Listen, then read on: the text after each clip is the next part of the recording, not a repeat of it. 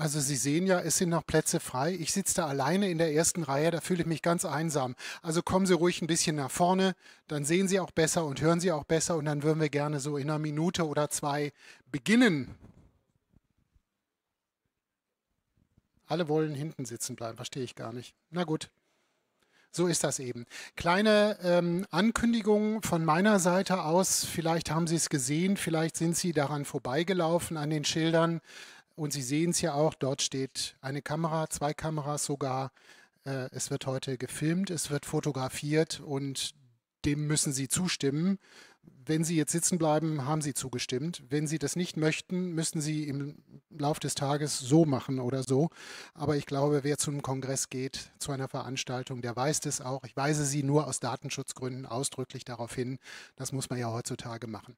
Also, guten Morgen nochmal von meiner Seite aus. Mein Name ist Michael Brocker. Ich bin Journalist, arbeite in Köln komme gerne und äh, zurzeit relativ häufig nach Berlin, freue mich sehr über diese Einladung.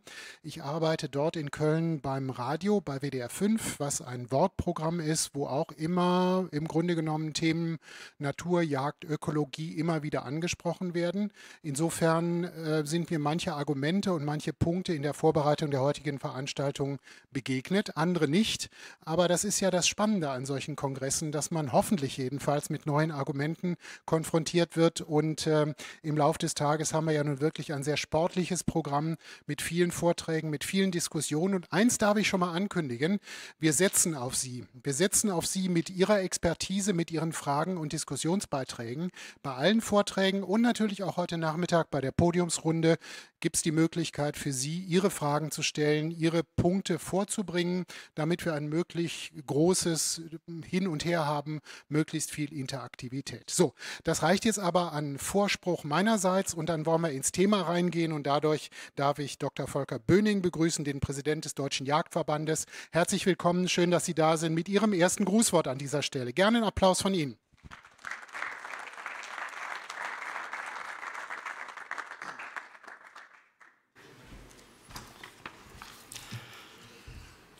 Ja, sehr geehrte Frau Staatssekretärin Dr. Rottmann, wir freuen uns, dass Sie pünktlich hier bei uns erschienen sind.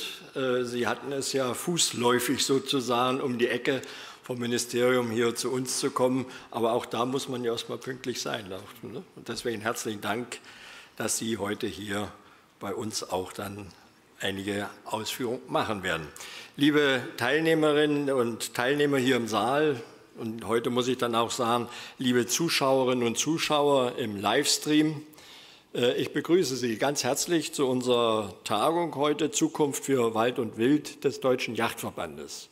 Ich glaube, wir haben einen kleinen Fehler gemacht, dass wir bekannt gegeben haben, dass wir das auch im Livestream übertragen, denn von den angemeldeten Leuten äh, ist laut Rückmeldung der ein oder andere dann äh, zu Hause geblieben, weil er die Möglichkeit hat, das auch zu Hause zu sehen. Also beim nächsten Mal werden wir das dann hinterher sagen, dass wir auch filmen. Die dramatische Situation der Wälder in Deutschland äh, macht uns allen deutlich, wie wirklich notwendig der Waldumbau ist und damit auch der Erhalt des Waldes.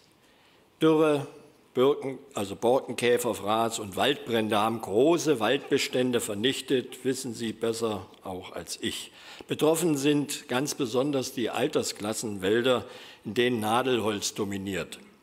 Wälder, die aus unterschiedlichen alten Bäumen und verschiedenen Baumarten bestehen, sind deutlich robuster. Ein funktionierendes Ökosystem ist letztlich die unerlässliche Basis für den Erhalt des Waldes, für den Erhalt seiner Schutzfunktion und für eine nachhaltige Waldbewirtschaftung. Naturnah zu wirtschaften bedeutet aber auch zu akzeptieren, dass Wildtiere natürlicher Bestandteil des Waldes sind. Dazu gehören selbstverständlich auch die Schalenwildarten wie Hirsch und Reh. Der Wald ist und bleibt Lebensraum für Wildtiere. Er bietet Nahrung und Schutz. Wildtiere und Wald gehören untrennbar zusammen. Die altbekannte Forderung Wald vor Wild entbehrt der biologischen Logik und widerspricht einem modernen, zielführenden Wildtiermanagement. Vorgänge in der Natur sind komplex und werden von vielen Faktoren gleichzeitig beeinflusst. Ebenso verhält es sich mit der Entstehung von Wildschäden. Notwendig ist die objektive Analyse der Faktoren, die Schäden verursachen. Notwendig ist ein vernünftiges Lösungskonzept. Das bedeutet ein gemeinsames planerisches Vorgehen, das Wald und Offenland einschließt. Die Lösung liegt in einer wildökologischen Raumplanung. Die heutige Tagung liefert dazu Denkansätze und praktische Hinweise. Ich möchte zum Schluss an alle Akteure und insbesondere an die politischen Entscheidungsträger einen Appell richten. Lassen Sie uns miteinander planen und agieren, damit Lebensräume und Wildtiere erhalten bleiben und es auch eine Zukunft für Wald und Wild gibt. Ich wünsche uns jetzt eine interessante Veranstaltung, aufschlussreiche Vorträge, eine spannende Podiumsdiskussion und gebe zurück an den Moderator und bedanke mich, dass Sie zugehört haben.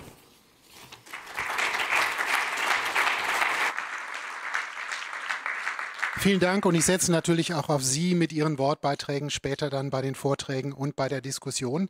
Ja, egal welches Thema man bespricht in diesen Tagen, man tut gut daran, in Berlin zu sein, vor allen Dingen, wenn es so zentral ist wie jetzt hier dieses Hotel, weil jedes Thema natürlich damit zu tun hat, was macht denn der Bundestag damit, was macht die Bundesregierung damit, wie positioniert sich die Bundesregierung zu all diesen Themen, die wir gerade schon angerissen bekommen haben? Und deswegen sind wir in der Tat sehr froh, die Staatssekretärin im Bundesministerium für Ernährung und Landwirtschaft begrüßen zu dürfen, Dr. Manuela Rottmann. Herzlich willkommen.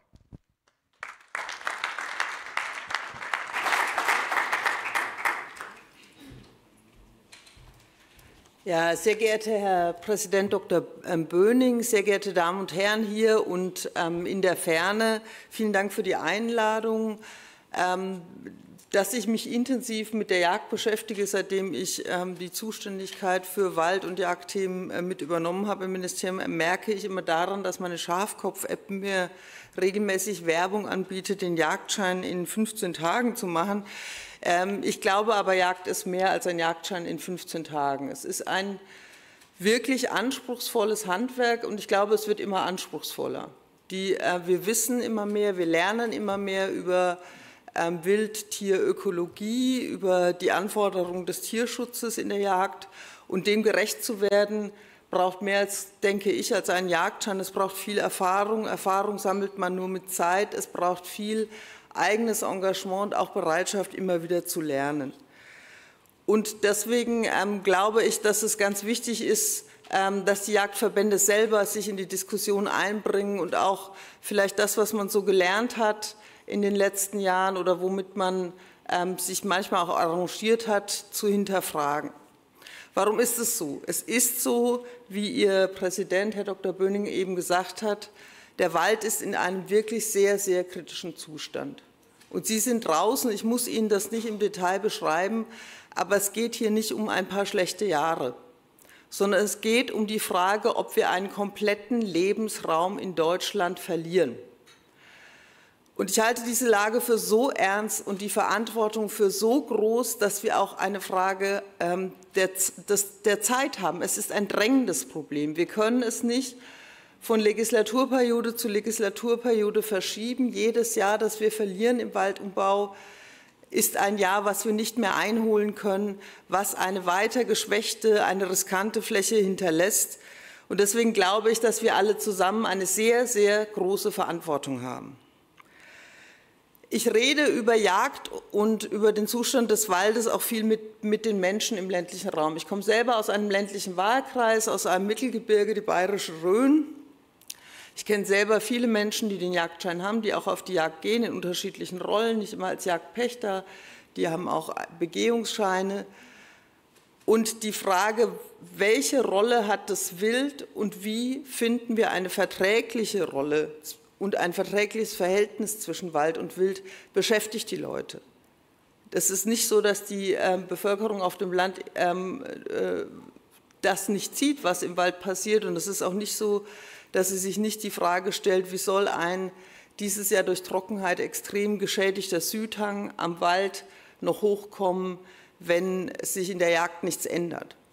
Und übrigens haben äh, zumindest bei mir im Wahlkreis die Menschen leider auch ähm, ziemlich unangenehme Erfahrungen mit äh, der Wildpopulation. Wir haben einfach wahnsinnig viele Wildunfälle. Auch das ist ein Thema, über das wir, finde ich, zu wenig reden. Das ist für das Wild ein grausamer Tod. Es ist für alle, die, die das erleben, ein Wildunfall keine gute Erfahrung.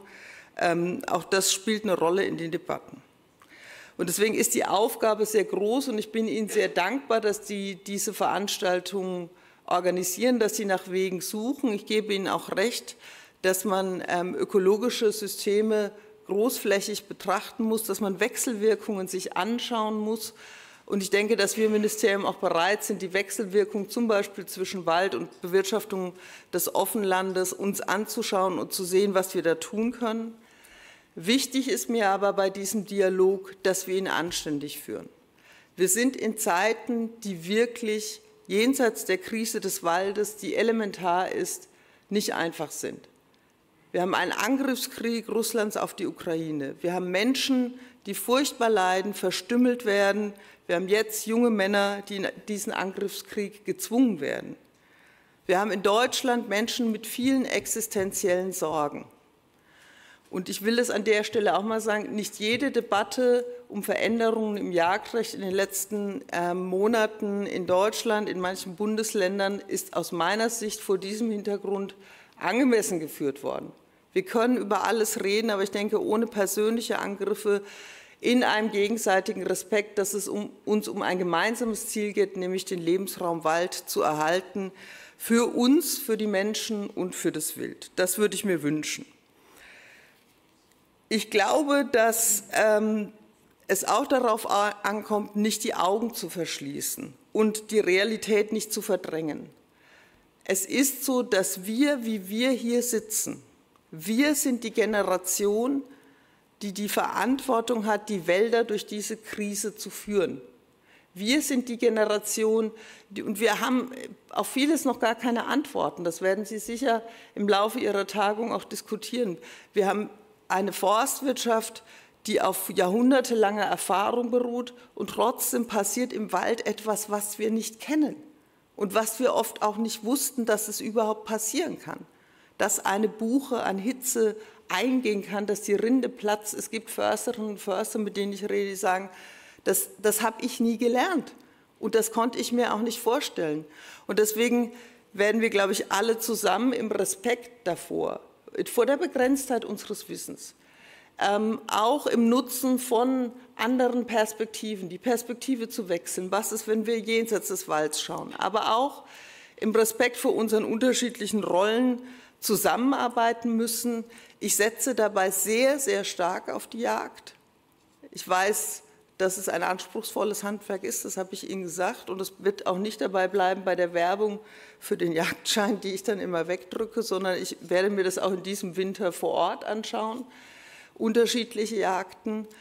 Sie haben uns im Ministerium als Partner. Wir haben den Dialog Wald und Wild angefangen und ich bin sehr dankbar dafür, dass der Deutsche Jagdverband dort konstruktiv mitarbeitet. Ich bin sehr dankbar für jede Diskussion, die wir auch gerne bei Ihnen vor Ort in den Landesverbänden führen können. Ich glaube, miteinander reden und zu Lösungen kommen ist das, was, wozu wir alle verpflichtet sind. Ich danke Ihnen sehr für Ihre Aufmerksamkeit und wünsche Ihnen eine interessante Tagung. Vielen Dank.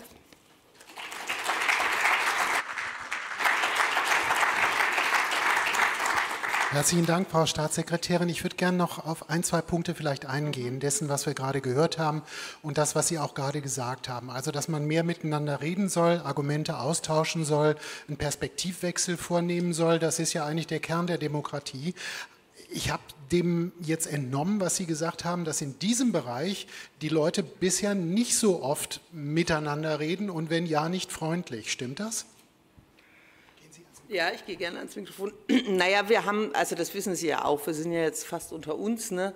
Wir haben natürlich ähm, äh, zum Beispiel in der Debatte ums Jagdgesetz in Brandenburg sehr, sehr heftige Auseinandersetzungen. Und ich finde, das ist nicht nötig. Und ich finde, das gehört sich auch nicht in so einer Zeit. Also man kann sich sachlich austauschen, aber man ähm, muss wirklich davon Abstand nehmen, ähm, Personen in der Landesverwaltung persönlich anzugreifen oder sogar zu bedrohen. Das geht einfach nicht. Ich glaube, da sind wir uns alle einig. Ähm, umgekehrt ähm, stelle ich mich auch vor jeden Jäger, jede Jägerin, die ihr Handwerk ordentlich versieht. Auch darauf können Sie sich verlassen. Aber ich glaube, das ist eine ganz wichtige Basis. Ähm, und dann, was, gibt, was den Perspektivwechsel angeht. Also die Perspektive Waldeigentümer und Jäger oder Jägerin ist ja nicht immer deckungsgleich. Ja, auch die, die Sorgen sind unterschiedlich, ähm, auch die wirtschaftlichen Interessen sind unterschiedlich. Und ich glaube, man muss, es, äh, man muss das einfach zur Kenntnis nehmen und darüber reden. Ähm, da hinten gibt es Unruhe, Sie dürfen sich ruhig zu Wort melden, wenn, Sie was, wenn ich was sage, was Ihnen nicht recht ist. Ähm, und ich glaube, man muss das auch anerkennen. Wenn Sie ähm, im Bundeskabinett Diskussionen führen, dann führen Sie ja logischerweise im Moment Diskussionen, Sie haben es auch angesprochen, über den Ukraine-Krieg, ganz viel über die Energiesicherheit. Jetzt mal Hand aufs Herz. Welches Thema spielt Wald und Wild bei den Beratungen, bei dem, was innerhalb des Bundeskabinetts auch zwischen den Ministerien diskutiert wird? Also wir haben ja einen bestimmten Plan, waldpolitischen Plan für diese ähm, Legislaturperiode. Der erst, das erste Element haben wir schon umgesetzt. Das, ähm, wir warten jetzt auf die Veröffentlichung im Bundesanzeiger des ersten Teils der Honorierung der Ökosystemleistungen für den Wald. Ähm, das sind im ersten Schritt 200 Millionen von insgesamt 900 Millionen, die wir investieren wollen in den Waldumbau. Und natürlich spielt an dem Punkt, also da muss das Bundesfinanzministerium mitreden und das Bundesfinanzministerium hat natürlich auch ein Interesse daran, dass das Geld sozusagen etwas verändert. Und natürlich spielt äh, die Frage, welche Chance hat der Waldumbau oder die natürliche Waldverjüngung, ähm, wie, wie, was können wir tun, damit ähm, sich selbst verjüngende Wälder hochkommen, dass sie eine Chance haben, auch vielfältig hochzukommen mit vielen ähm, Baumarten, die sich dort eintragen. Das spielt in den Debatten auch mit den Abgeordneten natürlich eine Rolle. Und wir werden das Bundeswaldgesetz ähm, reformieren. Das ist aus den 70er Jahren. Wir haben uns ja gerade gegenseitig noch mal klar wie stark sich die Situation und die Anforderungen an den Wald verändert haben in den letzten über 40 Jahren. Und auch da wird die Frage, ähm, welche, welche Rahmenbedingungen braucht Naturverjüngung zum Beispiel eine Rolle spielen. Sie haben ähm, gerade schon angesprochen den Finanzminister, der spielt ja in anderen Bereichen auch wiederum, manchmal habe ich so den Eindruck, die allerletzte Rolle. Also Bund gegen Länder, Länder gegen den Bund bei allen möglichen Themen, Verkehr, 9-Euro-Ticket, äh, Energieversorgung, Gasdeckel, wie auch immer. Es gibt sehr streitige Diskussionen und am Ende sagt Herr Lindner, nö, haben wir kein Geld für. Wie ist das in dem Bereich? Also jedenfalls die 200 Millionen Euro, da wollte er schon mitreden, aber wir haben sie ja jetzt. Ja? Also sie kommen auf die Fläche, wir werden da auch in den nächsten Jahren immer wieder mitreden. Ähm, Herr Lindner, im Unterschied zu mir, hat er ja einen Jagdschein. Insofern ist er wahrscheinlich auch Ansprechpartner ähm, für den deutschen Jagdverband. Sollten wir mal einladen dann, ne? Ja, das können Sie mal versuchen, wenn er Zeit hat. Sie wissen, wie das mit den Ministerien ist.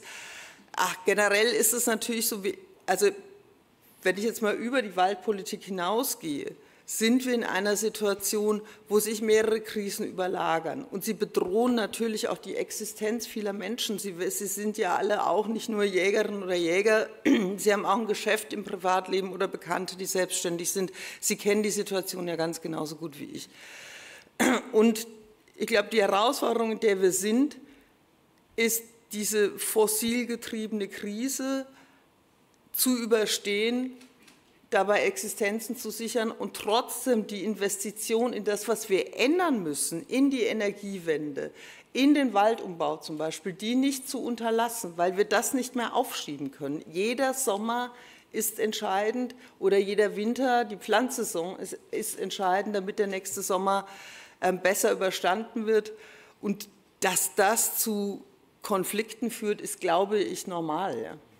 Zum Schluss, ähm, bei dem, was in den Wäldern passiert, ähm, das ist ja nun wirklich furchtbar teilweise. Wenn ich im Sauerland beispielsweise, wie gesagt, ich komme aus Nordrhein-Westfalen, wenn ich da wandere, dann sehe ich eigentlich nicht mehr Wald, sondern ich sehe Zerstörung in erster Linie durch die Dürre, durch die Trockenheit, durch die Borkenkäfer, durch vieles andere mehr.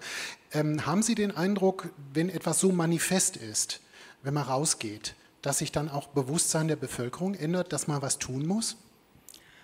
Also ich war diesen Sommer in ganz, ganz unterschiedlichen Wäldern und mehr noch als die zerstörten Wälder, die einen ja auch lähmen können. Also da verstehe ich auch viele Waldbesitzer, die sagen, ich, ich weiß überhaupt nicht mehr, was ich machen soll. Ja, da ist Arbeit von Jahrzehnten und Jahrhunderten zusammengebrochen in einem Sommer. Ähm, ich glaube, kommt es auch darauf an, sich die anderen Wälder anzuschauen, die, die ganz gut durchgekommen sind, die, wo der Waldumbau gar nicht vor Jahrhunderten oder so angefangen hat, sondern manchmal vor 17 Jahren oder 18 Jahren und man sieht den Unterschied. Man, man, man sieht, da ist noch Feuchtigkeit drin und deswegen ist der Wald ein Mahnmal, was die Leute sicher erschreckt, wenn es in einem Zustand ist, wie wir es jetzt im Harz oder bei Ihnen im Sauerland sehen. Aber es gibt auch Orte im Wald, die Hoffnung geben und Orte im Wald, wo es ein gutes Einvernehmen zwischen Jagd und Waldbesitz gibt oder wo auch selbst gejagt wird, wo ich revierweise den Unterschied sehen kann. Und deswegen äh, glaube ich, dass unsere Wälder nicht nur die Fragen stellen, sondern auch die Antworten bereithalten. Ja, dann gucken wir mal auf die Fragen, auf die Antworten. Danke Ihnen jedenfalls, dass Sie hier gewesen sind. Manuela Rottmann, herzlichen Dank, Staatssekretärin im Bundesministerium für Ernährung und Landwirtschaft. Vielen, vielen Dank. Vielen Dank.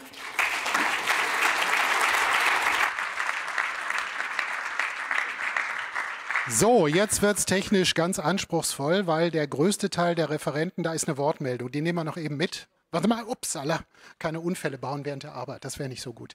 Sagen Sie kurz, wer Sie sind. Ich halte selber das Mikro. Ja, mein Name ist Jörg Stendel, äh, Landesjagdverband Brandenburg. Äh, wir sind ja direkt angesprochen worden mit dem Jagdgesetz. Ich finde es ehrlich gesagt äh, recht unschön, äh, jetzt die Krise, die uns alle schüttelt, das, was uns allen Sorgen bereitet, existenzielle Nöte anzusprechen, äh, mit der Bitte, äh, doch so einen Gesetzesentwurf durchzuwinken. Anders kann ich es äh, nicht deuten. Äh, aber ich wollte eigentlich eine ganz andere Sache äh, ansprechen. Hier sitzen im Raum viele Leute, die extrem unterschiedliche Auffassungen haben. das Ergebnis der Diskussion ist aber eines, auf das wir alle angewiesen sein werden. Und wir haben, glaube ich, im Raum wenig Dissens äh, was es anbelangt, die Einsicht darin, dass wir um den Waldumbau nicht drumherum kommen. Das wollen wir alle. Äh, die Wege dahin, darin unterscheiden wir uns. Wir unterscheiden uns aber auch in einer sehr wesentlichen anderen Sache und äh, dem sollte man Augenmerk schenken. Wir unterscheiden uns in der Definition von Begriffen. Und wenn ich Begriffe lese wie brauchbare Jäger und wenn ich Begriffe lese äh, wie Hege, äh, dann habe ich zu diesen Begriffen Fragen, und keine wissenschaftliche Arbeit äh, kommt aus, ohne Begriffe zu klären. Und für meine Begriffe kommt auch kein Gesetzestext und auch keine Begründung zu einem Gesetzestext aus, ohne diese Begriffe zu klären. Danke.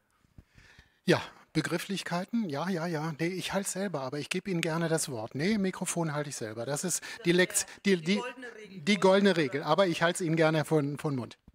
Ich glaube, es hilft uns, wenn wir uns zuhören. Und ich habe nicht gesagt, dass ich erwarte, dass sie Gesetze durchwinken, sondern mir geht es um die persönlichen Angriffe, um die Härte der Auseinandersetzung, um Bedrohungen. Und das unterstelle ich dem Landesjagdverband nicht. Ich weiß aber, dass es in Brandenburg passiert ist. Und ich glaube, vor sowas sollten wir uns alle stellen, dass wir so nicht diskutieren, selbst wenn jemand eine andere Meinung hat. Wir sagen, es ist völlig falsch. Das ist das Einzige, was mir wichtig ist. Ich erwarte von Ihnen nicht, dass Sie irgendwas durchwinken, sondern ich erwarte, dass wir im Umgang uns gegenseitig schützen. Ich glaube, das ist wichtig. Und ähm, ich gebe Ihnen völlig recht, man muss Begriffe definieren. Ähm, man muss sich darüber auseinandersetzen. Ich glaube, das brauchbare Jäger stammt nicht von mir, hoffe ich jedenfalls. Also ich, ich wäre mir ein neuer Begriff, ich habe ihn nicht verwendet. Ähm, aber ich halte Jagd für anspruchsvoll und die Frage, ähm, welche Ansprüche stellen wir an Jagd, was müssen, was müssen Sie können, was muss jemand können, der auf die Jagd geht, das ist, glaube ich, eine berechtigte Frage, weil die Anforderungen so groß geworden sind. Dankeschön.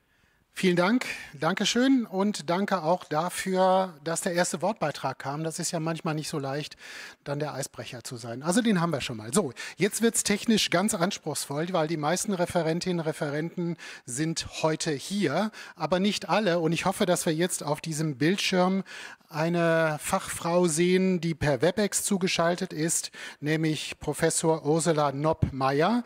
Und da unten in der Ecke können wir, sie, können wir sie mal groß machen einfach, damit wir sie mal sehen. Und Sie, das wäre meine Bitte, begrüßen Sie Frau Professor Nopp-Meyer mit dem herzlichen Applaus.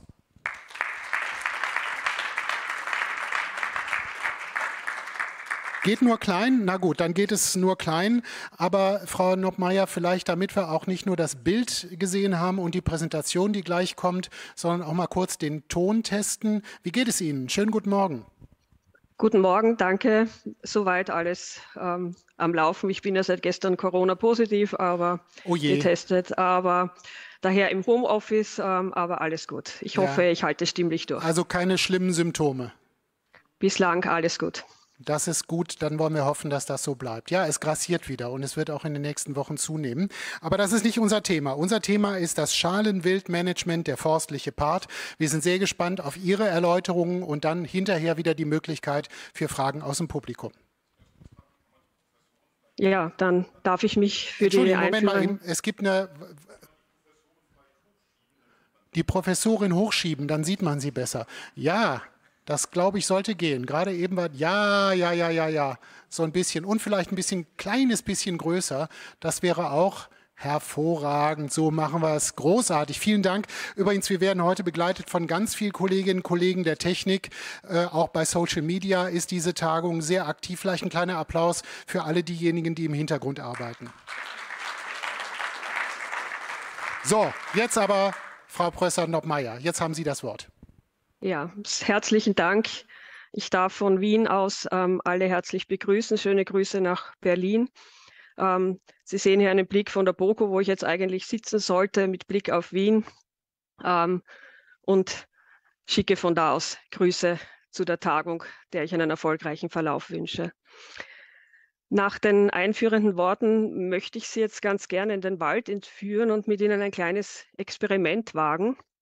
Ich zeige Ihnen nachfolgend ein Foto eines Waldbereiches und ich ersuche jede Person, ob physisch anwesend oder ähm, über die Medien, das Bild anzuschauen und anzuschauen, was das Bild bewirkt. Das braucht im Prinzip nur wenige Sekunden. Das ist ein Foto aus einem realen Forstbetrieb in der Steiermark und genauso aufgenommen, wie Sie es hier sehen. Und die Frage, die ich mit diesem Bild thematisieren möchte, ist, ist Wald gleich Wald gleich Wald? Und um das bei unserem kleinen Experiment jetzt mit Ihnen gemeinsam zu testen, habe ich auf dem nachfolgenden Foto eine einzige Komponente dieses Bildes verändert. Und ich möchte Sie wieder einladen zu überdenken, wie Sie jetzt zu dem nachfolgenden Bild stehen. Der Wald ist gleich geblieben, aber gilt jetzt für Sie immer noch Wald ist Wald ist Wald. Und jetzt schlüpfen Sie bitte für einige Sekunden in die Rolle einer anderen Person, die nicht Ihrer Position oder Ihrer Einstellung entspricht. Und wir merken, ein und derselbe Wald ist dennoch nicht der gleiche. Rehwild kommt dort in diesem Wald übrigens genauso vor wie wie das Auerwild. Und die Frage ist jetzt, was macht Wald aus? Und das kennen wir alle gut genug. Es gibt natürlich die gesetzlichen Bestimmungen, das Bundeswaldgesetz, das österreichische Forstgesetz. Im Prinzip geht es immer darum, dass eine Grundfläche der Landschaft mit Forstpflanzen oder Holzgewächsen bewachsen ist. Also eine Abgrenzung innerhalb der Landschaft. Und wenn wir in diese Landschaft gehen und Bilder vor Augen haben von Wald, drängt sich erst recht die Frage auf, ist Wald gleich Wald gleich Wald? hier einige Bilder aus dem eigenen Fundus beziehungsweise Fundus von Kolleginnen. Ähm, Sie werden noch andere Bilder vor Augen haben, ähm, die hier gleich einmal in die Assoziation kommen. Und wir können daher festhalten, Wald ist mehr als nur ein Konglomerat von Bäumen, eine Ansammlung von Bäumen.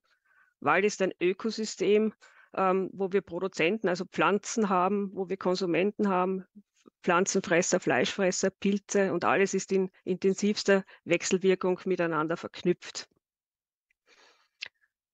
Und wir Menschen haben viele Ziele an diese Fläche. Ein und derselbe Wald soll uns als Wirtschaftsraum dienen, er soll uns Erholung bringen und sei es auch nur als Kulisse. Er soll uns vor Naturgefahren schützen, er soll Wasser produzieren, er soll CO2 fixieren und, und, und. Und teilweise scheinen wir darüber zu vergessen, dass der Wald ein Lebensraum ist und dass jede Maßnahme, die wir im Wald setzen, ob beabsichtigt oder nicht, den Lebensraum von Tieren und Pflanzen beeinflusst. In der Gesetzeslage, Sie haben das vorher schon angesprochen, ähm, schaut das sehr unterschiedlich aus. Wir, Sie haben die Bundes- und Landeswald, das Bundeswaldgesetz, Landeswaldgesetze. In Österreich haben wir über den ganzen Staatsfläche hinweg das österreichische Forstgesetz. Und die sind ja durchaus unterschiedlich. Und Sie brauchen jetzt hier nicht alle Sätze, die ich ähm, Blick oder blitzlichthaft angeführt habe, durchzulesen. Suchen Sie sich nur einen raus und überlegen Sie, wie stark finden Sie die Tatsache, dass Wald Lebensraum ist, auch wirklich aufgegriffen. Und ich denke, zum Teil ist das besser, zum Teil schlechter ähm, oder stärker oder schwächer gelöst. Auf jeden Fall dürfte hier noch Luft nach oben sein. Lebensräume von Wildtieren in Zentraleuropa unterliegen einer wahnsinnigen Vielzahl von gestaltenden Einflussfaktoren. Und die können wir jetzt von vornherein weder als gut noch als schlecht beurteilen. Wenn wir in die untere Bildleiste schauen, dann sehen wir landschaftliche Nutzung, landwirtschaftliche Nutzung. Wir sehen mosaikartige Verzahnungen offener Land, Waldbereich. Wir sehen Siedlungsverkehrsflächen, Verkehrslinien. Ähm, Im oberen Bereich auch. Wir nutzen die die Landschaft eben für Freizeit als Erholungssuchende, als Jagdausübende oder eben forstliche Bewirtschaftende. Und ob wir es wollen oder nicht, alle diese Einflüsse gemeinsam gestalten in ihrer Zusammenwirkung das Ausmaß, die Qualität und die Verteilung beziehungsweise auch die zeitliche Dynamik von Wildtierlebensräumen. Das heißt, sie bestimmen darüber, wo Wildtiere in welchem Ausmaß und in welcher Qualität Lebensräume vorfinden und wie weit sie natürlich auch selber Lebensräume mitgestalten. Und diese vielfachen Wechselwirkungen, die wir hier sehen, schematisch dargestellt, führen uns konsequenterweise sehr schnell zu dem Schluss, dass es bei multifaktoriellen Einflüssen auch nur eine multifaktorielle Betrachtungsweise und einen entsprechenden Problemlösungsansatz geben kann. Ich habe heute konkret die Aufgabe, in diesem Wirkungsgefüge ein paar Aspekte des forstlichen Managements anzusprechen. Und ich möchte Ihnen dazu beginnen oder mit Ihnen die Überlegung anstellen, was würde passieren, würde ich Ihnen die Frage stellen, wenn wir Anfälligkeit von Waldbeständen für bestimmte Einflussfaktoren, ähm, auch Schadfaktoren zum Teil genannt, reduzieren wollen, wo, liegt, wo liegen forstliche Handlungspotenziale? Und dann würden wir beim Borkenkäfer, ähm, konkret vielleicht der Buchdrucker, sehr schnell einig sein, ja, Borkenkäfer sind oft spezialisiert auf Baumarten. Das heißt, die Baumartenwahl hat hier maßgeblichen Einfluss. Wie schwer oder leicht das auch umzusetzen ist, zu wechseln. Der Wirkungspfad ist ziemlich klar. Ähm, bei der Verringerung der Anfälligkeit von Waldbeständen gegenüber Sturmereignissen würden wir relativ schnell diese klassischen Maßnahmen aufsteigender Schlagreihen, Schlussgrad, Turbulenzengenerierung und so weiter nennen. Und auch beim Schneebruch hätten wir Ideen an der Hand, wie man im forstlichen Management arbeiten kann.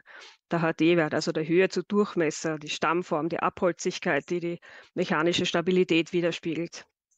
Würde ich jetzt die gleiche Frage für die forstliche Vermeidung von Rotwildschäle stellen, dann wäre die Antwort wahrscheinlich nicht so schnell auf der Hand. Und daher ist es eine Kernfrage, was haben wir an forstlichen Handlungsoptionen, was bedingt Anfälligkeit von Waldbeständen und wie kann man hier durch forstliche Maßnahmen Einfluss nehmen?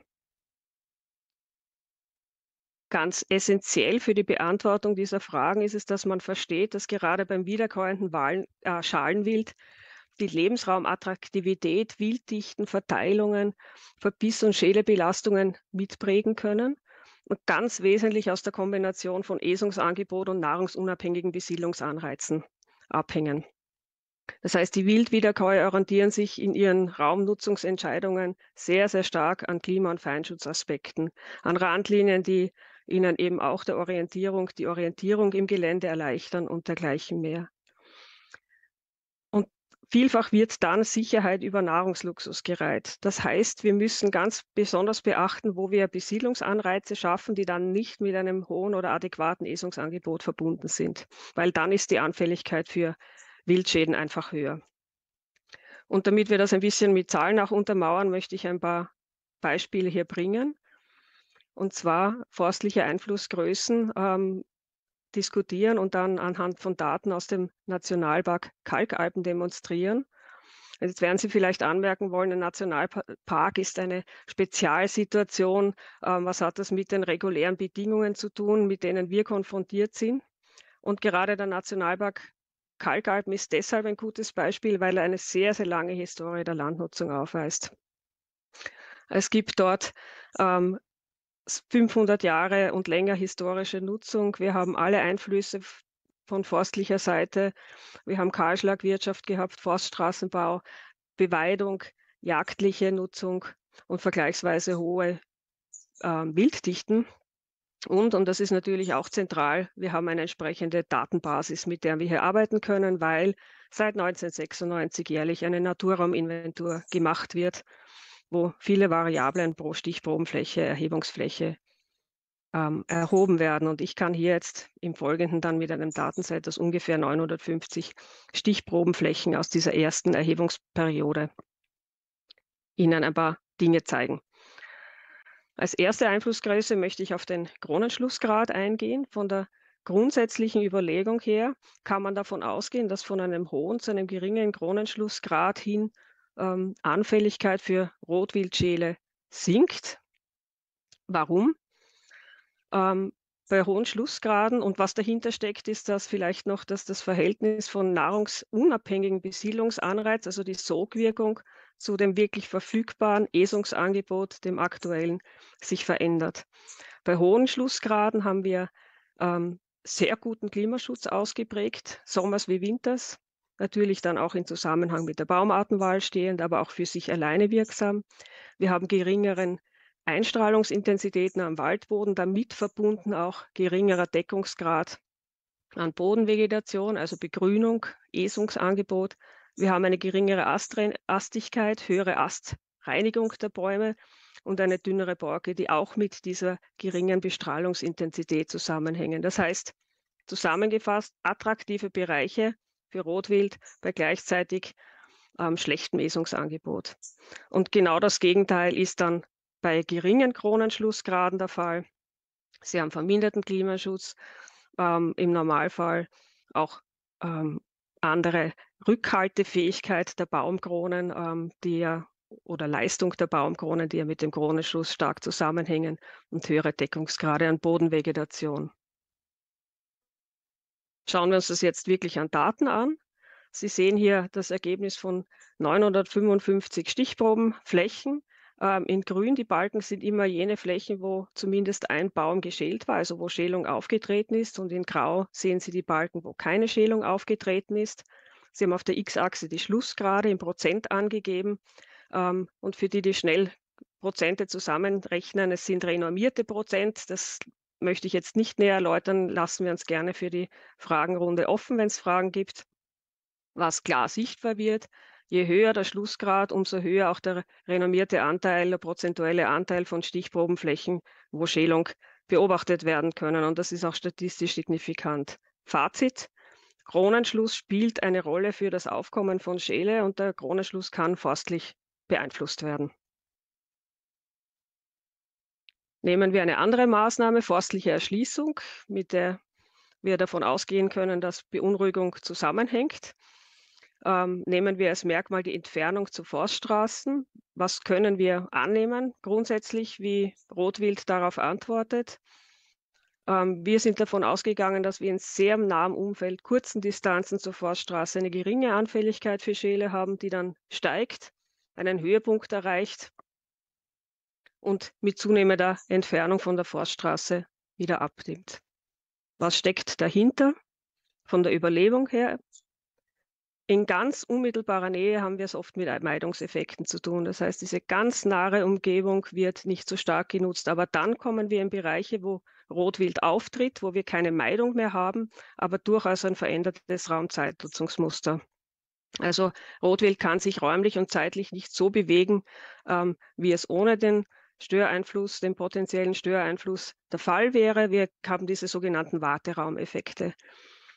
Und das bedeutet wieder, dass dieses Verhältnis von nahrungsunabhängigen Besiedlungsanreiz zu aktuellem Nahrungsangebot sich verschiebt und dieser Einfluss nimmt mit zunehmender Distanz wieder ab. Schauen wir auf die Datenlage. Gehen wir wieder zum Nationalpark Kalkalpen. In dem Fall konnten wir 200, etwas über 200 Stichprobenflächen für die Berechnungen verwenden. Ähm, in denen auch dieses Merkmal Entfernung zur Forststraße zugetroffen hat. Und ich zeige Ihnen jetzt hier wieder das Bild, ähm, die, das die Datenlage uns bringt. Sie sehen auf der X-Achse dargestellt die Entfernungen der Stichprobenflächen zu Forststraßen in Klassen eingeteilt. Wieder die renommierten Prozent jener Probeflächen mit Grün und ohne Grau Schälung. Und wir sehen sehr schön, dass in einer bestimmten Distanz ähm, die Anteile der, Schäl, der Flächen mit Schälung einen Höhepunkt erreichen und dann wieder abfallen.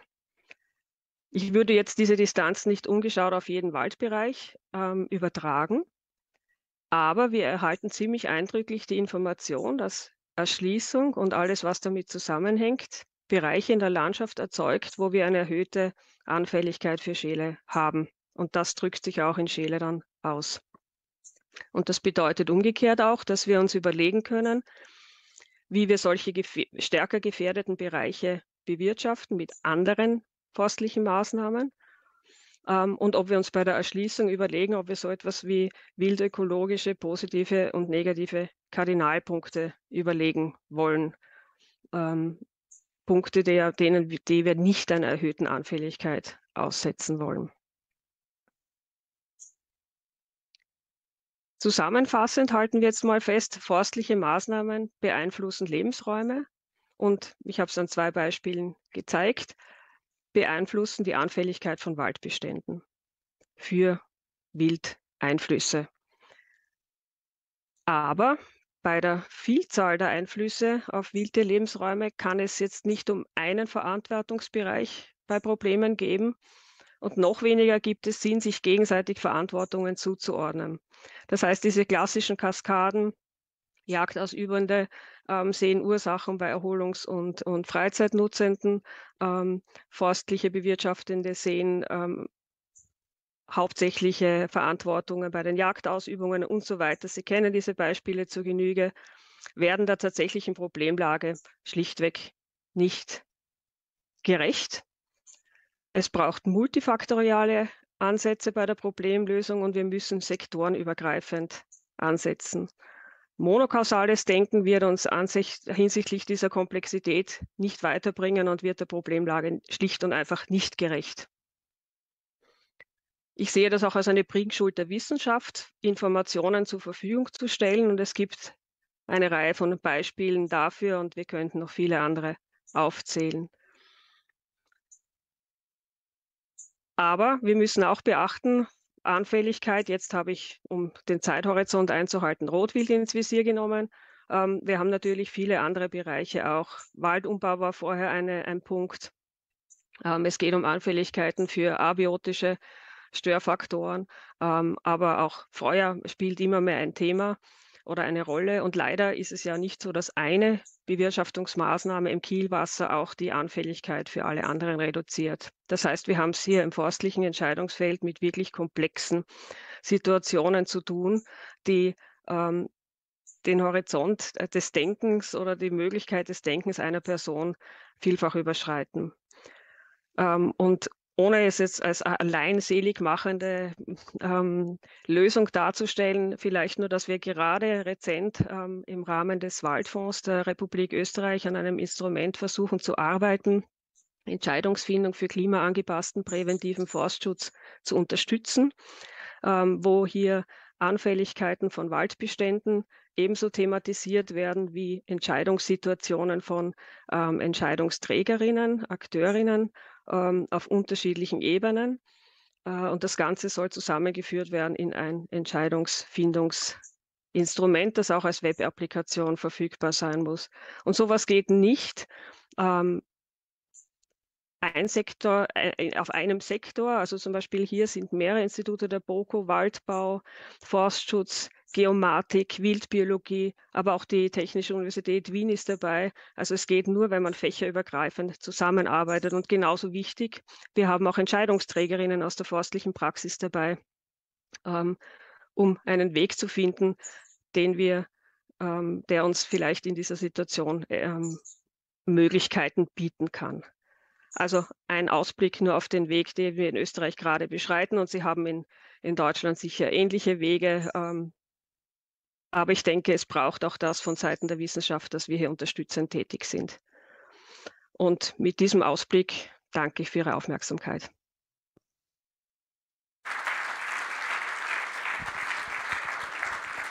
Herzlichen Dank, Frau Professor Norm-Meyer. Ähm, ich würde gerne an dieser Stelle dann schon den Rahmen öffnen für Ihre Fragen und Diskussionsbeiträge. Aber ich habe eine Frage oder vielleicht zwei vorneweg, nämlich dieses Projekt, das Sie gerade zum Schluss geschildert haben, Decide. Ähm, das beginnt ja gerade, wenn ich das richtig begriffen habe. Ähm, können Sie uns was sagen zu der Laufzeit und den Ergebnissen, die Sie sich da erhoffen? Also die Laufzeit dieser Waldfondsprojekte sind im Prinzip drei Jahre. Wir haben voriges oder dieses Jahr ähm, gestartet. Ähm, das war jetzt eine Charge, die sozusagen ausgeschrieben wurde für verschiedene Thematiken. Es gibt auch für Forstgenetik ähm, Projekte, also da gibt es verschiedene Läufe. Und wir haben mehr oder weniger drei Jahre Zeit. Wir haben viele dieser Modelle, die die Anfälligkeit abschätzen, schon vorliegen. Ein paar müssen wir neu erarbeiten, weil sich der Schwerpunkt, welche Baumarten anzuschauen sind, die Baumarten des klimafitten Waldes ähm, speziell anzuschauen sind. Ähm, und wir sind mitten in dieser Phase, wo wir mit Entscheidungsträgern, Trägerinnen Workshops machen, schauen, was die auch brauchen. Ähm, also das läuft in sehr intensiver Zusammenarbeit auch mit Praktiker und pra Praktikern und Praktikerinnen. Und ich denke, das ist auch wichtig, nicht nur Inter Interdisziplinarität in der Forschung, sondern Transdisziplinarität, das heißt Zusammenarbeiten vom grünen Tisch, vom Computer aus funktioniert es nicht. So, und am Ende dieser drei Jahre liegt dann ein Bericht vor, der dann, ja, was ist, eine Empfehlung, ein dringender Rat oder wie stellen Sie sich das vor? Nein, wenn es so ausgeht, wie wir es uns wünschen, liegt am Ende dieser drei, beziehungsweise vielleicht mit Verlängerung vier Jahre, zumindest einmal für zwei Bundesländer Österreichs eine Web-Applikation vor, ähm, die schon getestet ist mit Praktikerinnen, ähm, um hier Entscheidungen zu unterstützen. Prima. Also bis hierhin erstmal. Dann äh, sehe ich jetzt gleich hoffentlich ein paar Finger in der Luft zu Fragen zu dem, was wir gerade gehört haben. Einmal, zweimal, aber Sie waren schneller, glaube ich, ne? wenn ich das richtig mitbekommen habe. Ja, ich komme mal zu Ihnen. Warten Sie mal einen Moment. Steins, äh, machen wir es bitte immer so, dass Sie kurz sich äh, vorstellen, wer Sie sind und dann gerne Ihre Frage oder Ihren Punkt. Ja, mache ich. Äh, mein Name ist Axel Lüssow, Bündnis 90 Die Grünen. Ich bin hier im Kommunalparlament in Pankow. Hier in Berlin überraschenderweise haben wir viel Wald, also genau gesagt tatsächlich kein Forst, sondern Erholungswald. Wir haben auch in Berlin 4000 Jagdbesitzscheine mit äh, Hintergrund Jagd, also offensichtlich ähm, ganz, ganz viele Wege für doch nicht so viel Wald. Und wir sind auch, ähm, ich bin zudem Sprecher der LAG Tierschutzpolitik und auch in der Bundesarbeitsgemeinschaft der Grünen und äh, beschäftigen uns gerade damit. Im Koalitionsvertrag in Berlin steht das Jagdgesetz. Meine Frage ist ähm, der Titel Ihres Vortrags. Ähm, das ist auch eines meiner Hauptanliegen. Da steht ja Schalen, Schalenwildmanagement und wir reden hier ganz über, oft über Wildmanagement. Und das ist ja eine Sache, die eigentlich schon die Maßnahme und die vorgeblich einzige Maßnahme vorausnimmt. Nämlich, also ich bin da, äh, Entschuldigung, nicht so im Jagdsprech drin, also ähm, die, die, die Tiere reduzieren. Aber Sie haben ja gerade dargestellt, dass es multifaktoriell ist, dass es ganz, ganz viele verschiedene Dinge gibt. Sollte man bei solchen Sachen nicht immer gleich sagen, nee, nee, nee, wir reden hier nicht über Wildtiermanagement, wir reden hier über Waldschadensmanagement, wir reden über Umbau. Und da kommen wir dann vielleicht auch mehr zusammen, auf verschiedenen Seiten mehr zusammen und sind nicht immer in dieser Debatte drin, die ja gerade sehr emotional läuft. Das haben wir gerade bei Staatskriterien gehört. Das war ich auch persönlich überrascht, also wie hoch das kocht. Aber einfach vom Wording. Glauben Sie, dass schon so ein Unterschied beim Wording einen Unterschied macht? Frau Dommeyer. Ja, also Begrifflichkeiten machen sicher einen großen Unterschied ähm, und bewirken sehr viel. Was ich bewirken wollte hier auch vielleicht, dass wir uns bewusst sind, Schalenwildmanagement oder überhaupt Wildtiermanagement ist immer auch Lebensraummanagement. Es gibt kein, ähm, praktisch keine Managementmaßnahmen, die nicht mit dem, Wildtiere sind einfach mit dem Lebensraum verbunden. Und ähm, von wildbiologischer Seite ist ganz klar, Wildtiermanagement ist immer auch ähm, eine Frage des Lebensraummanagements. Ähm, das heißt, das denke ich ist ein wichtiger Aspekt. Ähm, ich würde es aber nicht umdrehen und dann sagen, wir sprechen, wir, wir verwenden andere Begrifflichkeiten. Ich denke mir, wir sollten den Denkhorizont erweitern, dass es kein Wildtiermanagement ohne Lebensraummanagement geben kann. Ich mhm. würde es gerne von der Seite sehen. Ähm, und der zweite Punkt ist mir jetzt entfallen, den ich dazu sagen wollte. Aber ähm, ja, vielleicht da Begrifflichkeiten. Das ist auch immer die Frage mit Wald und Wild. Ähm, das kennen Sie, das haben wir auch in Österreich sehr vielfach, diese Diskussionen. Die Frage ist ja, ob Wildtiere nicht Teil, das wollte ich ein bisschen auch damit demonstrieren, nicht Teil des Waldes sind und ähm, ob man Wildtiere und Wald wirklich trennen kann, begrifflich, egal was jetzt ähm, gesetzliche Vorgaben denken, aber aus ökosystemarer Sicht ist es nicht möglich. Mhm. Okay, ich habe noch eine zweite Frage oder eine zweite Anmerkung. Ja, Eckhard Fuhr vom Ökologischen Jagdverein Brandenburg-Berlin. Ähm, ich habe eine ganz einfache Frage. Ich möchte Sie bitten, äh, einmal zu definieren, äh, was Sie unter dem Begriff Jagdwirtschaft verstehen und ähm, was ein Institut für Wildbiologie und Jagdwirtschaft ist, welche Stellung sozusagen diese Jagdwirtschaft, der Begriff ist in der Bundesrepublik nicht geläufig, äh, in der Gesamt Landnutzung, land- und forstwirtschaftlichen Nutzung steht. Ja, vielen Dank. Also Sie spielen auf den Namen unseres Institutes an, Wildbiologie und Jagdwirtschaft. Ähm, und das ist ein historisch bedingter Name. Ähm, Im Prinzip könnten Sie es auf Bewirtschaftung oder Management, das war halt früher ähm, in Englischen sind wir Wildlife Biology und Game Management. Sie könnten es auf Management auch ummünzen. Natürlich spielen jagdlich Bewirtschaftungsaspekte, ähm, wirtschaftliche Aspekte eine Rolle, aber wenn Sie jetzt konkret zum Namen es wissen wollen, dann geht es vor allem um Bewirtschaftungs- ähm, oder Management, Entschuldigung, Management-Aspekte, ja, ähm, die natürlich auch wirtschaftlich eine Rolle spielen können. Also ein Kollege von uns ähm, überprüft ein, im großen Maßstab, macht Forschung dazu, wie ähm, ökonomische Aspekte der Bejagung der Spießente in Amerika eine Rolle spielen. Also wir adressieren solche Aspekte sehr wohl auch.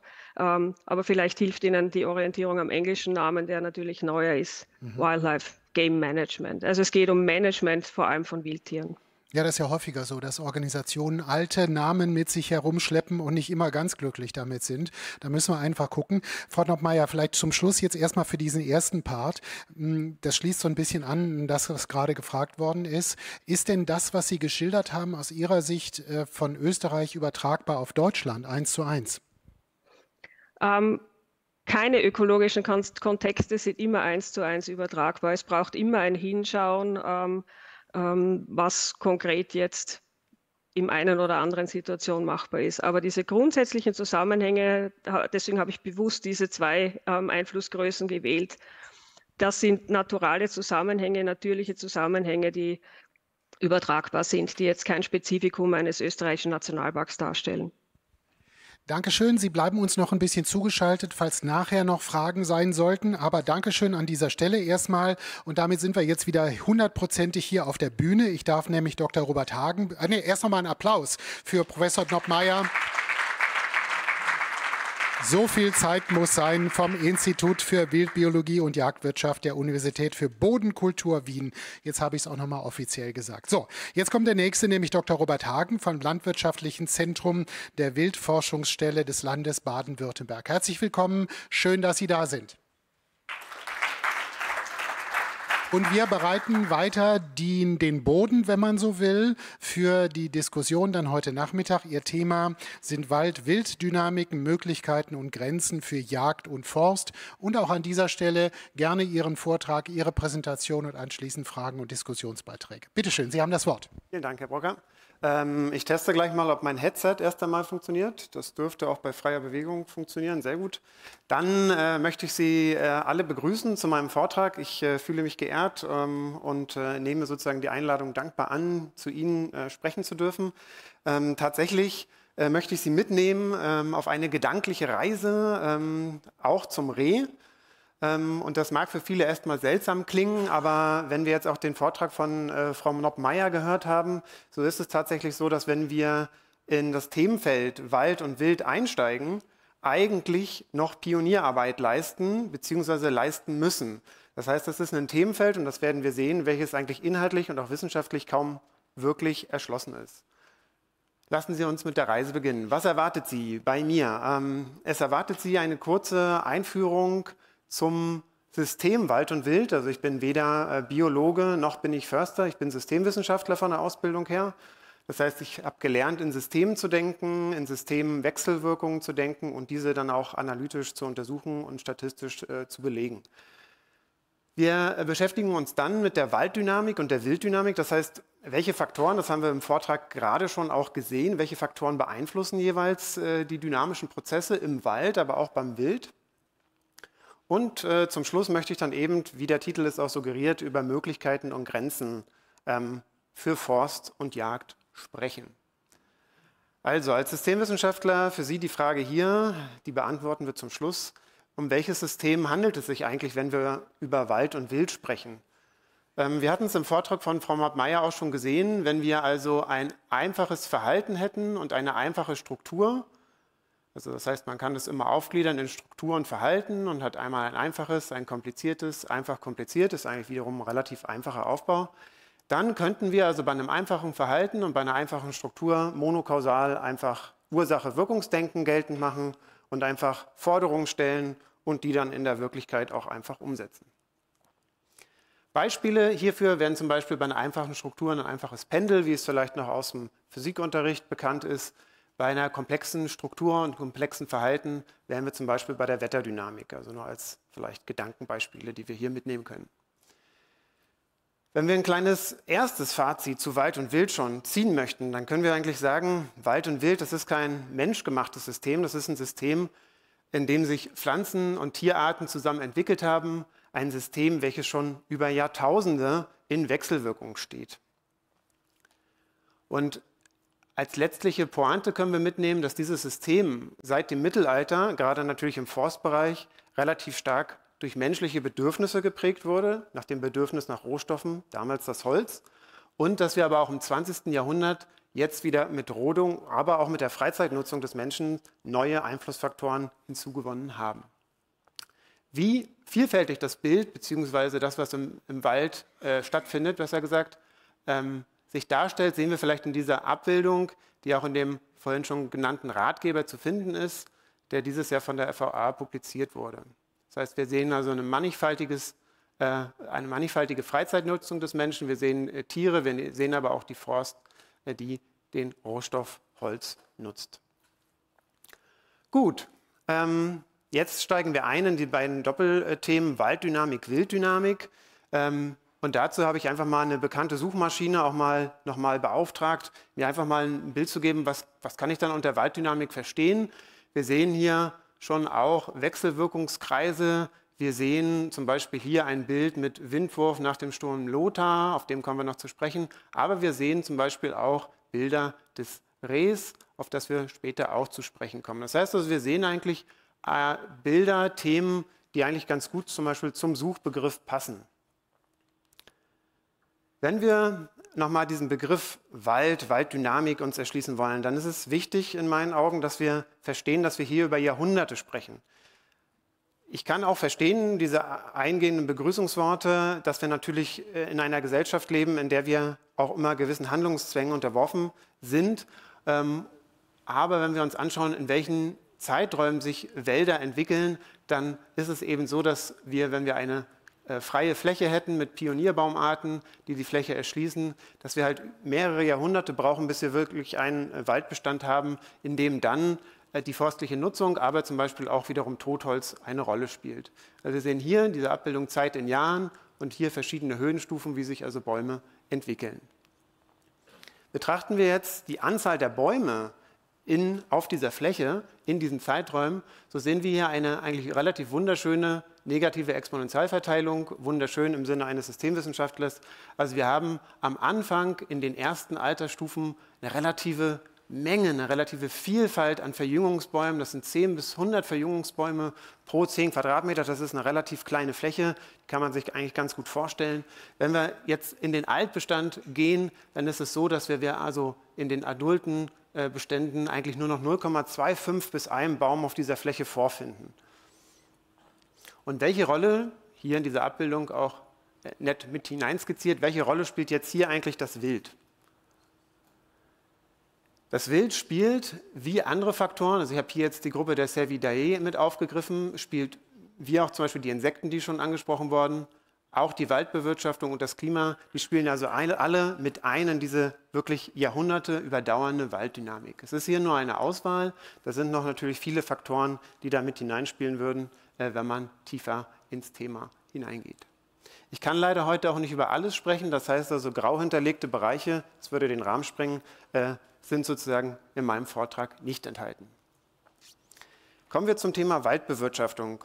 Wie schon erwähnt, ähm, ist es so, dass Holz natürlich ein Rohstoff, ein Gut ist, welches sehr wertvoll ist. Und ich habe hier mal ein Zitat äh, mitgenommen aus dem, äh, von einem deutsch-dänischen Förster vom 18. und 19. Jahrhundert. Und ähm, Sie können jetzt eigentlich, wenn Sie das äh, lesen, Holzmangel, Holzteuerung ist die allgemeine Klage in fast allen großen und kleinen Staaten Deutschlands. Das können Sie jetzt eigentlich das Wort Holz mit einem anderen Rohstoff für heute ersetzen. Dann sind Sie eigentlich bei ähnlichen Verhältnissen. Aber Holz war eben sehr, sehr wertvoll. In dem Sinne hat der Mensch also äh, in den letzten Jahrhunderten natürlich daraufhin ähm, die Landschaft in Deutschland, aber auch in Europa geprägt. Auch prägend war äh, die äh, Bewirtschaftung nach dem Zweiten Weltkrieg. Ähm, hier sehen wir zum Beispiel ein Bild aus dem Südschwarzwald war nach der Rodung des Schwarzwaldes ähm, sozusagen hauptsächlich die Fichte angebaut wurde, sodass dann relativ dichte, ähm, lichtarme Bestände entstanden, wo natürlich dann nur dort, wo die Sonne auf den Boden trifft, sich auch die Vegetation entwickeln kann. Das Klima bzw. klimatische Prozesse sind ja heutzutage auch in aller Munde und ähm, äh, in der Presse äh, sehr häufig vertreten. Letztendlich, wenn wir Walddynamik und Klimadenken betrachten, dann sprechen wir natürlich auch dort wieder über sehr lange äh, Zeiträume ähm, und müssten uns natürlich auch die Dynamik von der Waldverbreitung von verschiedenen Baumarten zu zum Beispiel Kalt- und Warmzeiten vergegenwärtigen. Also das heißt, das sind auch Prozesse, Baumarten haben natürlich dort auch eine lange Entwicklungsgeschichte. In unserem Fokus und in unserem Bewusstsein sind natürlich eher die Extremereignisse, die auch der Klimawandel jetzt mit sich bringt, ähm, die für unsere Bewirtschaftung natürlich auch eine enorme Bedeutung haben. Und hier ist es leider so, dass wir natürlich diese Extremereignisse nicht bis ins letzte Detail von ihrer Dynamik her verstehen. Wir nehmen wahr, dass sich die Frequenz erhöht, dass sich vielleicht auch die Intensität erhöht. Aber wie häufig wir da in einer Dekade mit rechnen müssen, dass äh, Stürme, Orkane äh, sozusagen die Waldlandschaft Deutschland beeinflussen, ähm, da können wir natürlich keine sicheren Aussagen zu treffen. Das heißt, wir sind hier in einem unsicheren Umfeld, wo sich auch die Forstwirtschaft natürlich irgendwie arrangieren muss. Und wir haben, ähm, was die Walddynamik betrifft, natürlich Tierarten. Wie gesagt, die Insekten ausgeklammert, habe ich mir jetzt hier auf die hirschartigen ähm, Tiere mal fokussiert. Ähm, und wenn wir wieder die bekannte Abbildung der Waldentwicklung sehen, also die Zeit wieder in Jahren, ähm, dann ist es so, dass zum Beispiel die Tierart Reh im Zeitraum von bis zehn Jahren eben mit Fegen vom Geweih her, mit dem Treten, mit den Schalen sozusagen und mit dem Verbiss natürlich eine gewisse Wirkung auf die Bäume erzielen kann. Und wir sehen das Rotwild, das wir jetzt auch beim äh, Vortrag, den wir von Frau Nottmeier gehört haben, eben auch mit ähm, dem fähigen Tritt- und Baumverbiss und zusätzlich der Schäle natürlich einen Einflussfaktor darstellt, der dann für, die, für den Waldhorizont noch ein wenig relevanter ist, da sich das Rotwild eben auch an älteren Bäumen mit der Schäle noch sozusagen, ähm, ja, diese als Grundlage für die Schäle nutzt, um das mal so auszudrücken. Im Folgenden möchte ich mich aber auf das Reh, deswegen auch eine gedankliche Reise zum Reh, ähm, ähm, konzentrieren und fokussieren. Ähm, Man kann sich beim Reh Gedanken machen, es wird häufig als Konzentratselektierer bezeichnet. Man kann sich also Gedanken machen, gibt es bestimmte Baumarten, die das Reh bevorzugt, man sagt dann verbeißt, das ist also sozusagen eigentlich als Esung, als Nahrung nutzt. Da haben wir herausgefunden, dass es ganz wichtig ist, dass man halt sich auch darüber im Klaren ist, in welchem Wald man sich befindet und wie dort die Baumartenzusammensetzung auch in der Verjüngung ist. Also es ist eben ein Unterschied, ob ich mich im Bergmischwald befinde, wo die Tanne in der Verjüngung auftaucht, neben dem Ahorn, Buche und Fichte, oder ob ich eben in einem Laubwald dominierten Verjüngungswald mich befinde, wo es dann eben zum Beispiel Baumarten wie die Eiche oder die Buche in etwas ähm, zahlreichen Verjüngungsstrukturen gibt. Dabei ist aber wichtig, und das ist eine Annahme, die halt häufig getroffen wurde, dass das Reh also nicht nach der Häufigkeit unbedingt selektiert, sondern dass die Selektion für eine bestimmte Baumart häufig auch Vorlieben und Bedürfnisse dieser Tierart widerspiegelt. Also nicht nur, weil eine Baumart selten ist, wird sie auch viel verbissen, sondern das hängt eben auch mit anderen äh, eben ökologischen äh, Bedürfnissen des Rehs zusammen. Konzentrieren wir uns auf den ähm, Bergmischwald und die Baumarten Tanne, sehr stark präferiert, Fichte, ähm, nicht doll oder stark durch das Reh verbissen. Dann haben wir äh, in Feldaufnahmen in den Jahren 2017 und 2018 in Baden-Württemberg ähm, für die Fichte folgendes Bild aufgenommen. Wir sehen also wieder diesen negativ exponentiellen Verlauf in den Höhenstufen äh, kleiner als 21 cm und aufsteigend. Und wir haben hier unverbissen und verbissen. Wir sehen also sozusagen der Größe nach eine ähm, Mengenverteilung. Das heißt, die Anzahl der kleinen Bäumchen nimmt wieder je Höhenstufe ab. Und wir sehen eigentlich, dass bei der Fichte eben der Verbiss kaum eine Rolle spielt. Ja? Na klar. Die Anzahl, die Sie auf der Y-Achse aufgetragen haben, ist das die Zahl der aufgenommenen Bäume oder ist das die Zahl der jungen Pflanzen pro Hektar? Danke. Äh, das ist jetzt die, also nicht normiert, das ist die gesamte Anzahl an Verjüngungsbäumen, die in den Stichprobenpunkten aufgenommen wurden. Genau. Das soll ähm, zum einen nur erstmal die Verteilung nochmal darstellen nach den Höhenstufen und zum anderen ist es zwar nur ein zeitlicher Schnitt, aber stellt natürlich auch ein bisschen die zeitliche Entwicklung dar, wenn man bei einem Spot bleiben würde. Das heißt also, die Anzahl der Bäume würde sich, auch wenn wir am Anfang einen relativ stark verjüngungsreichen ähm, Waldbestand haben, würde sich dann eben über die Zeit natürlich verringern durch auch die Konkurrenz zwischen den Bäumchen. Vergleichen wir das mit der Tanne. Und das habe ich nur mit aufgenommen, einfach mal, um zu äh, vergleichen zu können, welche Rolle auch der Verbiss dabei spielen kann. Das heißt, wir starten eigentlich, wenn man das jetzt mal wieder salopp formuliert, wir starten eigentlich mit besseren Bedingungen. Wir haben mehr kleine Tannenbäumchen, aber durch den Verbiss ist es dann so, dass eigentlich in der Höhenstufe 81 bis 1,30 nicht mehr Bäumchen übrig bleiben. Und das sind jetzt sozusagen aber Strukturen, Bestände, wo die Tanne eigentlich ein sehr gutes Potenzial hat.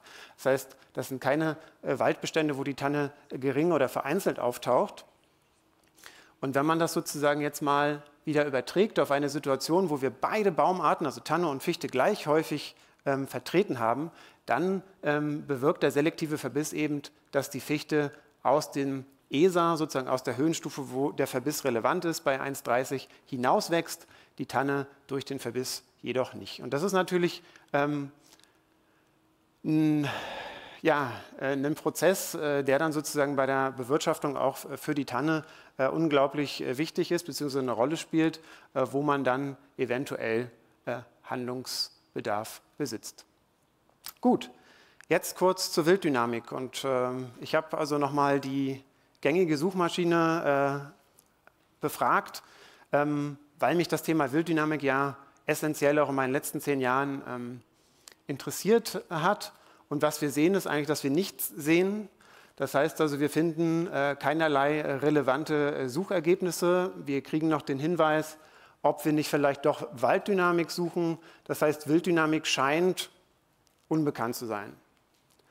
Eigentlich ist sie das nicht. Ähm, für viele Wildtierarten äh, können wir eigentlich, wenn wir jetzt wieder von Dynamiken sprechen, von einer Art Sättigungsdynamik ausgehen. Das heißt, sie erreichen im Zusammenhang auch mit der Lebensraumkapazität eine obere Grenze. Wir sehen hier also die Zeit. Wir starten, man könnte sich so eine Art Inselpopulation vorstellen. Das ist der klassische Verlauf, den wir eigentlich aus der Schulzeit auch noch kennen. Und die Population nähert sich dann sozusagen der Kapazität an. Ist aber natürlich ein total vereinfachtes Modell. In der Realität sieht das dann häufiger eher so aus. Das heißt, wir sprechen auch nicht von einer Kapazität als solches, sondern es könnte auch sein, dass wir jetzt für einen bestimmten Zeitraum sich die Lebensraumbedingungen für Wildtierarten verbessert haben in Europa. Und dann sehen wir sozusagen verschiedene Kapazitäten und wir sehen ein Heranwachsen der Population, sie überschreitet die Kapazität, das ist sozusagen so eine Art eruptive Dynamik, würde dann kurz wieder einbrechen und würde dann, je nachdem, wie sich die Umweltbedingungen weiter ähm, sozusagen entwickeln, würde dann wiederum Richtung der Kapazität anwachsen. Oder wenn sich aber die Umweltbedingungen verbessern, würde sozusagen Anlauf nehmen, um die nächste Kapazitätsstufe äh, anzusteuern. Und das ist jetzt, ähm, könnte man sagen, vielleicht ein fiktives Beispiel. Tatsächlich sind äh, die Zahlen, die Sie hier sehen, die Rehstreckenzahlen aus Österreich, also würden äh, ganz gut zu Frau Norbmeier passen. Das heißt, Sie zeigen hier äh, auch hinsichtlich des Zyklus, den wir hier sehen, mit zwölf Jahren eigentlich einen von der Theorie her perfekt zu erwartenden dynamischen Verlauf. Also, wenn wir über Wilddynamik sprechen, wenn wir über die Dynamik von Hirschartigen sprechen, dann können wir eigentlich auch solche Zyklen von 5 bis 20 Jahren erwarten. Das hängt ganz davon ab, wie eben die Umweltbedingungen tatsächlich aussehen und wie auch die Generationszeit dieser Tierart ist. Generationszeit ist die Zeit, die eine Tierart durchschnittlich braucht, um zu reproduzieren. Und bei Rehwild können wir halt sagen, das sind ungefähr 6 bis 15 Jahre. Gut. Ähnlich wie zum Wald habe ich jetzt hier mal gelistet, welche Faktoren die Wilddynamik beeinflussen. Es ist natürlich hier eine ganze Leiste von Faktoren. Wir sehen Faktoren, die, wo, hinter denen sich der Mensch versteckt, die Jagd.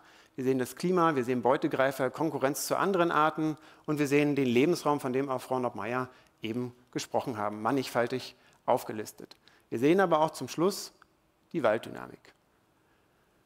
Ich kann leider nicht über viel heute reden. Wir konzentrieren uns aber, wie gesagt, ähm, auf die Walddynamik und schauen uns zum einen aber am Anfang wieder Jagd und Klima noch mal ein bisschen an.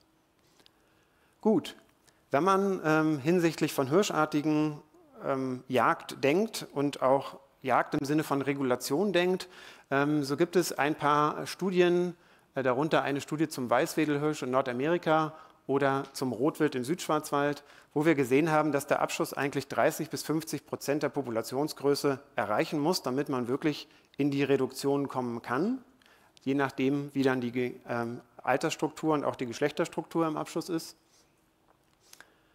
Beim Klima ist es so, dass wir natürlich auch wieder, wenn wir es langfristig denken, ähm, die klimatischen Bedingungen in Europa natürlich lebensraumprägend waren und natürlich auch die Verbreitung von Wildtierarten in Europa beeinflusst haben. Hier sehen wir zum Beispiel, wie sich das Rehwild nach dem Ende der letzten Eiszeit, also vor ungefähr 14.500 Jahren, aus sogenannten Refugien wieder äh, Mitteleuropa erschlossen hat. Das heißt also, es ist auch ein stetiger Wandel, äh, wie sich Wildtierarten ähm, in ihren Lebensräumen den klimatischen Bedingungen anpassen. Wir können aber auch wieder diese Jahr-zu-Jahr-Variation denken, beziehungsweise die Witterung. Ähm, das ist natürlich etwas, was in unserem kurzfristigen Denken wesentlich präsenter ist und auch wesentlich besser zu verstehen als wirklich klimatische Prozesse. Und bei diesen Jahr-zu-Jahr-Variationen haben wir eigentlich in unseren Forschungsfeldern relativ spannende Ergebnisse eigentlich auch gesehen, ähm, die im ersten Moment so ein bisschen Fragezeichen aufgeben, wie das halt häufig so ist. Man hat ein Themenfeld, ähm, untersucht es und eigentlich bei den Ergebnissen ist es meistens kein Halt, sondern man äh, entwickelt neue Fragen.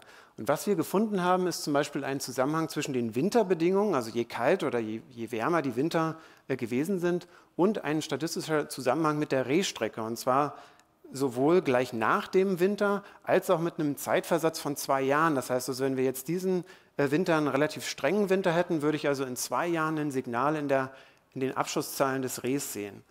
Und das äh, ist natürlich im ersten Moment immer so ein bisschen so, hm, wo, wie kann das sein? Was passiert da eigentlich? Ähm, und interessanterweise ähm, ist es mir sozusagen möglich, auch weiterhin an der Tierart Reh zu forschen. Und ich hatte jetzt in diesem Jahr durfte ich sozusagen Daten hinsichtlich des Geschlechterverhältnisses der Kitze auswerten. Und was wir da gefunden haben, ist, dass wir, wenn wir eigentlich durchschnittliche Herbst- und Winterbedingungen haben, dass wir also im Geschlechterverhältnis der Kitze, also der Jungtiere des Rehs, dass wir dann eigentlich für Baden-Württemberg, ich habe es dann aber auch für ganz Europa nochmal ausgewertet und kommen da eigentlich zu den gleichen Ergebnissen, dass wir also für durchschnittliche Winterbedingungen eigentlich einen Überschuss an männlichen Kitzen haben. Also wir sehen hier die Temperatur von Oktober bis Februar. Das heißt hier sehr harte Witterungsbedingungen, hier sehr milde und wir sehen hier den Anteil der weiblichen Kitze. 0,5 würde heißen, wir haben ein Geschlechterverhältnis von 1 zu 1 und die schwarzen Striche bedeuten, dass ich sozusagen für jeden Strich einen Wertepunkt habe.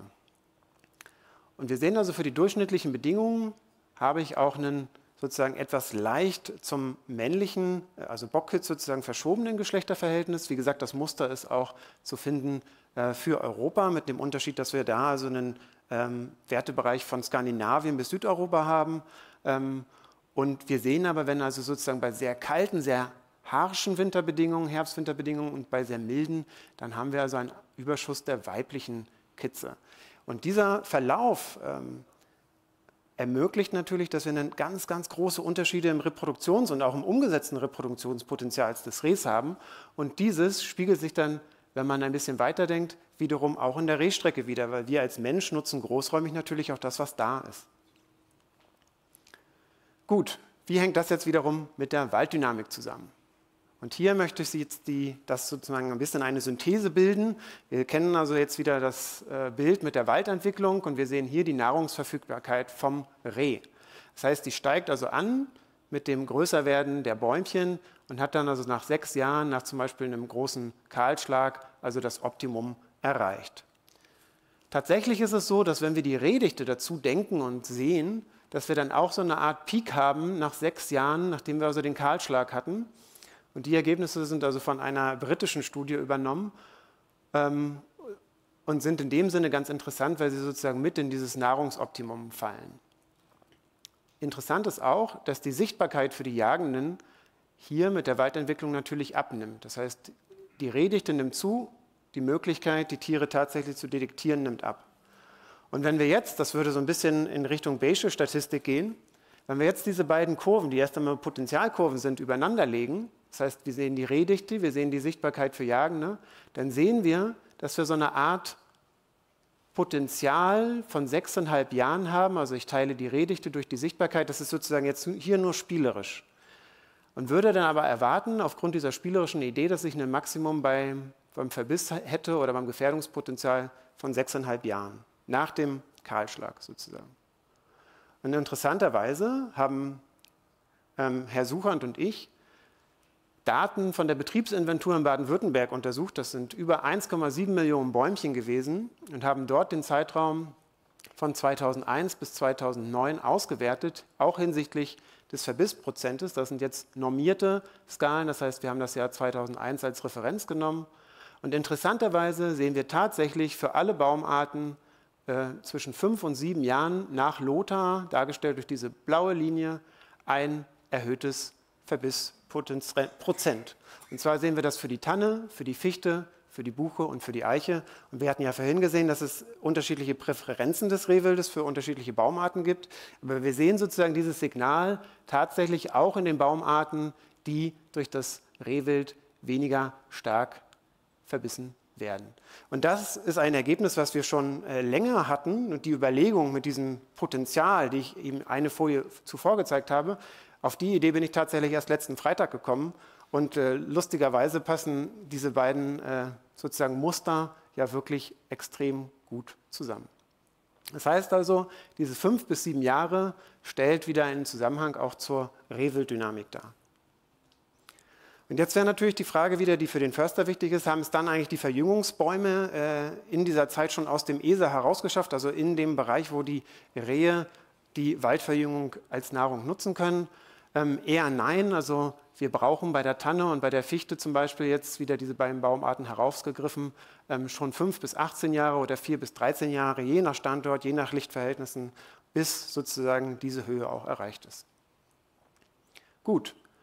Und welche Möglichkeiten ergeben sich jetzt daraus für Forst und Jagd? Welche Grenzen? Ich möchte eher auch über die Möglichkeiten sprechen. Es ist so, das wurde auch schon gesagt, äh, Mischwälder sind natürlich robuster. Wir brauchen eine diverse Altersstruktur. Wir brauchen Wälder, die sich aber natürlich verjüngen. Das heißt, Wälder, äh, die sozusagen auch an den Standorten, wo sie wachsen, auch sozusagen ihr Potenzial erfüllen können. Und wir brauchen, und das haben wir auch schon gesagt, ein abgestimmtes Management von Jagd und Forst. Als Möglichkeit, auch mit den Zusammenhängen zwischen der Wilddynamik und der Walddynamik, ergeben sich, wenn wir zum Beispiel Krankheiten, Witterungsextreme haben und die Repopulation sozusagen betroffen ist, dass wir eben nicht nur dieses Zeitfenster nutzen, von, der, von dem aus sich die Repopulation wieder ähm, ihrer sozusagen Kapazität wieder annähert, sondern wir haben hier, wenn wir sozusagen hier jagdlich aktiv sind, ein Zeitfenster, in dem wir den Bäumen äh, bessere Chancen geben können, dass sie sozusagen aus, der, äh, aus dem ESA erwachsen können. Vom zeitlichen Horizont, und das ist da wiederum das, das Neue, kann man also davon ausgehen, dass wir diesen Zeitraum mit sechs Jahren ungefähr bemessen können. Und wenn wir dann also sozusagen hier ähm, einen erhöhten Jagddruck auf die Fläche bringen, hätten wir vielleicht ein Potenzial von zwölf Jahren, wo wir den Verjüngungsbäumen ein bisschen mehr Chancen einräumen könnten. Da rede ich jetzt also über, nicht über Jagdmethoden oder irgendwelche jährlichen äh, Intervalljagden, sondern ich möchte hier sozusagen äh, den Horizont von Ihnen ein bisschen öffnen, äh, dass wir eben hier auch sehr, sehr lange Zeiträume haben, in denen wir handeln und auch denken können und sollten.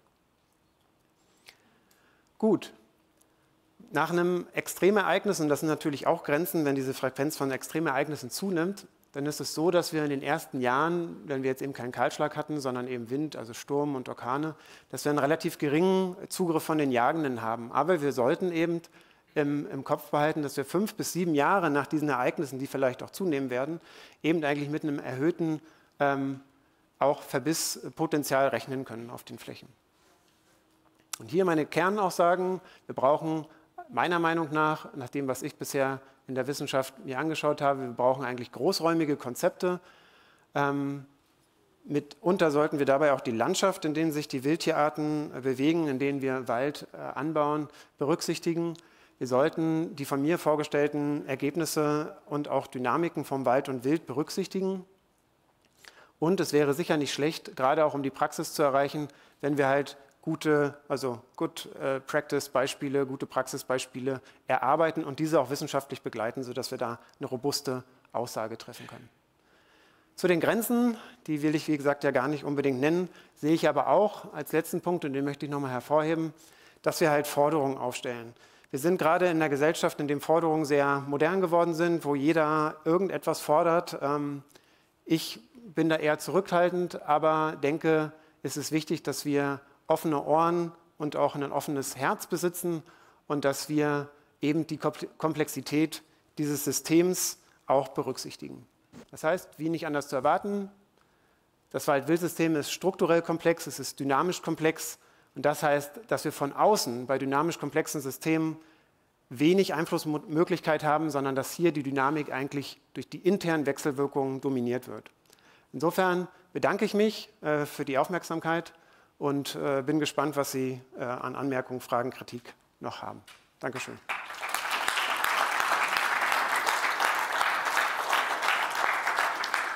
Herzlichen Dank, Herr Hagen. Genau, da ist schon eine erste Wortmeldung. Offene Ohren haben wir in jedem Fall. Und ich denke, es ergeben sich noch Punkte. Ich laufe.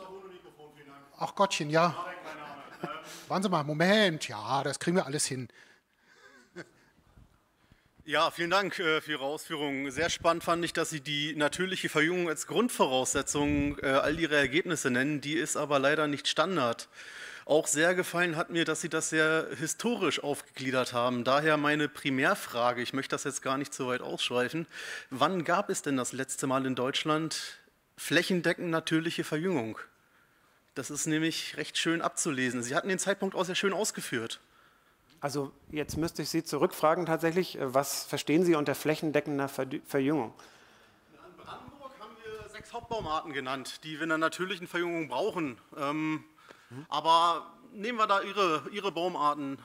Sechs, sechs mindestens auf der Fläche ohne Zaun nach oben kommt. Das empfinde ich aus Heersaat, Samenflug, das empfinde ich als natürliche Verjüngung. Mhm. Dankeschön. Ähm, ja, kann ich natürlich tatsächlich nicht beantworten. Also da müsste man gezielt reinschauen, wie sich das entwickelt hat, gerade auch in Brandenburg. Ähm, da kann ich. Deutschlandweit, das ist relativ simpel. Wer weiß es? Oh, jetzt machen wir Quiz hier. also, ja, da ist eine Wortmeldung hm? vielleicht. Ja. Sagen Sie auch jeweils kurz, wer Sie sind, bitte. Mein Name ist Pfannenstiel. Ich habe nur eine Verständnisfrage bei dem Geschlechterverhältnis der Kitze. Hm? Äh, sind das pränatale Geschichten oder gucken Sie, ob die postnatale Sterblichkeit bei einem Geschlecht höher ist? Ja, danke, die nehmen wir mal mit gleich, die Frage. Ähm, vielleicht nochmal, um bei der Frage zu bleiben, oder? Sagen Sie doch, Sie können ja einfach Ja-Nein, das war ja eine einfache Ja-Nein-Frage. Das ist eine einfache Ja-Nein-Frage. Da ging es darum, inwieweit ähm, sozusagen beim Geschlechterverhältnis das Postnatale. Also wie viele überleben? Ja, also die, bei den Kitzen ähm, gibt es ja in Baden-Württemberg die Kids-Markierung. Das heißt also, die Bestimmung des Geschlechtes wird sozusagen nach der Geburt erfolgt, die durch die ähm, Freiwillige oder Jagende äh, in einem Zeitraum eigentlich bis maximal vier Wochen. Aber der Hauptteil wird sozusagen in der ersten Woche nach dem Setzzeitpunkt bzw. nach Geburt äh, markiert. Das heißt, wir haben nicht die Kitze dabei, die sozusagen ähm, im Mutterleib äh, des weiblichen Rehs dabei sind. Also Dazu hatte ich mir Daten für Europa angeguckt, aber da habe ich keine Daten für Baden-Württemberg oder Deutschland. Okay, Frage beantwortet? Ja? So, jetzt mal zurück zu dem Thema Verjüngung. Das, da waren wir ja eben. Also das, was jetzt alle wollen, wo wir sagen, wegen des Klimawandels müssen wir uns dringend dieses mhm. Themas widmen, ja. diesem Thema widmen und müssen da was machen. Gab es sowas schon mal?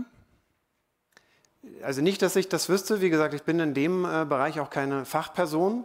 Ähm, wenn man sich das jetzt historisch wieder anschaut, ähm, da, dann ist es, glaube ich, ein Prozess, den man so überhaupt auch nicht belegt oder dokumentiert hat. Das heißt, Ihre Frage, wann gab es mal Verjüngung sozusagen deutschlandweit? Ähm, wo wurde sozusagen die Verjüngungsvielfalt in Deutschland wirklich systematisch untersucht? Das wäre dann ja die Gegenfrage. Und da muss ich sagen, da kenne ich nicht viel. Warten Sie mal, äh, äh, Sie haben zwar eine starke Stimme, aber ich bin nicht sicher, ob alles verstehen. Also. Aus welchem Zeitraum standen denn die Bäume, die wir jetzt ernten können? Das also haben wann haben die sich denn verjüngt? Das ist ja nicht alles gepflanzt. Wir haben ja keine, nicht nur Plantagen, wir haben viele Plantagen, aber es gibt in Deutschland ja auch noch so etwas wie Wälder.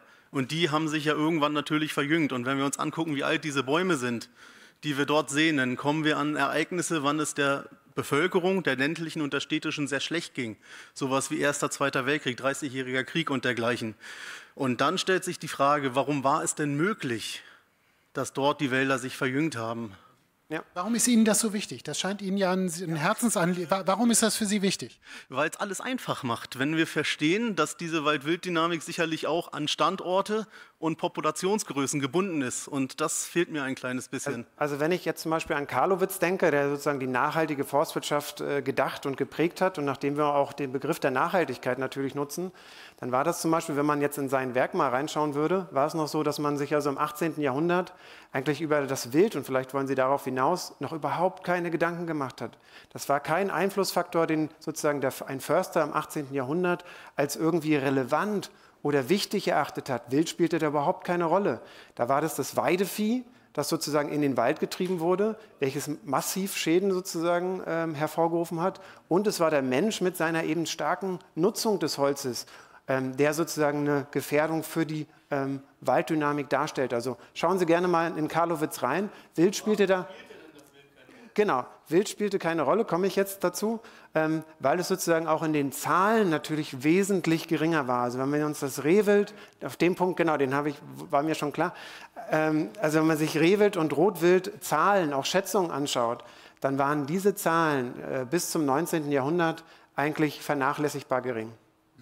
Okay, bevor es jetzt ein Dialog wird, gleich gibt es eine Kaffeepause, dann können Sie beide das nochmal unter vier Augen weiter besprechen. Zum Schluss für diese Runde, nur Herr Hagen, nachdem wir ja alle uns so langsam, alle glaube ich, mit dem, nicht alle, aber die allermeisten mit dem Gedanken dann angefreundet haben, dass der Klimawandel da ist, dass wir was tun müssen, also gerade im Bereich Wald und Wild dann eben auch.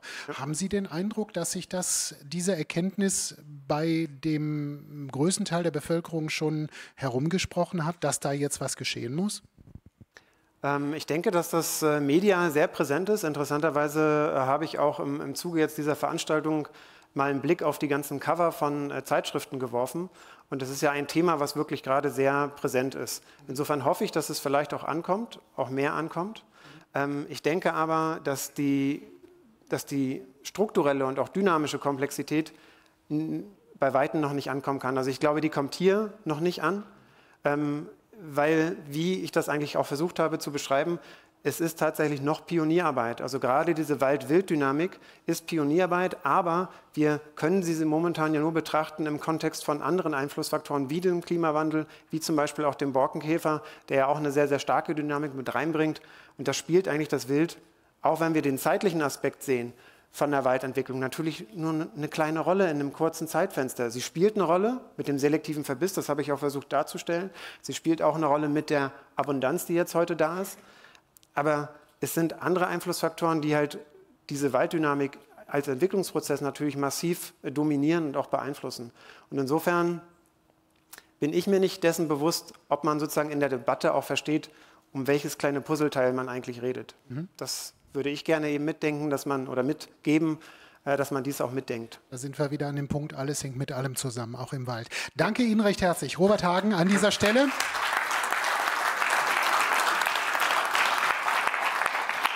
Und wie gesagt, die Möglichkeit besteht natürlich jetzt dann auch in der Kaffeepause, das weiter zu vertiefen. Äh, wir hängen wieder über der Uhr, das ist normal bei solchen Veranstaltungen.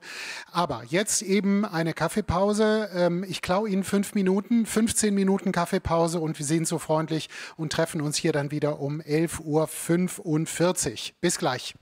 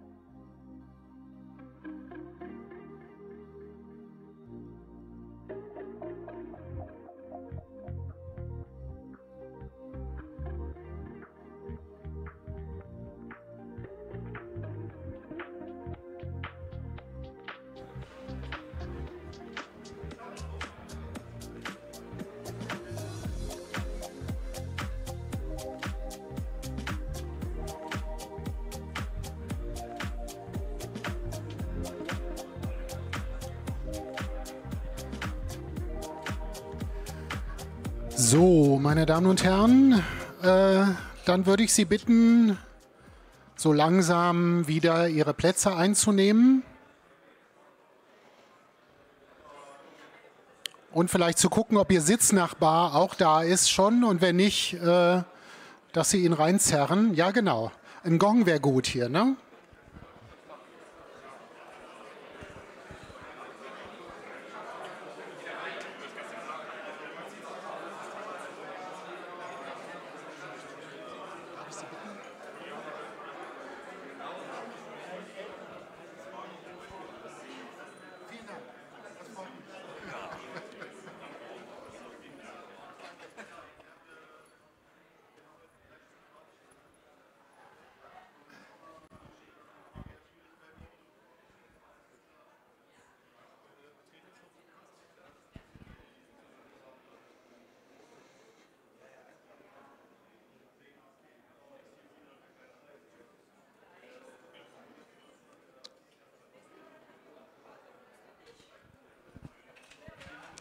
So, ich habe geahnt, dass das mit der Viertelstunde nicht klappt. Äh, Schuld ist natürlich der Kaffeeautomat, das ist ja klar, weil der dann immer so lange braucht, bis die Bohnen gemahlen sind und so. Das ist logisch.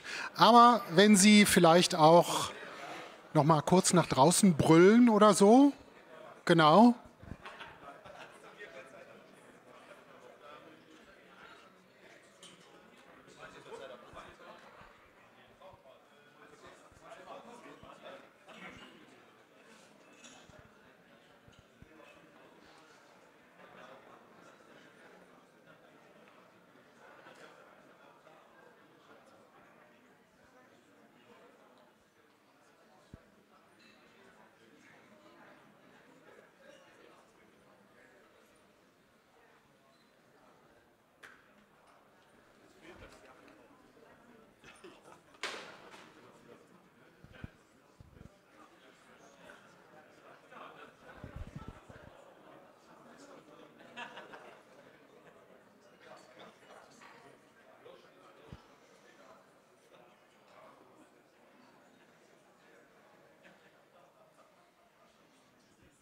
So, sind Sie so lieb und nehmen wieder Ihre Plätze ein oder andere Plätze, aber jedenfalls Plätze. Hat ja keiner sein Handtuch irgendwo hingelegt.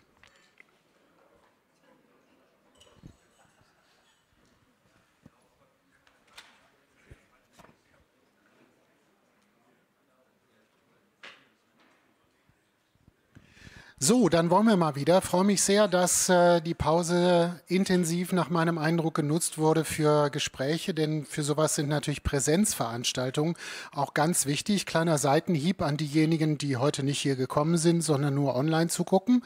Also Präsenzveranstaltungen haben schon einen Wert, vielleicht dann das nächste Mal für diejenigen, wie gesagt, die heute den Weg nach Berlin nicht gefunden haben. Wir gehen weiter im Text und reden jetzt über Erfolgsfaktoren und Hindernisse im Wald-Wildmanagement.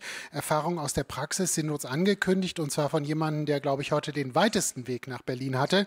Gunnar Bartmann. Er hat drei Hüte auf. Er ist Vizepräsident des LJV Rheinland-Pfalz. Er ist Vorsitzender der Rotwild-Hegegemeinschaft und er ist Fortsamtsleiter in Trier. Herzlich willkommen. Schön, dass Sie da sind.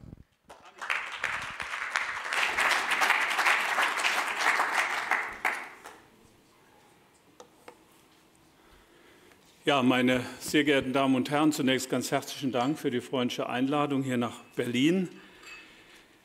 Äh, in der Diskussion um die Wald-Wild-Frage wird die Perspektive häufig auf die Wilddichte und die Abschusserhöhung verkürzt um von vornherein hier nicht missverstanden zu werden, Wildreduktion kann und muss ein notwendiges und wichtiges Projekt sein, wenn die Yachtrechtsinhaber ihre Ziele für die Landnutzung stark gefährdet sehen. Wir wissen aber, dass die wirksame Prävention von Waldwildschäden ein umfassendes Management in einem komplexen Wirkungszusammenhang erfordert. Wir haben da in den vergangenen Vorträgen einiges zugehört. Und aus meiner Sicht die gute Nachricht, wir müssen nicht kapitulieren, denn Wildschäden sind positiv beeinflussbar, und zwar ohne die Interessen der Jagd und der Landnutzung zu vernachlässigen. Aber ohne Kompromisse und ohne Verzicht geht das nicht. Ich möchte in einigen für mich wesentlichen Erfolgsfaktoren und Hindernissen nachgehen. Zunächst möchte ich mich mit der Betrachtungsebene der Wildbiologie und des Verhaltens beschäftigen, dann Lebensraum und Waldnutzung in den Blick nehmen und schließlich die für mich sehr wichtige Ebene Mensch und konkrete Yachtnutzung. Ja, betrachten wir zunächst die Ebene Wildbiologie und Verhalten. Nehmen wir als Beispiel das Rotwild und Rehwild. Die Ernährungsgrundlagen und das Verhalten können unterschiedlicher nicht sein. Die versteckte territoriale Lebensweise der Ricke in der Naturverjüngung mit der naschenden Vorliebe gerade für die Mischbaumarten, dort das rudelliebende Rodel bildende Rotwild mit ausgeprägtem Sozialverhalten, großflächiger Raumnutzung, Störungsempfindlichkeit und flächiger Raufutteraufnahme. Wie sieht es eigentlich in meinem Revier um die Verfügbarkeit einer artgerechten Ernährung für die vorkommenden Wildarten aus? Und wie verhält sich diese Biomasse im Jahresverlauf unter Berücksichtigung der Stoffwechselaktivität eben dieser Wildarten. Wir wissen heute, von welch zentraler Bedeutung das Raumzeitverhalten gerade des Rotwildes im Jahresverlauf ist und es kommt auf die Analyse der konkreten Raumnutzung zwischen Wald und Offenland an. Zahlreiche Studien, aber auch Praxiserfahrungen zeigen, dass Rotwildschäden im Wald drastisch zurückgehen, wenn ganzjährig und im Tagesverlauf ungestört ausreichend Wildwiesen oder Offenland zur Äsungsaufnahme zur Verfügung stehen. In meiner Hegegemeinschaft Meulenwald haben wir das Glück, in einer Mittelgebirgslandschaft strukturreiche, relativ störungsarme Offenlandbereiche an den Wald angrenzend zu haben. Zugleich gibt der Wald das Heidekraut her unter den verlichteten Kiefernbeständen ausreichend Winteresung für das Rotwild. Aus meiner Sicht ganz wichtige Faktoren, warum bei uns die Schädschadensbelastung relativ gering ist.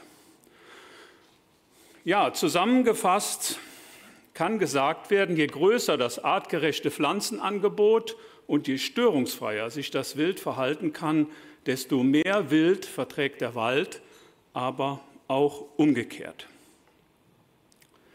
Praxistipps. Dazu haben Sie mich ja eingeladen.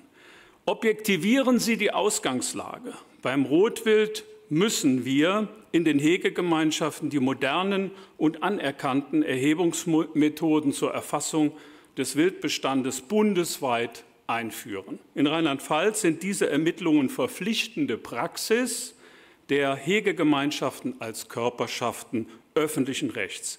Sie sind aufwendig, aber akzeptiert in Rheinland-Pfalz und bilden die Grundlage für die Abschussplanung. Wichtig aus meiner Sicht als Förster zur Objektivierung der Ausgangslage sind auch die Vegetationsaufnahmen, auch wenn sie für manchen Jäger einen Aufreger darstellen. Die waldbaulichen Gutachten sind bei richtiger Methodik ein unverzichtbarer Eckpfeiler, insbesondere für die Bewertung des Einflusses des versteckt lebenden Rehwildes.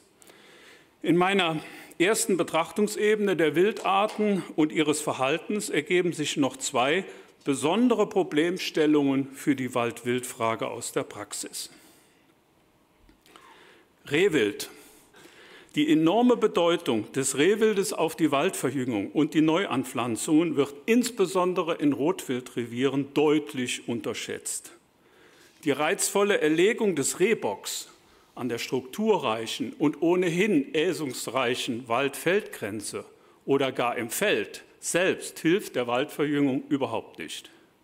Es geht, um es geht um die Erlegung der heimlichen Rehe in der Naturverjüngung des Waldes oder auf den Kahlflächen. Schwerpunktjacht und intelligent durchgeführte Rehwildrückjachten sind hier die Stichworte. Wer hier intensiv Strecke macht, hilft spürbar den Waldbesitzern und Förstern und kann sich dann auch mal hegerische Gesichtspunkte an der Feldwaldgrenze leisten und einen Bock alt werden lassen.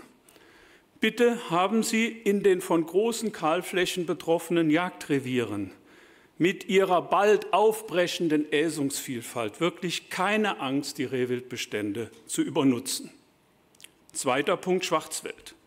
Die gewaltige Zunahme des Schwarzwildes und deren notwendige Bejagung bei Tag und Nacht zur Wildschadensbegrenzung schadet dem Waldwildmanagement des wiederkäuenden Schalenwildes erheblich. Die Jagdzeit, die ich auf Schwarzwild verwende, habe ich schlicht mehr nicht mehr für die Reh- und Rotwildjagd. Nachtjagd und Kirrungsjagd im Wald ist für die Waldwildschadensentwicklung katastrophal und gehört abgeschafft. Die oft notwendige Ausrichtung der Treib- und Bewegungsjachten auf Schwarzwild schadet der effizienten und tierschutzgerechten Bejagung von Reh- und Rotwild, die, die gerade jetzt durch modernste Nachtzieltechniken mögliche 24-Stunden-Jagd an 365 Tagen müsste die Waldbesitzer und Förster extrem unruhig machen. Wo und wann ist in Deutschland noch eine ungestörte Nahrungsaufnahme des pflanzenfressenden Schalenwildes eigentlich möglich, wenn selbst in stockfinsterer Nacht die Schüsse fallen? Und dann noch die immer weitere Verlängerung der Jagdzeiten, welch ein Teufelskreis. Zweite Betrachtungsebene. Ich möchte im zweiten Teil meines Vortrags auf die Betrachtung des Lebensraums und die Einflüsse der Forstwirtschaft eingehen. Wir wissen, dass Lebensraumzerschneidung, Einengung der Lebensräume und menschliche Störungen hohen Schadensdruck im Wald bewirken. Gerade beim Rotwild können diese eingehenden, einengenden Faktoren Rudelgrößen bewirken, die örtlich und zeitlich enormes Schadpotenzial haben. Vielfalt, Struktur, Grundqualität der Waldlebensräume, aber auch der angrenzenden Offenlandbereiche haben enormen Einfluss auf die Waldwildschäden. Heruntergebrochen auf die Praxis sehe ich erhebliche Defizite bei den Maßnahmen der Lebensraumgestaltung, die wir Jäger selbst in die Hand haben. Umfang, Struktur und Qualität der Esungsflächen im Wald sind oft vollkommen unzureichend, falsch geplant und nicht wildartenbezogen gepflegt. Das Rotwild möchte keine gedüngten, hochproduktiven Wildäsungsflächen, sondern eher arme, mit Deckungsbuchten versehene Daueräsungsflächen, möglichst ohne Mulchen, ohne Düngen und vor allem ohne Jagd. Wo sind die oft in den Pachtverträgen festgelegten 2-Prozent-Ziele für Wildäsungsflächen wirklich umgesetzt?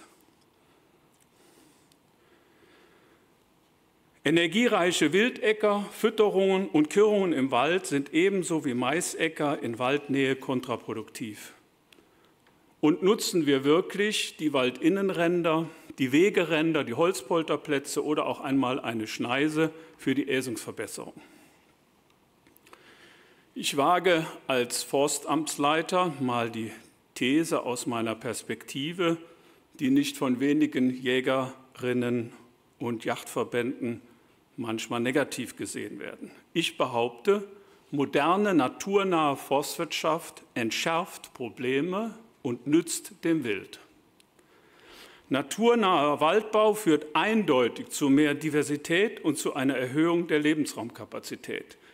Auf das Licht, auch das Licht auf dem Boden nach Durchforstungen und Großmaschinen führt zu einer höheren Äsungsvielfalt. Die Bekenntnis der Forstbetriebe heute, die Vielfalt der Baumarten deutlich zu erhöhen, auf laubholzreiche Mischbestände zu setzen oder verstärkt Naturverjüngung zu fördern, ist für das Wild und viele andere Tierarten gut. Folgende Maßnahmen können die Wald Besitzer gezielt zur Vermeidung von Waldwildschäden durchführen. Die Wiederbewaldungsflächen sollten nicht mehr flächig bepflanzt werden. In Rheinland-Pfalz sind große Anteile von freien Sukzessionsflächen Teil der Waldbaustrategie des Landes. Die mit Naturverjüngungsverfahren ankommenden Baumarten oder die Bepflanzung mit im eigenen Forstbetrieb sogenannten gewonnenen Wildlingen sind oft weniger verbissgefährdet als Pflanzen aus Baumschulen. Notwendige Schutzmaßnahmen sollen kleinflächenbezogen oder im Einzelschutzverfahren durchgeführt werden. Großflächige Zaunanlagen, die ohnehin nur selten vom Wild dicht zu halten sind, sollten nicht mehr gebaut werden, um die Lebensräume und die Äsung nicht weiter einzuengen. Nadelholz-Reinbestände sollten so früh wie möglich auch zur Stabilisierung der Zukunftsbäume stark durchforstet werden. So kommt zumindest phasenweise Licht auf den Boden und damit entsteht Esung für das Wild.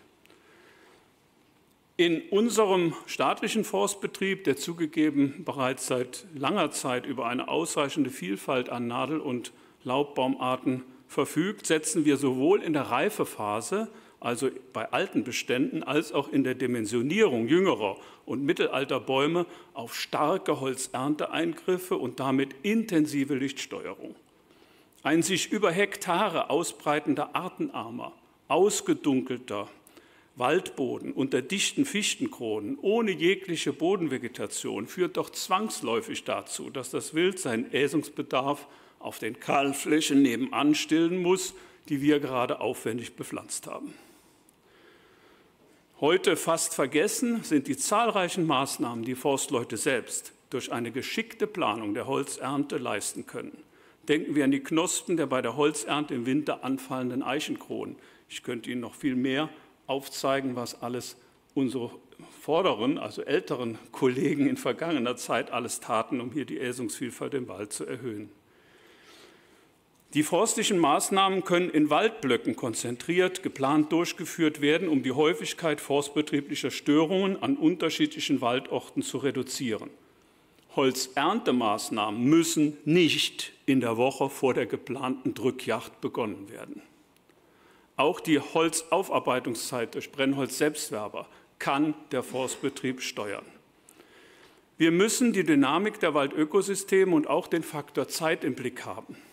Die Wildschadensproblematik ist bei den aktuellen Kahlflächen nur eine auf wenige Jahre andauernde Herausforderung. Ebenso verhält es sich mit den Schälschäden. Auch hier wachsen Bestände in das Schälschadensalter hinein und auch wieder heraus. Also, wenn wir als Forstleute bei mir zu Hause den Jägerinnen und Jägern klar machen, dass es bei dem Appell, mehr zu jagen, um ein zeitlich befristetes und räumlich begrenztes Projekt geht und nicht um einen Kampf Wald vor Wild, finden wir Akzeptanz. Das Modell der Intervall- und Schwerpunktjagd wird dann zu einer glaubwürdigen Strategie. Zur nächsten Betrachtungsebene, meine sehr geehrten Damen und Herren, Erfolgreiches Wildmanagement muss den Faktor Mensch mit seinen Zielkonflikten und Ansprüchen an die Yachtnutzung beleuchten. Zielkonflikte spielen zwischen Yachtrechtsinhabern und Yachtausübungsberechtigten sowie dem Forst eine gewaltige Rolle. Sie sind oft nicht ausgesprochen, noch weniger intern geklärt und schon gar nicht gelöst. In der Phase des konkreten Waldumbaus im Revier muss es eine klare, gemeinsame verabredete Zielsetzung geben für die konkrete Waldentwicklung und auch die Yachtnutzung. Gemeinsam hinsehen, gemeinsam hingehen, gemeinsam handeln. Es gilt, die Regelungsfreiheiten in den Pachtverträgen zu nutzen. Gibt es da auch einmal einen positiven Anreiz für die Jäger? Wie konkret und zielführend wären die Wildschadensregelungen formuliert? Man kann die jachtliche Infrastruktur konkret in den Wiederbewaldungsflächen abstimmen, wenn man denn mal miteinander spricht. Die Waldbau- und Bejagungskonzepte müssen ineinander greifen und miteinander abgestimmt werden. Sind die Zielkonflikte gelöst oder zumindest richtig angeordnet, kommt es auf den richtigen Umgang miteinander an. Egal ob Jägerin, Förster, Waldbesitzer, Interessensverband, wir alle sind angesprochen. Ohne Informationswille, Vertrauen, Ehrlichkeit, Transparenz, Offenheit, echten Dialog, Zusammenarbeit wird das Waldwildmanagement nicht gelingen. Praxistipp. Yachtkonzept bei hohen Wildschäden.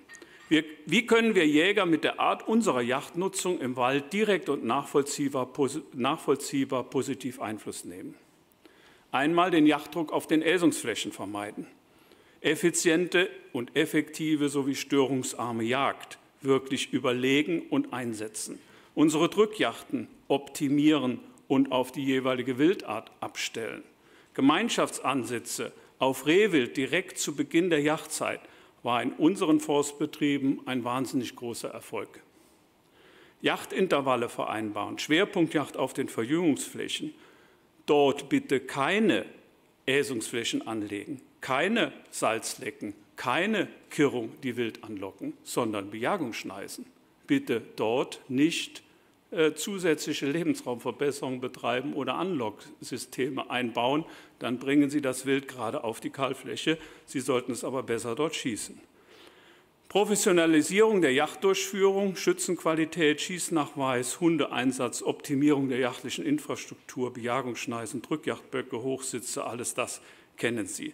Ein solches Jagdkonzept können wir in unseren Hegeringen und dafür haben wir eine tolle Organisation als Yachtverbände und Gemeinschaften formulieren und zum Leitbild erklären. Wir werden dann die Akzeptanz und Unterstützung der Förster und auch Waldbesitzer bekommen. Die Betrachtungsebenen Wildbiologie, Lebensraum Mensch für ein erfolgreiches Wildmanagement habe ich nun beleuchtet. Im Ausblick möchte ich im Anschluss zum Abschluss angesichts der anlaufenden Yachtrechtsnovellen, auch in unserem Bundesland, noch auf drei neue Vorschläge unseres Verbandes eingehen. Die Weiterentwicklung der Hegegemeinschaften. Wir wollen in Rheinland-Pfalz künftig Hegegemeinschaften erhalten und mit den Grundeigentümern organisieren. Zentrales Umsetzungselement von Konfliktlösungen ist in unseren Yachtgesetzen ja immer die Abschussregelung für das jeweilige Schalenwild, welches Wildschäden verursacht.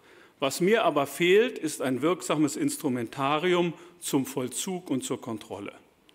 Auch wenn es im Detail noch einige Verbesserungsnotwendigkeiten gibt, so hat doch das Rheinland, der rheinland-pfälzische Weg der Hegegemeinschaften als Körperschaften des öffentlichen Rechts Bahnbrechendes bewirkt.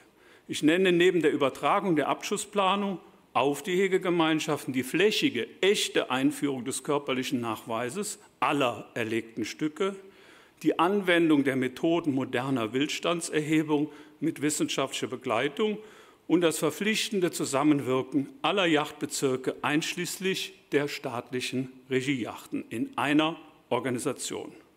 Für das neue Landesjachtgesetz in Rheinland-Pfalz hat der Landesjachtverband vorgeschlagen, die Integration der Yachtrechtsinhaber also der Waldbesitzer und Yachtgenossenschaften mit Sitz und Stimme in die Hegegemeinschaften zu wagen. Nur so kann aus unserer Sicht das hier und da bestehende Misstrauen gegenüber den Hegegemeinschaften als Yachtpächter-Lobbyverein überwunden werden. Wir wollen in den Vorständen auch jeweils einen Forstamtsleiter, aber auch einen Rotwildfachexperten gesetzlich etabliert wissen. Zweiter Punkt, Wildnachweisung und Abschussplanung digitalisieren. Sind wir vor Ort in einer Phase, Schalenwildbestände wirksam absenken zu müssen, kann es nicht sein, dass unsere Wildnachweisung oft erst dann ausgewertet wird, wenn das nächste Yachtjahr bereits längst äh, begonnen hat und die Abschussplanung bereits gemacht wurde. Aus unserer Sicht brauchen wir zumindest auf Ebene des jeweiligen Bundeslandes ein zentrales digitales Yachtnetz. Durch entsprechende Apps auf den Smartphones und die digitale Einbindung jedes Jagdreviers müssen wir in der Lage sein, unsere Wildabschüsse unmittelbar nach der Erlegung zu erfassen und nur noch digital zu übermitteln. Die direkte Anbringung einer Wildmarke würde erhebliche Vorteile auch für die sichere Verfolgbarkeit des erlegten Wildes bringen. Denken wir an Wilderei oder an die Wildbretthygiene. Wie kann man eigentlich ohne Zahlen, ohne jegliche Zahlen in Deutschland unterjährig Wildmanagement in einem Lebensraum revierübergreifend betreiben? Das frage ich mich. Und darauf kommt es doch eigentlich an. Eine gute, verlässliche Streckenstatistik würde auch wichtige wissenschaftliche Analysen landes- und bundesweit ermöglichen. Eine der wichtigsten Aufgaben der Yachtverbände sehe ich einer Information- und Weiterbildungsoffensive. Zugleich müssten ebenso Försterinnen und Förster sowie Yachtrechtsinhaber und Yachtrechtsinhaberinnen wesentlich intensiver über die Zusammenhänge der Wildschadensursachen informiert und für eine gute Zusammenarbeit geschult werden. Wir brauchen Förster, die etwas vom Wild verstehen und Jägerinnen, die etwas vom Wald verstehen. Wir brauchen Yachtrechtsinhaber, die aufgeklärt und in ihrer Verantwortung für Ökonomie und Ökologie, für Tier und Mensch in der Lage sind, gute Entscheidungen zu treffen.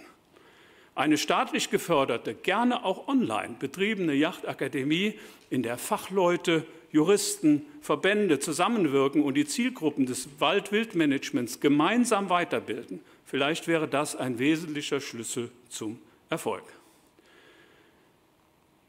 Ja, dann bedanke ich mich für die Aufmerksamkeit und wende den Blick noch auf dieses eine Bild, nämlich das vermissen wir gerade, glaube ich, diejenigen, die gerne die Hirschprumpft haben, ist der 26. heute. Ich wünsche Ihnen aber, dass Sie nach dieser Tagung in den nächsten Tagen dieses faszinierende Naturerlebnis Hirschprumpf nicht nur als Jäger, sondern auch als Waldbesucher genießen können. Vielen Dank.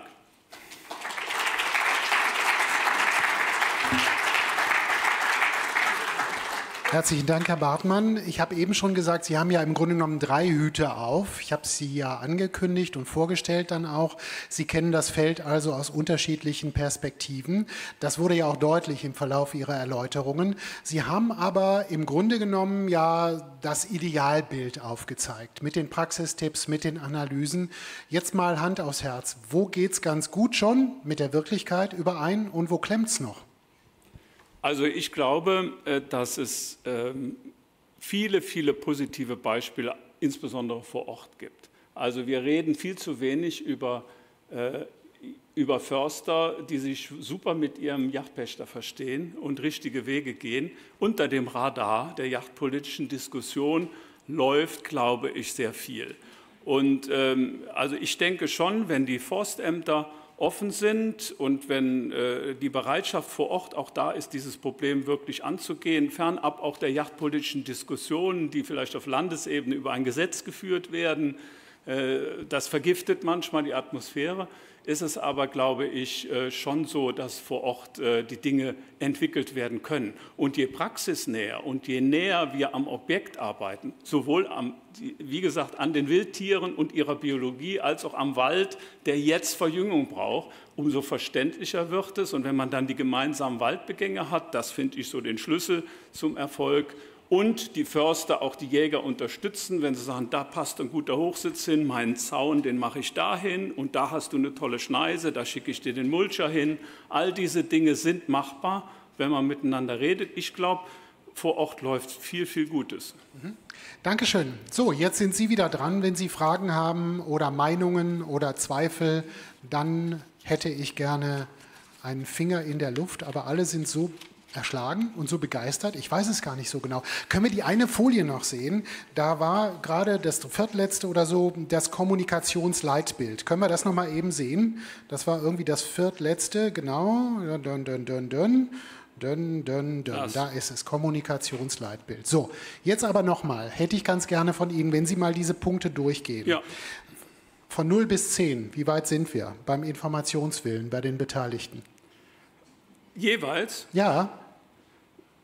Informationswille würde ich sagen, eine Nummer 6. Okay, Vertrauen? Oh, oh, oh. Ich bin mal bei einer 5. Aha, Ehrlichkeit? Das wird schwierig.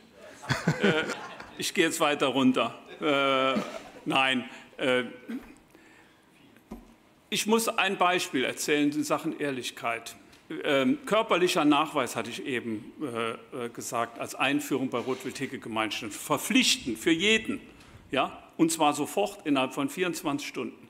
Ich hätte nie geglaubt, dass in meiner Hegegemeinschaft mit 24 privaten Yachtpächtern das möglich gewesen wäre. Ich hatte richtig Schiss davor, wie kriegen wir das hin? Mhm. Und dann sagten mir Yachtpächter und gestandene Yachtpächter, Sie wissen, was ich damit meine, Selbstbewusste, die durchaus wissen, ihren Bürgermeister für sich einzunehmen, sagten, wir haben doch nichts zu verbergen. Wenn wir jetzt da nicht mitmachen, wir haben nichts zu verbergen und dann sind die, sind die Yachtpächter hingegangen, haben gemeinsame Wildkammern gemacht mhm. und wir haben in unserer Hegegemeinschaft ungefähr sechs große Wildkammern wo die Yachtpächter, die sie zusammen äh, betreiben, jeder hat den Code von dem anderen und auch unsere Wildzählungen laufen ja so, dass man in die anderen Reviere fährt und nicht der Pächter sein eigenes Wild zählt. Mhm. Und diese Dinge waren sehr erstaunlich. Also insofern bei der Ehrlichkeit, es gibt sicherlich schwarze Schafe, aber äh, ich glaube, dass der, auch der Yachtpächter, ähm, äh, äh, der vielleicht sein, sein, sein Wild besonders liebt, äh, trotzdem sich eine Ehren, ein, also so ähnlich wie ein, die Grundsätze eines ehrbaren Kaufmanns hat. Okay, das ich wäre das dann, schon, dass ja? in unserer Jägerschaft das abrufbar ist. Trotzdem, ich habe mir das jetzt in den Kopf ja, gesetzt. Eine Zahl, eine Zahl bei Ehrlichkeit? Ja, dann bin ich doch mal bei einer 6. Okay, Transparenz? Da, da sind wir mittlerweile viel besser geworden, 8. Okay, Offenheit? Hm, also auch 7. Okay, echter Dialog? Da müssen wir noch zu wenig. Drei. Aha. Zusammenarbeit?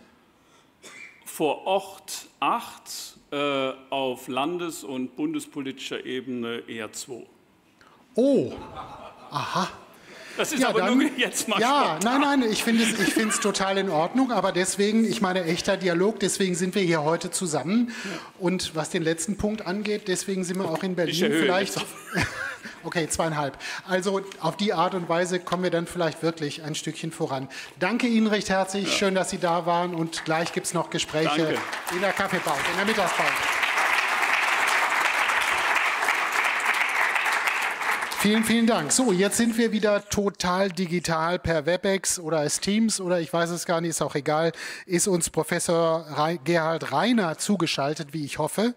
Da oben sehen wir ihn in der Ecke von der Justus-Liebig-Universität in Gießen. Herzlich willkommen. Ein Applaus, ein freundlicher Applaus von Ihnen. Ja, herzlichen Dank. Ich bin noch ganz geblättet, das war nicht anders zu erwarten, aber der Beitrag von Herrn Bartmann, das war wirklich fantastisch. Vielen Dank dafür. Äh, ich bin auch froh, dass ich die Möglichkeit habe, nun mit äh, ganz aktuellen Daten äh, zu Ihnen zu sprechen. Ja. Und ich bin froh, dass ich, ich habe zeitlich das alles nicht gut geklappt, dass ich jetzt per Internet dazugeschaltet bin. Ich denke, das müsste ja auch gut klappen. Ja, es ist, das Bild ist ähm, ja okay, würde ich sagen. Der Ton ist hervorragend. Insofern eine gute Basis dann auch für Ihre Präsentation zum Thema Isolation und Verlust genetischer Vielfalt beim Rotwild. Auch da wiederum Praxis, wenn man so will, Ableitungen für die Jagdpraxis. Wir sind sehr gespannt. Ja, vielen Dank. So, jetzt muss das nur weitergehen. Wieso geht das nicht? So, also Grund, das Grundproblem, jetzt muss ich hier nur noch was zumachen, Moment, sorry. Das Grundproblem ist, dass wir ja die zeitgemäße Umsetzung der Waldbaukonzepte in manchen Gebieten doch aufgrund hoher Populationsdichten etwas deutlich gefährdet sehen und äh, dass wir gleichzeitig äh, allgemein annehmen, dass Rotwild ja völlig ungefährdet ist. Es gibt viel zu viel davon. Es ist weit verbreitet. Auch die Lebensräume sind überall vorhanden. Und beides zusammen führt natürlich dann zu einer Forderung nach scharfer Restriktion und Reduktion. Aber die Frage ist, ob die Populationen wirklich so ungefährdet sind. Und da hat sich in letzter Zeit eine Menge getan. Die ähm, Protagonisten der roten Liste, die, die die machen, Sie sehen das hier, ich weiß gar nicht, Moment mal, kann man die Maus sehen? Ja. Ähm, also ganz aktuelle Arbeiten aus dem Haus, das die rote Liste macht, sagt jetzt ganz deutlich, dass das häufige Vorkommen und das Vorhandensein von Lebensräumen eben überhaupt nicht ausreicht wenn diese, diese Gebiete isoliert sind und wenn äh, genetische Vielfalt nicht erhalten werden, sondern verloren geht und der Austausch zwischen den Populationen nicht erhalten bleibt. Da haben wir also plötzlich eine ziemlich starke 180-Grad-Wendung, die wir weltweit da erleben. Und darüber möchte ich sprechen und ich möchte deswegen mal ganz kurz genetische Vielfalt versuchen, ein bisschen tiefer in den Kopf hineinzukriegen, weil ich glaube, das geht immer so in ein Ohr rein, ins andere wieder raus. Wir, äh, so ein Tier muss ja enorme genetische Baupläne umsetzen und das braucht natürlich für Bau, braucht man Werkzeuge und äh, diese Werkzeuge, das sind dann letztlich die Gene, A, B, C jetzt mal als Beispiel. Und jeder von uns weiß doch, wenn die Frau sagt, hier kannst du mir mal da einen Nagel in die Wand bohren, dass ich ein Bild aufhängen kann, dann äh, geht das schon los. Also das Gen an sich, der Schraubenzieher reicht gar nicht aus, sondern wir brauchen Genvarianten. Ähm, und da gibt es jede Menge und man hat immer den richtigen nicht parat. Und eine Population, die nun eine hohe genetische Vielfalt aufweist, da gibt es äh, auch die ganzen Bits. Und eine Population, die nur wenig ähm, Vielfalt aufweist, ja, die müssen mit einem Bit versuchen, auch die anderen Schrauben irgendwie reinzukriegen. Da ist das eben nicht ganz so einfach. Und dann haben wir natürlich auch noch kaputte Bits. Auch die gibt es ja, die gehen mal kaputt. Und ähm, wir haben in der Population solche Defektgene, meistens in Form von micherbigen Tieren. Das heißt, ein Bit ist noch funktionsfähig, mit dem kann man noch was schrauben, der andere ist eben kaputt. Und wenn wir jetzt aber, und das ist, das ist ja wichtig, wir müssen ja unterscheiden zwischen noch großen, guten Populationen und den zahlreichen, vielleicht kleinen, isolierten Populationen. Um die geht es ja in erster Linie. Denn wie sieht es da aus? Je weniger Tiere ich habe, desto weniger Genvarianten kann ich natürlich haben, desto weniger Bits, weil jedes Tier kann maximal zwei haben. Und wenn ein Tier verloren geht, können schon wertvolle Genvarianten verloren gehen. Und da ja diese Gebiete isoliert sind, können wir auch nicht erwarten, dass von außen neue Genvarianten hinzugetragen werden. Und wenn eine neue Schraube kommt, also wenn der, das Klima sich ändert, dann fehlt uns eben der richtige Bit. Und wenn wir davon ausgehen, in diesen kleinen Populationen, wir starten also irgendwann, nicht alle Tiere nehmen an der Vermehrung teil. Wir haben also schon mal einen gewissen genetischen Verlust. Außerdem ergibt sich aus der Vorlage der Gene, dass die nächste Generation schon mal stark homozygot wird, also nur noch mit demselben Bit ausgestattet ist, homozygot eben, die ganz blau oder ganz rot. Und ähm, naja, es, geht, es gibt mehr Inzucht. Es geht dabei um Inzucht. Und was ist Inzucht? Ganz kurz. Inzucht ist einfach, dass die Chance ansteigt, dass ähm, die beiden Genvarianten, die ein Kalb erbt, einmal vom Vater, einmal von der Mutter, letztlich exakt dieselbe sind, weil beide die von einem gemeinsamen Vorfahren geerbt haben. Und es ist ja logisch, je kleiner die Population und je weniger Austausch unter den Populationen, desto höher ist die Chance, dass genau das passiert. Und wenn jetzt eine kaputt ist, dann ist die andere auch kaputt, weil es ist ja dieselbe und dann kriegen wir eben Inzuchtdepression. Und das ist, was in der wieder nächsten Generation passiert, wenn dann diese Micherbigen, denen man gar nichts anmerkt, plötzlich sich miteinander auch anpaaren und zum ersten Mal ein reinerbiger Träger eines solchen Defektgenes auftritt. Hier hat es noch funktioniert, hier funktioniert nichts mehr. Es kommt zum Entwicklungsabbruch. Und besonders gefährdet sind polygene Merkmale. Es ist ja ganz einfach, sich das vorzustellen. Ähm, wenn nach der Befruchtung ein Kalb für die Geburt entstehen soll, ein Hirsch sich entwickeln soll oder ein Mensch oder was auch immer, ist ja ganz egal, dann werden etwa 25.000 Gene exakt zu einem bestimmten Zeitpunkt ein und auch wieder ausgeschaltet.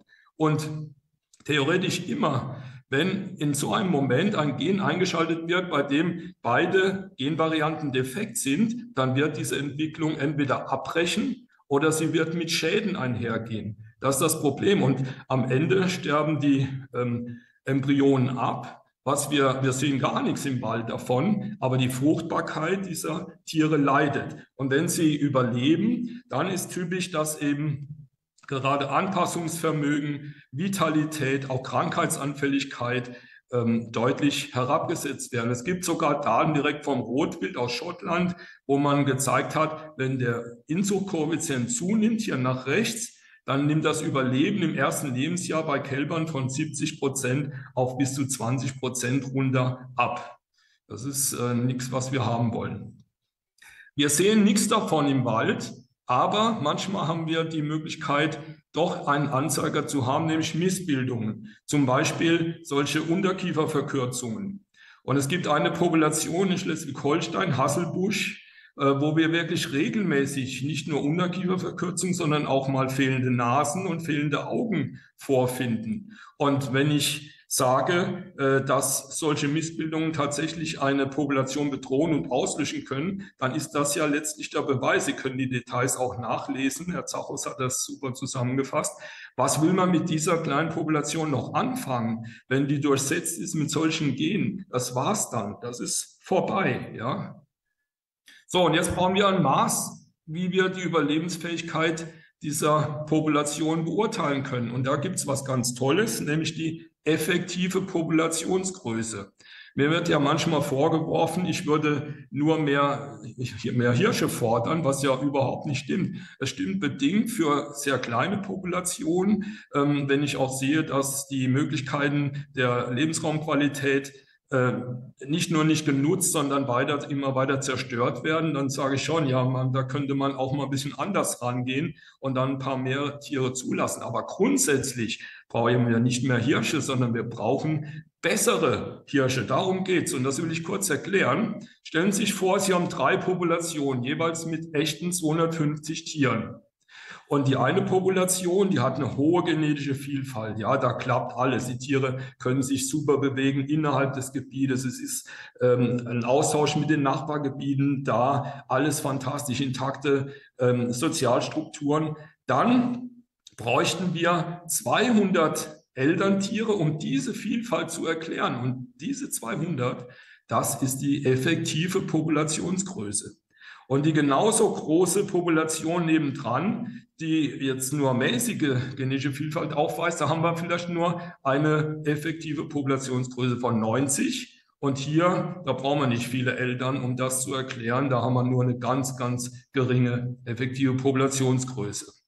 Und wenn wir diese Zahlen jetzt bewerten, auch das ist ja wissenschaftlich seit langem Standard und völlig anerkannt, dann wissen wir, alle Populationen mit einer, die für sich abgeschnitten sind, mit einer ähm, effektiven Populationsgröße unter 100, und das wären diese beiden zum Beispiel, die haben überhaupt keine Möglichkeit, ihre kurzfristigen Inzuchtdepressionen in irgendeiner Form noch aufzufangen. Also für die sieht es schlecht aus. Und Populationen, die nicht wenigstens 500 bis 1000 als effektive Populationsgröße haben. Und bedenken Sie immer, was ist eine Population? Es ist eine abgegrenzte Einheit. Ja, wenn ich also Isolation schaffe und die Tiere sich nicht mit anderen austauschen können, dann entsteht so etwas. Und wenn diese Populationen jetzt unter 500 bis 1000 haben, das wäre hier auch gegeben, dann können sie sich langfristig nicht mehr anpassen, also auch nichts für die Zukunft. Was wir, Entschuldigung, was wir machen müssen, wir müssen eben wieder vernetzen. Wenn wir die wieder vernetzen, wird es gar nicht mehr Tiere. Es bleibt bei 750, aber die effektive Populationsgröße, die steigt auf hier um ungefähr 700 an. Und dann haben wir dieses Problem ganz gelöst und das hier auch, ähm, ja, eigentlich auch ganz. Das ist der Aspekt. Also, es geht nicht um die absolute, sondern um die effektive Populationsgröße. Das nochmal als ganz wichtige Take-Home-Message, dass man da bitte nicht falsch verstanden wird. Jetzt der zweite Teil, wie steht es ums Rotwild?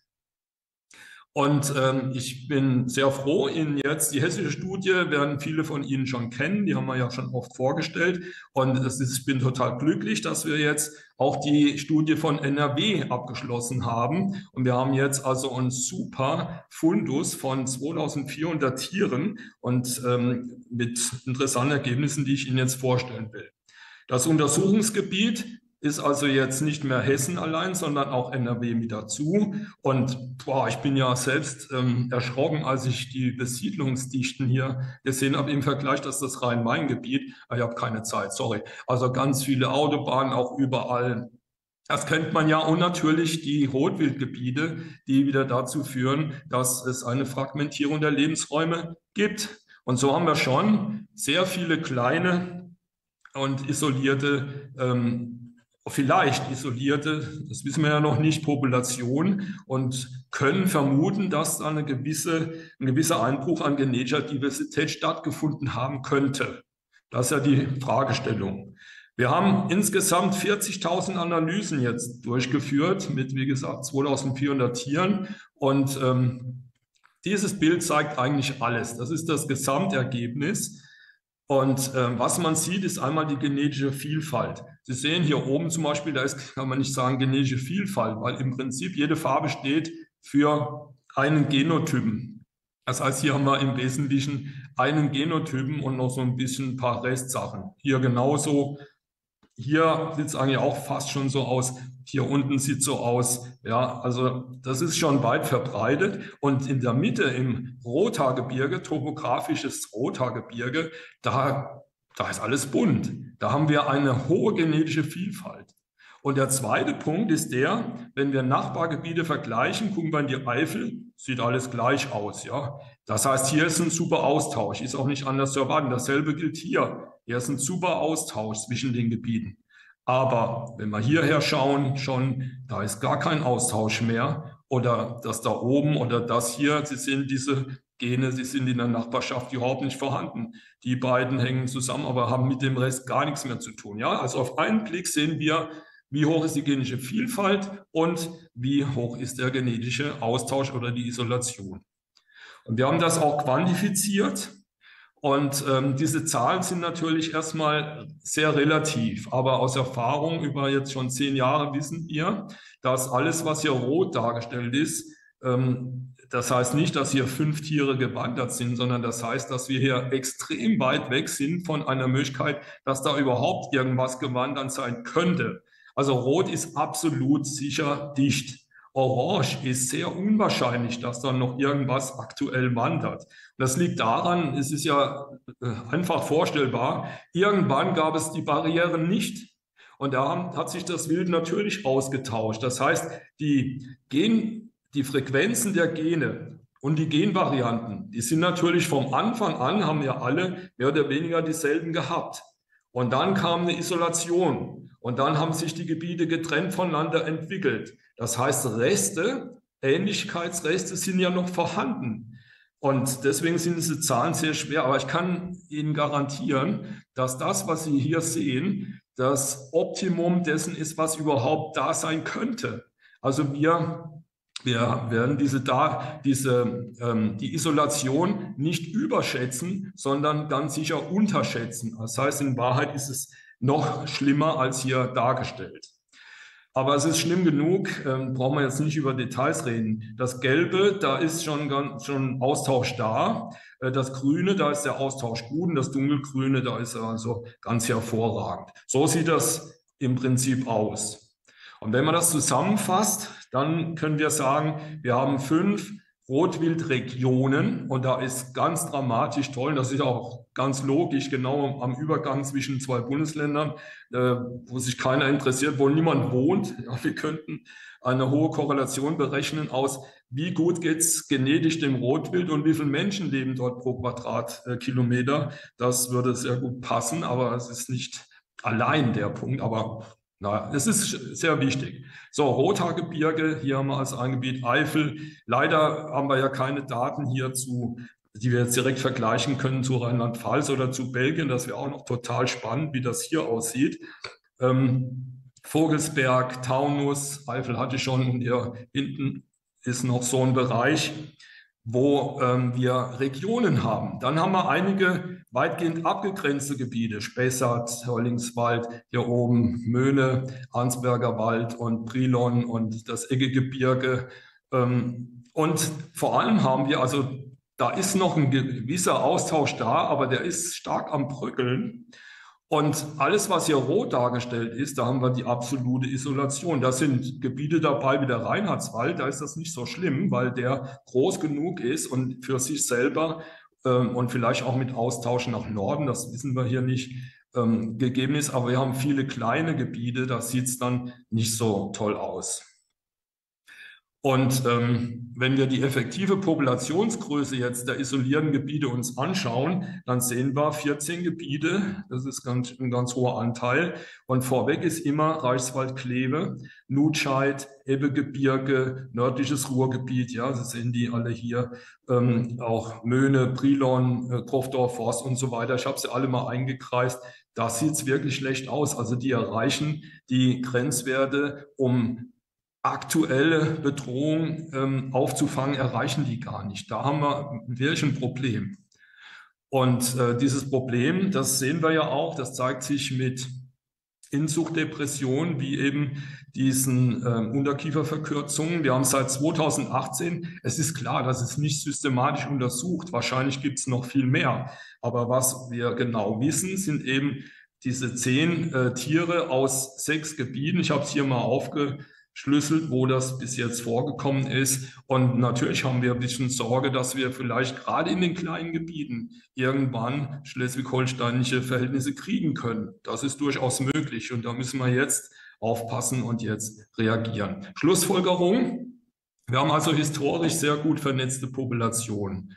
Und das Gute an der Studie, dass das, was uns hochspringen lässt, ist, dass ähm, das Rothaargebirge, dieses, dieser Riesenkomplex, sich wirklich als Epizentrum der Rotwildgenetik darstellt. Aber Achtung, auch dort, Sie haben es vorhin gesehen, da waren auch gelbe Bereiche. Auch dort können wir schon Barrieren erkennen, die vielleicht mit Tourismus was zu tun haben, die vielleicht mit rotwildfreien Gebieten was zu tun haben. Das muss man jetzt im Detail klären, was da los ist. Aber 50 Prozent aller untersuchten Gebiete, da sieht es schlecht aus mit Vielfalt und Austausch. Ähm, die Details haben wir alle besprochen und wir finden eben schon etliche Inzuchtdepressionen und ich kann Ihnen versichern, wir haben dazu leider keine Daten, aber es ist wissenschaftlich, mathematisch völlig logisch, dass wenn ich solche Inzuchtdepressionen wie Unterkieferverkürzung finde, dann mit Sicherheit in Sachen Fruchtbarkeit und Vitalität ähm, massive Auswirkungen schon vorliegen und zu erwarten sind. Da braucht man noch Daten, um das dann zu quantifizieren. Ähm, wir müssen handeln. Das auf jeden Fall. Wir müssen handeln. Was können wir an Maßnahmen erzielen? Die intakten Populationen, also jetzt Eifel, äh, Vogelsberg, äh, vor allem äh, Rothaargebirge natürlich, das muss erhalten bleiben. Ich, ich, sagte schon, wir sehen da auch schon Tendenzen, dass das dann immer mehr abnimmt. Klar, die Besiedlung nimmt immer mehr zu, es wird immer neu gebaut. Da muss man aufpassen, dass ähm, hier diese nicht abrutschen in den nächsten Bereich, wo sich jetzt diese nördlich des Rothaargebirges, also Möhne, Eggegebirge und so weiter, dass wir hier neuralgische Punkte entschärfen. Und äh, sonst rutschen die wieder ab zu den isolierten Populationen. Und die brauchen wieder Vernetzung. Ja, wir müssen, wir haben jetzt gezeigt, wo ist der Austausch unterbrochen? Wir haben gezeigt, wie hoch ist die genetische Vielfalt. Jetzt bauen wir wieder Vernetzung zwischen den Gebieten, um die Qualität und effektive Populationsgröße zu verbessern. Und wir müssen daran arbeiten, die Lebensräume zu verbessern, so wie der Herr äh, Bartmann das ja wunderbar äh, dargestellt hat. Bin ich wieder eins zu weit? Entschuldigung. Ja. So, und äh, Konsequenzen für das Management für diese Wiedervernetzung ähm, wäre also erstmal, es reicht sicher nicht aus, dass man jetzt Rotwildhege gemeinschaftsmäßig nur denkt, sondern die müssen zusammenarbeiten. Das Ganze muss als Einheit gesehen werden, auch übergreifend über die Länder. Es geht doch nicht, dass man hier einfach, ähm, wie in Tansania und Kenia damals mit Chimek, dass man sagt, ja, wir gucken hier und ihr guckt da. Nein, man muss das zusammen im Auge halten. Und das gilt für alles. Das ist, wir dürfen nicht so starr in Rotwildgebieten denken, sondern wir müssen Rotwildregionen aufs äh, Blatt kriegen. Wir brauchen mindestens Wanderkorridore. Wenn Sie sich dieses Bild hier mal anschauen, alles was weiß und rot ist, da kann, das ist eine, Widerstandskarte, dort wird Rotwild nicht wandern. Wo Rotwild wandert, das sind diese kleinen, schmalen Streifen, die so blau und ähm, gelb dargestellt sind. Wir stellen sich vor, jemand hat die Idee, also diese ganzen Gebiete, die sind sehr ländlich, das, das kann man mit dem bloßen Auge, sieht man nicht, ob da jetzt was wandert, das, das sieht toll aus. Und wenn jetzt hier irgendwo, sagen wir mal, hier ein Supermarkt geplant wird für die Bevölkerung, dann ist das gar kein Problem. Wenn der aber hier geplant wird, dann ist der gesamte Bereich, der gesamte, äh, die gesamte Wanderung zwischen diesen beiden Gebieten und dem hier abgeschnitten. Gut, da oben läuft noch was, aber von hier nach da, das dann abgeschnitten. Und deswegen ist es brutal wichtig, dass wir diese Dinge jetzt endlich auflegen, bevor es zu spät ist und äh, in die Raumordnungsplanung aufnehmen. Ja, das ist, und wir müssen natürlich auch andererseits dann die Möglichkeit schaffen, dass Rotwild wandern kann. Nicht die weiblichen, darum geht's nicht, aber die jungen männlichen Tiere, zwei bis fünf Jahre, deren Aufgabe ist es, die Genetik zu transferieren. Die bringen den Fluss und das, was die effektive Populationsgröße erhöht. Und das ist natürlich auch eine große Verantwortung für die, ähm, für die Pächter von Wanderkorridorrevieren. Und ich denke, da muss auch irgendeine Lösung gefunden werden, dass die dann irgendwie beteiligt werden, äh, dass die nicht nur da sitzen und sagen, okay, wir dürfen nicht schießen, sondern sie müssen irgendwie eine andere Möglichkeit haben. Sonst wird man das Ganze wahrscheinlich nicht umsetzen können. Wir müssen den Anteil junger Hirsche steigern äh, diese Jagdlenkung, ja, der Spießer ist einfach zu erkennen. Klar, da wird er geschossen. Reproduzierendes weibliches Wild ist sehr schwierig. Aber also wir müssen da dran gehen. Wir müssen hier Möglichkeiten schaffen, weil nur so können wir wirklich A, die Bestandsreduktion wirklich effizient umsetzen. Wir kriegen dann noch mehr Hirsche der Klasse 3, was ja auch nicht schlecht ist. Und wir kriegen eine bessere Sozialstruktur, Altersaufbau, Geschlechterverhältnis, also viel bessere Population mit besserem Austausch, mit besserer effektiver Populationsgröße und geringerer Gefahr wegen Inzucht und und Co. Wir ähm, kriegen dabei auch mehr Wanderhirsche und können die Isolation überwinden. Also das ist ein ganz wichtiger Punkt, denke ich, äh, dass man darüber, dass man das umsetzt. Dann als zweites Verbesserung der Lebensraumqualität.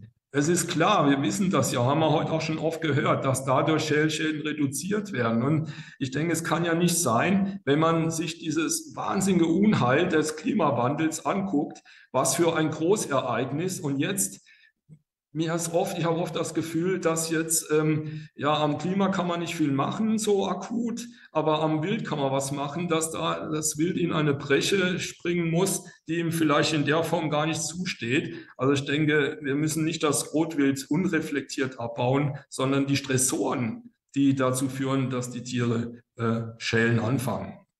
Und was wir machen können, ist Ruhezonen. Ruhezonen ist essentiell, wird aber kaum umgesetzt in vielen Gebieten. Ruhezeiten äh, haben wir auch alles schon gehört heute. Viel detailliert, da habe ich auch keine Zeit. Furchtbar. Ähm, anderen hatten auch keine Zeit. Wir müssen die Jagd eingrenzen. Im Moment wird doch rund ums Jahr irgendwas gejagt. Und diese Ruhe, äh, dieser Stress, diese Störungen auch von alle möglichen anderen Störungen, die treiben das Wild in den Wald und die führen zu Schälschäden. Und jetzt immer weiter Wild zu reduzieren, führt halt dazu, dass diese Inzuchtfalle zuschnappt und dann haben wir bald kein äh, Wild mehr. Ich finde es super, dass man diese Schwerpunkte ja, warum hat der Herr Herzog das so schön erforscht und dargestellt, ja, wenn wir es nicht anwenden? Wenn ich nur äh, gucke, wie viele Tiere müssen geschossen werden und dann gießkannenartig irgendwo was schieße, werde ich ja, kann ich ja nichts erreichen. Ich muss dort, die sind relativ standorttreu, ich muss dort schießen, wo die Schäden stattfinden und dann brauche ich weniger schießen und habe viel mehr Erfolg für die Schäle. Und, und auch der Punkt hier noch, Schutz von Kultur und Anpflanzung. Also es so wundert mich wirklich ein bisschen, wenn, wenn es heißt, äh, alle Kulturen müssen also ohne Schutz großgezogen werden. Das kann ich nicht so ganz verstehen. Wenn in Afrika äh, Elefanten äh, abgeschossen werden sollen, weil sie irgendwas zertrammeln oder Giraffen, dann sagen wir alle, um Gottes Willen. Aber hier wollen wir nicht mal irgendwie die Kulturen schützen. Und ja, Wild wird wie... Ähm, wie Schädlinge oft nur behandelt. Also das, das kann ich mir irgendwie alles nicht so ganz vorstellen. Noch ein äh, letzter Punkt, den ich kurz ansprechen möchte, weil ich ständig darauf hingewiesen oder gefragt werde ähm, Austausch von betäubtem Rotwild. Also die Idee, der Mensch kann ja alles, äh, der Mensch hat alles im Griff, wir können jetzt Tiere von einem Gebiet entnehmen und dann woanders hinführen. Sowas ist extrem wichtig bei aussterbenden Tierarten. Ja, Wiesen zum Beispiel, wenn man da was machen will, wie, wie sonst sollte man das hinkriegen?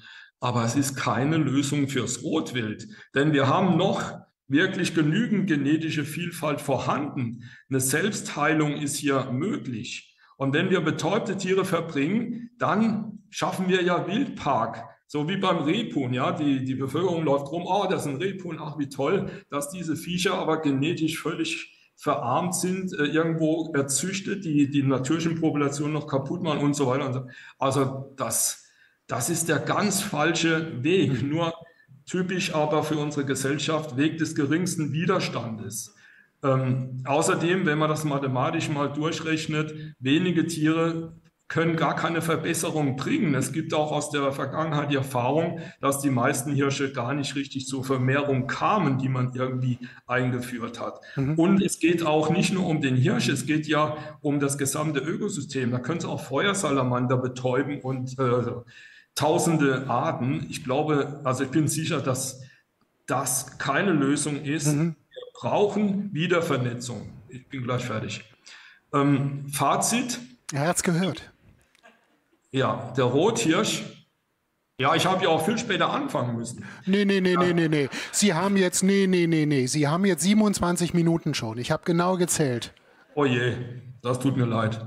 Also Rothirsch als Eckpfeiler der Biodiversität anerkennen, ähm, anerkennen zu sehen, dass die Hälfte der Population bedroht ist und dass wir, wir müssen wieder vernetzen. Ich bedanke mich ganz herzlich bei meinen Mitarbeitern, bei Herrn Laumeier vor allem, der die Proben gesammelt hat und im Labor aufgearbeitet hat, ganz tolle Arbeit geleistet hat und ganz besonders beim Landesjagdverband Nordrhein-Westfalen, ähm, insbesondere mit der Wildtier- und Biotopschutzstiftung und ich bedanke mich bei Ihnen für die Aufmerksamkeit.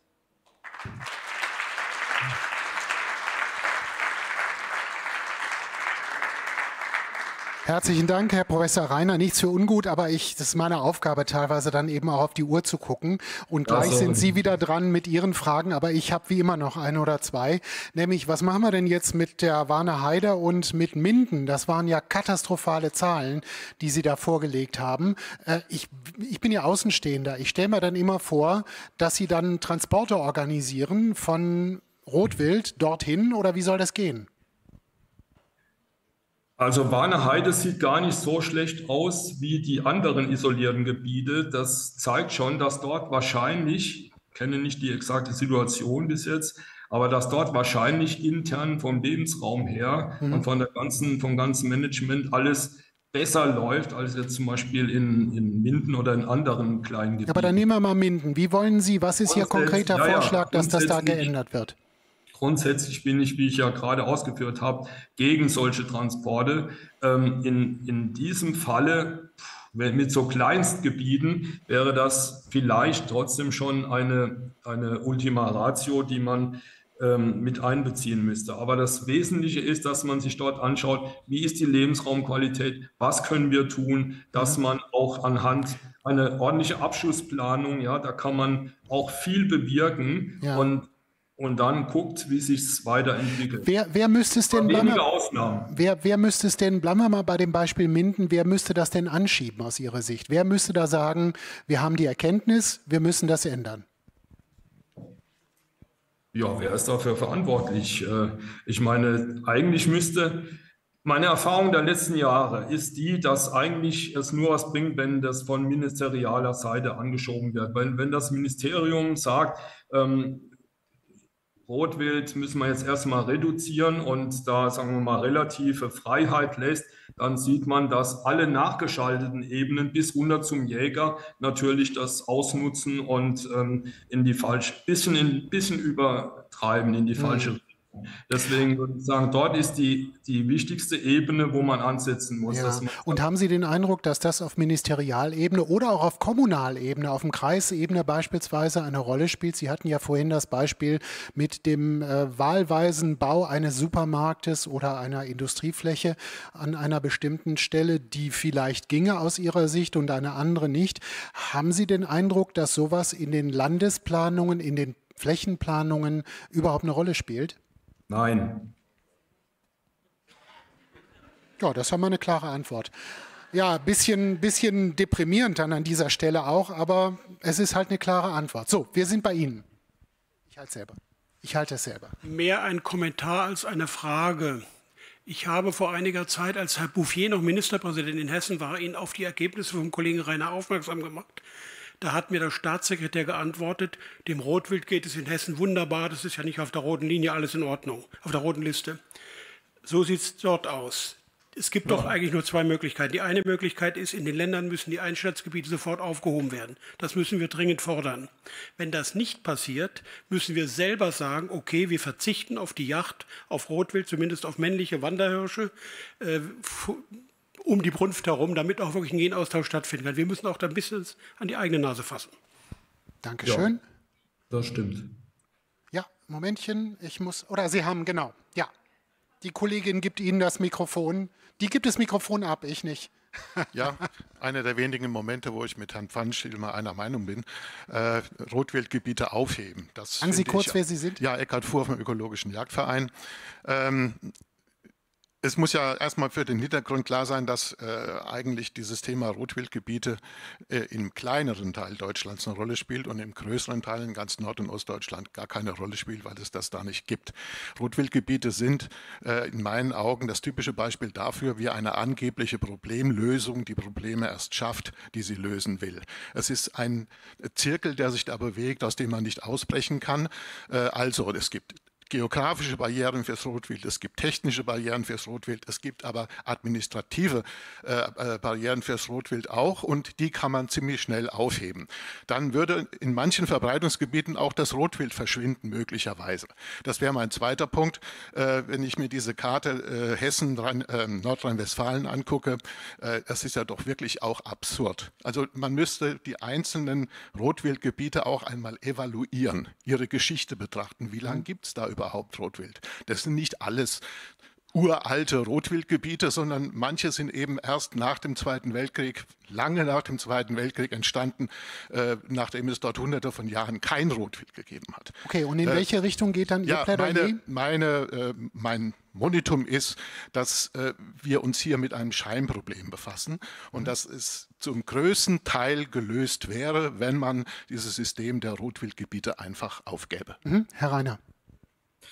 Äh, ja, Moment, gerade mal überlegen, wo ich anfange. Also das mit dem, dass äh, Rotwild heute eben erst seit kurzem erst irgendwo lebt und früher hunderte Jahre gar nicht. Natürlich, ich meine, früher haben die im Winter und im Sommer woanders gelebt und sie, haben, sie, äh, sie waren auf Wanderung. Das, ist, das gehört zu dieser Art eigentlich dazu. Das können sie aber nicht mehr. Die Auen sind zugebaut, äh, die sind verdonnert, in den Sommereinständen zu bleiben. Das ist das ist klar und somit hat sich auch viel geändert. Ansonsten würde ich Ihnen prinzipiell sogar äh, recht geben. Das Problem ist ja nicht, dass man jetzt definiert, wir haben ein Rotwildgebiet oder wir haben kein Rotwildgebiet. Das Entscheidende ist einfach ähm, das Verhalten der Jäger und die Autobahn.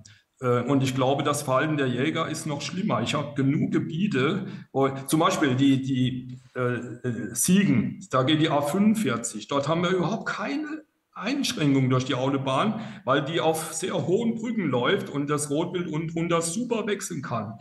Aber wir haben Gebiete, da sind weder Bundesstraße, also ausgebaute, noch Autobahn und da geht gar nichts. Und das liegt eben daran, dass dort sehr gründlich ähm, geschossen wird, wenn wandernde Tiere kommen. Und das wiederum ist eben dieses Rotwildgebiet. Mhm. Und ob man das jetzt so nennt oder nicht, das ist, glaube ich, wirklich egal. Da kann man vielleicht wirklich so ein bisschen in die Irre kommen, sondern entscheidend ist, dass man einfach dort, wo diese Tiere wandern, das kann man ja vor Ort auch genauer definieren, dass man dort den Finger gerade lässt, wenn solche Zukunftstiere vorbeikommen. Mhm. Dankeschön. Ähm, dann würde ich sagen, weil wir auch schon eine Wortmeldung haben wir noch. Ja. ja, vielen Dank. Ähm, Sie sagten, die Wanderungen sind nicht mehr möglich, äh, also ein Teil einer äh, Gesamtfrage. Ähm, könnte man dem mit Wildbrücken äh, ein wenig auf die Sprünge helfen? Das äh, funktioniert in Brandenburg äh, ja auch bei gewissen nicht so beliebten Wildarten. Mhm. Ähm, und äh, die weiterführende Frage, Sie sagten, die Jagd ist ein Teil des Problems ähm, und wir brauchen eine Verlagerung der Jagdzeiten. Ketzerischer Gedanke, wie wäre es denn mit äh, einem Jagdverbot während der Reproduktionszeiten? Hm? Okay, zwei konkrete Fragen. Oh, das, also das mit den Reproduktionszeiten und Jagdverbot, das kann ich vielleicht gar nicht. Da bin ich nicht der Richtige, das zu beantworten. Entscheidend ist für mich, dass man effizient jagt. Das heißt, dass, dass, dass die Tiere einen großen Teil ihrer Zeit im Jahr damit verbringen können, wirklich Vertrauen aufzubauen, ihre Essung zu nutzen und nicht die ganze Zeit verhuscht Angst zu haben, dass wieder irgendwo was äh, geschossen werden kann. Mhm. Ähm, das ist, glaube ich, der ganz entscheidende Punkt dabei. Und die Wildbrücken? Wildbrücken, ähm, natürlich brauchen wir Wildbrücken, aber Wildbrücken sind ja nur, sagen wir mal, das I-Pünktchen und der lange Strich darunter, das ist Biotopvernetzung. Eine Brücke nützt überhaupt nichts, wenn ich vorher und nachher schieße, wenn ich vorher und nachher riesen landwirtschaftliche Flächen habe oder wieder Autobahn oder sonst irgendwas und die Tiere dann doch letztlich gar nicht wandern können.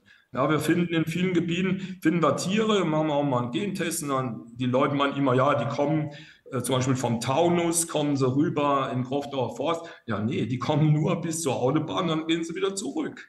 Ähm, klar, da wäre eine Wildbrücke sinnvoll, äh, war jetzt didaktisch ein schlechtes Beispiel, aber nochmal gesagt, der Strich unter dem Punkt, der Strich unter dem Punkt ist viel wichtiger, weil das sind viel größere Flächen, wo die Tiere erst gar nicht durchkommen bis zur Brücke. Die Brücke in Köln, zwischen Königsforst und Warneheide funktioniert, ja, das ist super, das ist hervorragend. Und viele andere im, im, im Osten Hessens haben wir das auch, dass wir sehen, dort haben wir einen guten Austausch durch Wildbrücken, aber da stimmt auch das drumherum. Mhm. Gut, es gibt vielleicht auch nicht die Ideallösung, aber wichtig war, dass wir diese Punkte angesprochen haben. Danke Ihnen recht herzlich, Herr Professor Reiner, für Ihre Erläuterungen und für die Basisdaten, die Sie uns präsentiert haben. Vielen, vielen Dank. Ja, sorry nochmal fürs Überziehen. So, und dann sind wir hier wieder vor Ort bei der Präsenzveranstaltung. Ich darf Dr. Rudi Suchand begrüßen von der Forstlichen Versuchs- und Forschungsanstalt Freiburg. Der hatte auch eine weitere Anreise nach Berlin. Herzlich willkommen, schön, dass Sie da sind. Wir werden ja nachher auch in der Diskussion nach der Mittagspause noch miteinander reden, aber erstmal von Ihnen auch die Präsentation Landschaft als Wildtierlebensraum. Unterschiede von Landschaftstypen erfordern ein differenziertes Wildtiermanagement. Das ist Ihr Plädoyer. Und ich glaube, Sie haben uns so, ui, Sie haben uns ein Filmchen mitgebracht, unter anderem, ne? Ja, zur Einstimmung läuft jetzt erstmal das Filmchen, reden tue ich anschließend.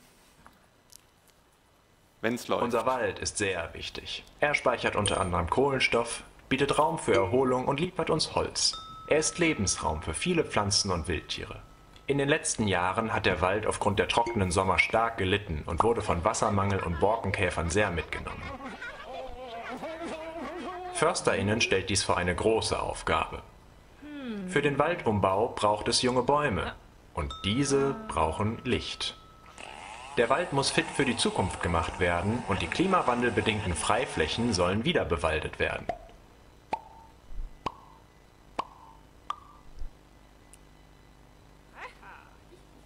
Jedoch werden junge Bäume einiger Baumarten sehr gerne von Rehen gefressen, die auf den Verjüngungsflächen einen idealen Lebensraum vorfinden. Dies ärgert viele WaldbesitzerInnen. Sie finden daher, dass es zu viele Rehe gibt. JägerInnen dagegen freuen sich am Anblick von Rehen und wenden viel Zeit und Engagement für die Jagd auf. Gleichzeitig sind JägerInnen wichtige Partner für den Waldumbau. Sie können für gesunde, dem Lebensraum angepasste Wildbestände sorgen und so helfen, Schäden durch Wildverlust zu vermeiden. Erholungssuchende lieben es, sich im Wald frei zu bewegen und beispielsweise Pilze zu sammeln. Doch auch die Freizeitnutzung im Wald kann einen starken Einfluss auf Rehe haben. Werden sie durch Menschen oft gestört, meiden sie auf Dauer stark frequentierte Bereiche. Dadurch wird ihr Lebensraum eingeschränkt und der Verbissdruck steigt in den ruhigen Bereichen.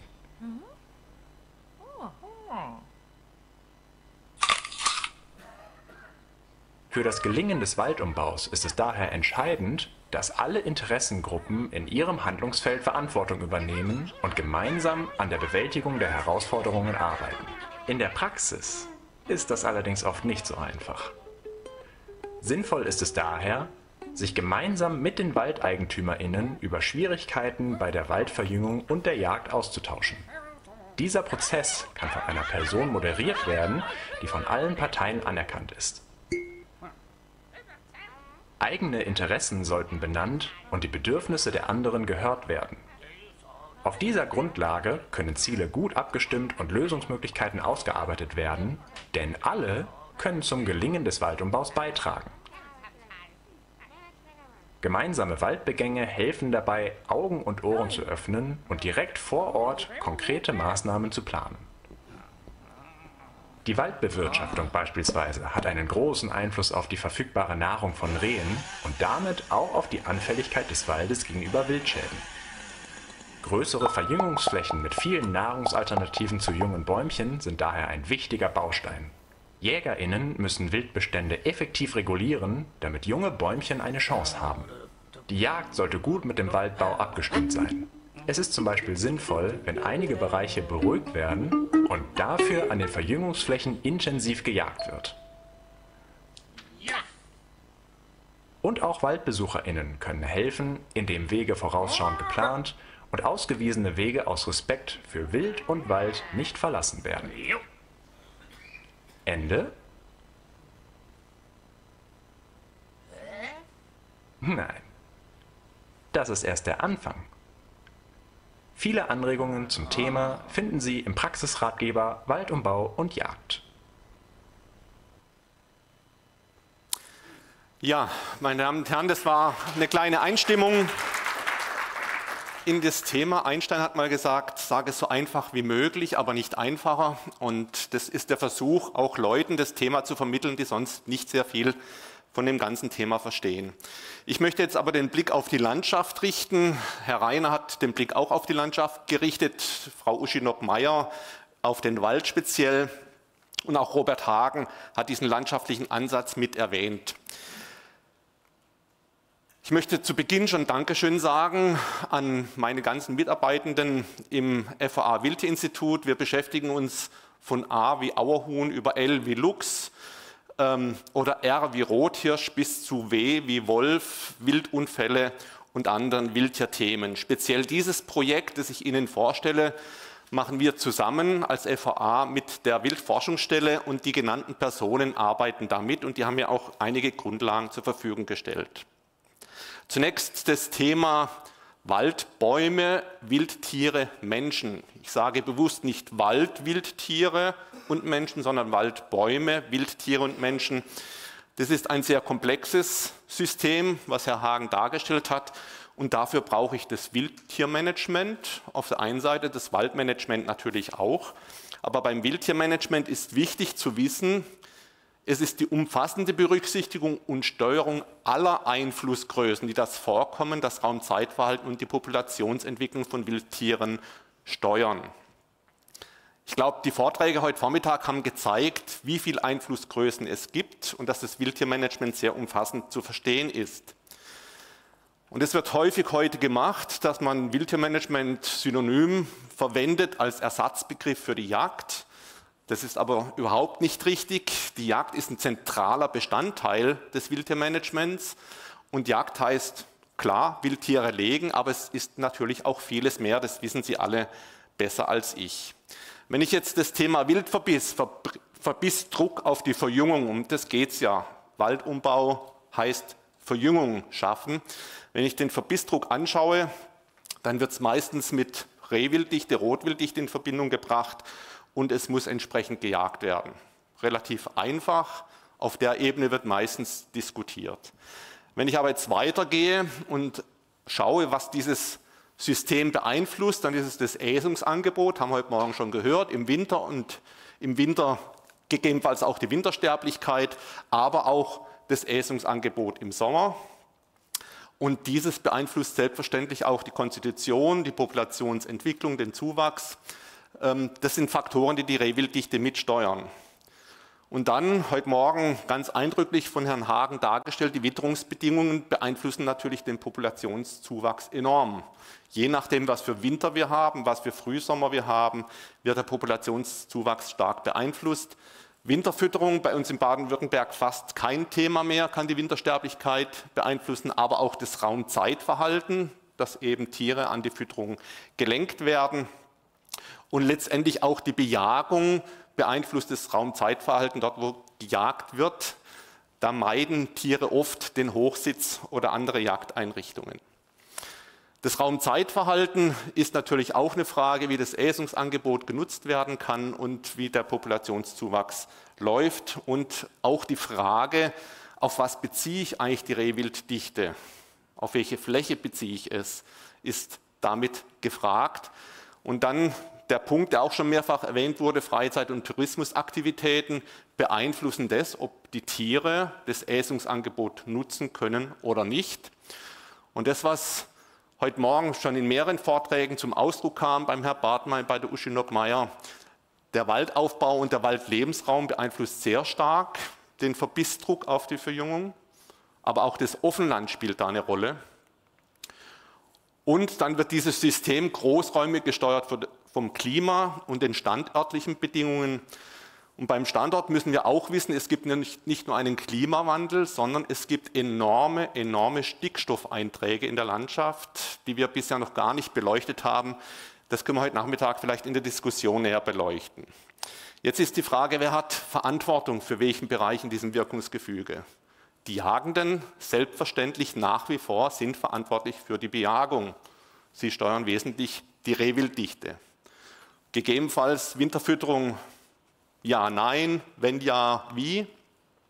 Aber die Waldbewirtschaftenden haben eben in diesem Gefüge auch eine Verantwortung, weil sie den Wald aufbauen, den Waldlebensraum gestalten. Sie steuern dieses. Und auch die Landbewirtschaftenden spielen eine Rolle, weil sie das Offenland bewirtschaften. Ob sie einen großen Maisacker haben oder vielleicht auch mal Feldgehölze in der Feldflur haben, ist ein großer Unterschied. Und auch die Gemeinden und Touristiker müssen ins Boot genommen werden, weil sie letztendlich dafür verantwortlich sind, wie Freizeit- und Tourismusaktivitäten entwickelt werden.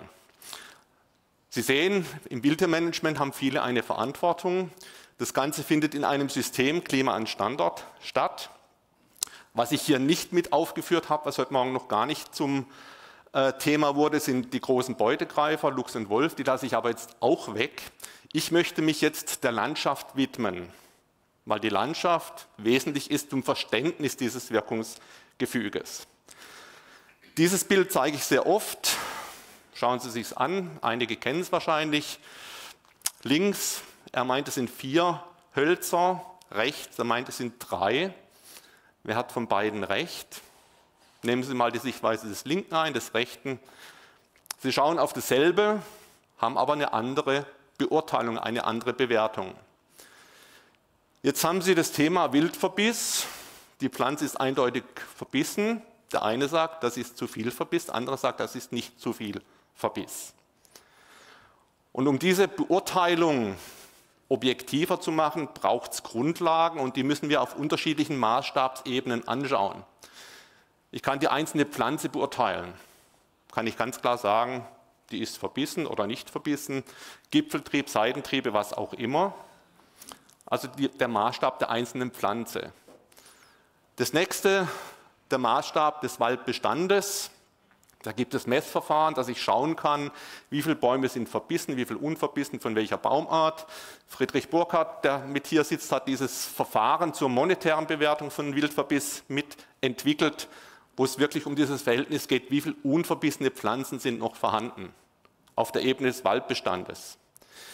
Die waldbauliche Entwicklung wird immer auf der Ebene des Waldbestandes äh, angestrebt. Das heißt, ich plane einen Stieleichen-Mischwald mit einer bestimmten Baumartenzusammensetzung für einen Waldbestand oder einen Buchen-Nadelbaum-Mischwald, wo ich sage, ich möchte so und so viel Verjüngung haben mit den und den Baumarten. Immer auf einen Waldbestand bezogen. Wenn ich jetzt einen Maßstab weitergehe, das Jagdrevier, in dem viele Waldbestände sind, dann kann dieses Jagdrevier, so wie links schematisch dargestellt, aussehen mit relativ viel Wald und einem Anteil von Feldflur. Sie können aber Ihr Jagdrevier völlig unterschiedlich haben. Mit viel Wald, mit der Hälfte Wald oder mit einem kleinen Waldanteil. Und in allen drei Jagdrevieren stehen Sie vor dem Problem Wildverbiss. Und ob da oder dort eine Tanne verbissen ist oder nicht, muss aus meiner Sicht sehr differenziert beurteilt werden. Und dann gibt es noch einen weiteren Maßstab, das ist der politische Maßstab, beispielsweise die politische Lage des Jagdreviers. Das heißt, in welcher Gemeinde ist ein Jagdrevier? Wer ist Vorsitzender der Jagdgenossenschaft? Wie stehen die Jagdgenossenschaften zueinander? Wir haben vorhin Nordrhein-Westfalen, Hessen gesehen, wie schwierig es ist zwischen Bundesländern. Manchmal ist es auch schwierig, schon zwischen Gemeinden Lösungen zu finden. Und wir haben in diesem Beispiel im Ortenau-Kreis ein Modellgebiet eingerichtet, wo wir mit allen Gemeinden zusammenarbeiten. Auf den bisher genannten Maßstabsebenen finden Diskussionen konkret statt, indem im Wald geschaut wird, wie es aussieht, wo Erhebungen gemacht werden, wo darüber diskutiert werden kann. Wenn wir jetzt auf die Ebene des Bundeslandes gehen, Dann haben wir in Baden-Württemberg das forstliche Gutachten zur Beurteilung von Wildverbiss, das seit 1986 schon durchgeführt wird, alle drei Jahre, 6600 Reviere erfasst und letztendlich ein Schätzverfahren ist, bei dem die Verbissintensität erfasst wird, stark, mittel, gering und auch gleichzeitig die Erreichung waldbaulicher Ziele eingeschätzt wird. Das ist seit 2009 als Beurteilungsmaßstab zusätzlich eingeführt. Zusammengefasst können wir sagen, ich habe Betrachtungsebene Einzelbäumchen und Waldbestand, Jagdrevier, Bundesland und letztendlich für ganz Deutschland. Und da gibt es unterschiedliche Verfahren, unterschiedliche Methoden. Zum einen äh, Waldinventuren, die geben mir aber nur Informationen Naturraum, also für größere Flächen nicht für einzelne Bestände, fürs Jagdrevier bedingt. Es gibt das forstliche Gutachten bei uns in Baden-Württemberg. Herr Bartmann hat es ja als grundsätzliches Verfahren auch nochmal eingefordert. Und dann gibt es Verfahren, die auf Waldbestände bezogen durchgeführt werden können, ob es das Kontrollzahnverfahren oder unser FAA-Verfahren zur monetären Bewertung ist. Ich möchte heute aber diesen Bereich naturraumbezogen und das Land Baden-Württemberg näher anschauen. Bevor ich das tue, schaue ich nochmal auf Europa und die Frage Wildnisgebiete in Europa. Eine Darstellung aus Geo von 2011 schon. Da sind die Flächen angegeben, die dünn besiedelt sind, kaum durch Wege erschlossen, natürlich bewachsen. Eigentlich ein Ausdruck der Landnutzungsintensität. Alles, was rot ist, intensiv genutzt mit Siedlungen, Straßen und so weiter in Richtung Grün, Wildnis. Und wenn man da ein bisschen reinzoomen, Sie sehen, es ist nicht sehr viel grün. Österreich, Gruß nach Wien, Uschi, ähm, sieht da viel besser aus. Und in Deutschland haben wir natürlich riesige Bereiche, die intensivst genutzt sind. Und wenn wir uns das konkreter anschauen, in Baden-Württemberg, wir haben mal die wenig vorbelasteten Räume gerechnet. Das sind Flächen, äh, bei denen abgezogen wurden die Waldränder, die Ortslagen mit einem Puffer, die Autobahnen, die Landesstraßen, Kreisstraßen. Und dann kommen Sie auf diese grünen Flächen, die als wenig vorbelastet noch gelten können. Jetzt schauen Sie an, wenn die Flächen größer als 100 Hektar sein sollen, sind es schon deutlich weniger. Bei 1000 Hektar ist schon nicht mehr viel da. Und bei 5000 Hektar sind wir quasi nur noch im Schwarzwald. Und bei 10.000 Hektar haben wir nur noch eine Fläche, die nicht mal Nationalpark ist. Das heißt, Wenn wir uns allein die Siedlungsfläche in Baden-Württemberg anschauen, dann müssen wir einfach wissen, wir haben 300 Einwohner pro Quadratkilometer, die roten Flächen. Da sind die Menschen äh, ganz intensiv bei der Landnutzung und die überörtlichen Straßen 36.000 Kilometer außerorts, nur in Baden-Württemberg. Das heißt, ein Kilometer Straße pro Quadratkilometer Landfläche. Jetzt ist die Frage, wie können wir diese Betrachtung einführen in unsere Beurteilung von Wildverbiss? Man hat versucht, schon in langen Zeiträumen versucht, Naturräume und Großlandschaften zu definieren in dem diese Großlandschaften definiert wurden. Da wurde Klima und Standort äh, berücksichtigt, aber die aktuelle Landnutzung überhaupt nicht. Wenn ich jetzt die Waldwirtschaft anschaue, in Baden-Württemberg haben wir die standortskundliche regionale Gliederung. Die verschiedenen Farben sind unterschiedliche Waldgesellschaften. Das ist die Orientierung für den Waldbau. Und diese Orientierung soll helfen zu fragen, wo kann ich den Wald in welche Richtung entwickeln? Was war die ursprüngliche Waldgesellschaft vor Eingreifen des Menschen? Die aktuelle Landnutzung spielt da keine Rolle. Wenn ich aber jetzt den Klimawandel dazu nehme, dann ist eben diese Orientierung extrem schwierig. Hier die Wärmestufenzonierung Baden-Württembergs 61 bis 90. Sie sehen von Planar, Collin, Submontan, Montan, Hochmontan und dann die Dramatik, wie sich es verändern wird in der Prognose. Also eine dramatische Veränderung, die stattfinden wird. Ist Ihnen allen klar, wenn man es aber aufs Bundesland bezieht, dann haben wir beispielsweise in der Oberrheinebene eine Wärmenstufe, die bisher noch gar nicht definiert ist. Über 11,5 Grad im Durchschnitt, das könnten Steppenverhältnisse werden. Ich sage das deswegen, um deutlich zu machen, die Orientierung an solchen großräumigen Grundlagen hilft zwar, aber bezogen auf Wildtiere haben wir bisher so eine Grundlage nicht.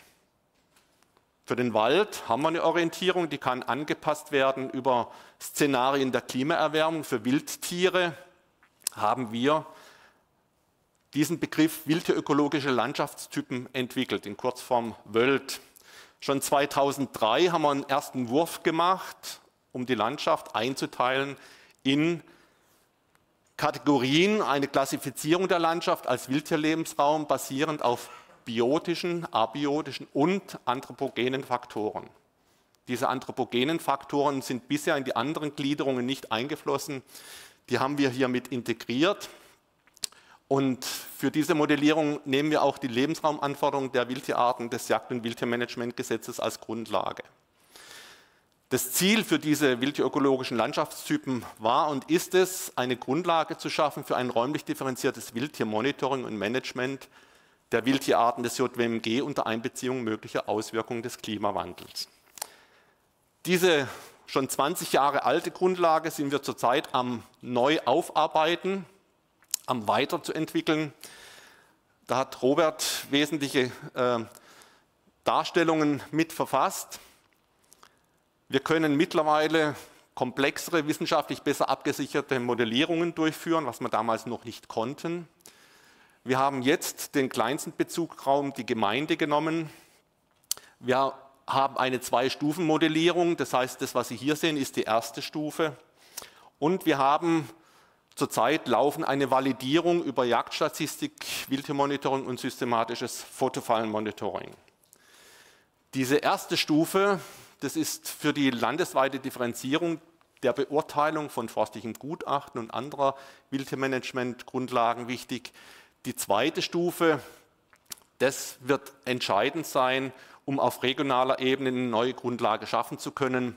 Und da sollen auch weitere Variablen in dieser zweiten Stufe berücksichtigt werden, beispielsweise der Tourismus hier dargestellt an Übernachtungszahlen. Sie sehen, im Schwarzwald ist sehr viel an Tourismus am Bodensee und das beeinflusst selbstverständlich auch das Wildverhalten. Wenn ich jetzt die Landschaft mir anschaue und überlege, wo hat es wie viele Wildtiere, dann haben wir bisher oftmals nur Daten der Jagdstatistik, wenig anderes Systematisches. Und wir haben eine Vielzahl an Wildtierarten, die in dieser Landschaft vorkommen. Wir haben für uns jetzt die Frage gestellt, welche Wildtierarten schauen wir an, die flächendeckend in Baden-Württemberg vorkommen, um eine Differenzierung in den Landschaftstypen feststellen zu können. Und da ist das Wildschwein, das Reh und der Fuchs flächendeckend vorhanden. Und wenn ich das jetzt vergleiche mit der Rehwilddichte, Rehwildstrecke, dann sehen Sie hier noch kein klares Muster. Das heißt, die Jagdstatistik bringt mir da nicht sehr viel. Ähm, das ist eine Darstellung aus dem Wildtierbericht, der für dieses Jahr auch nochmal neu erschienen ist. Das ist die Darstellung von 2018. Um eben dieses Defizit einer guten Validierung ausgleichen zu können, haben wir jetzt bezogen auf die Landschaftstypen ein systematisches Fotofallenmonitoring ähm, aufgebaut. Das läuft zurzeit gerade. Wir haben in ganz Baden-Württemberg etwa 300 Fotofallen aufgestellt, die systematisch lebensraumbezogen Acker, Wiese, Wald aufgestellt wurden, die nach einem bestimmten Raster systematisch verteilt wurden.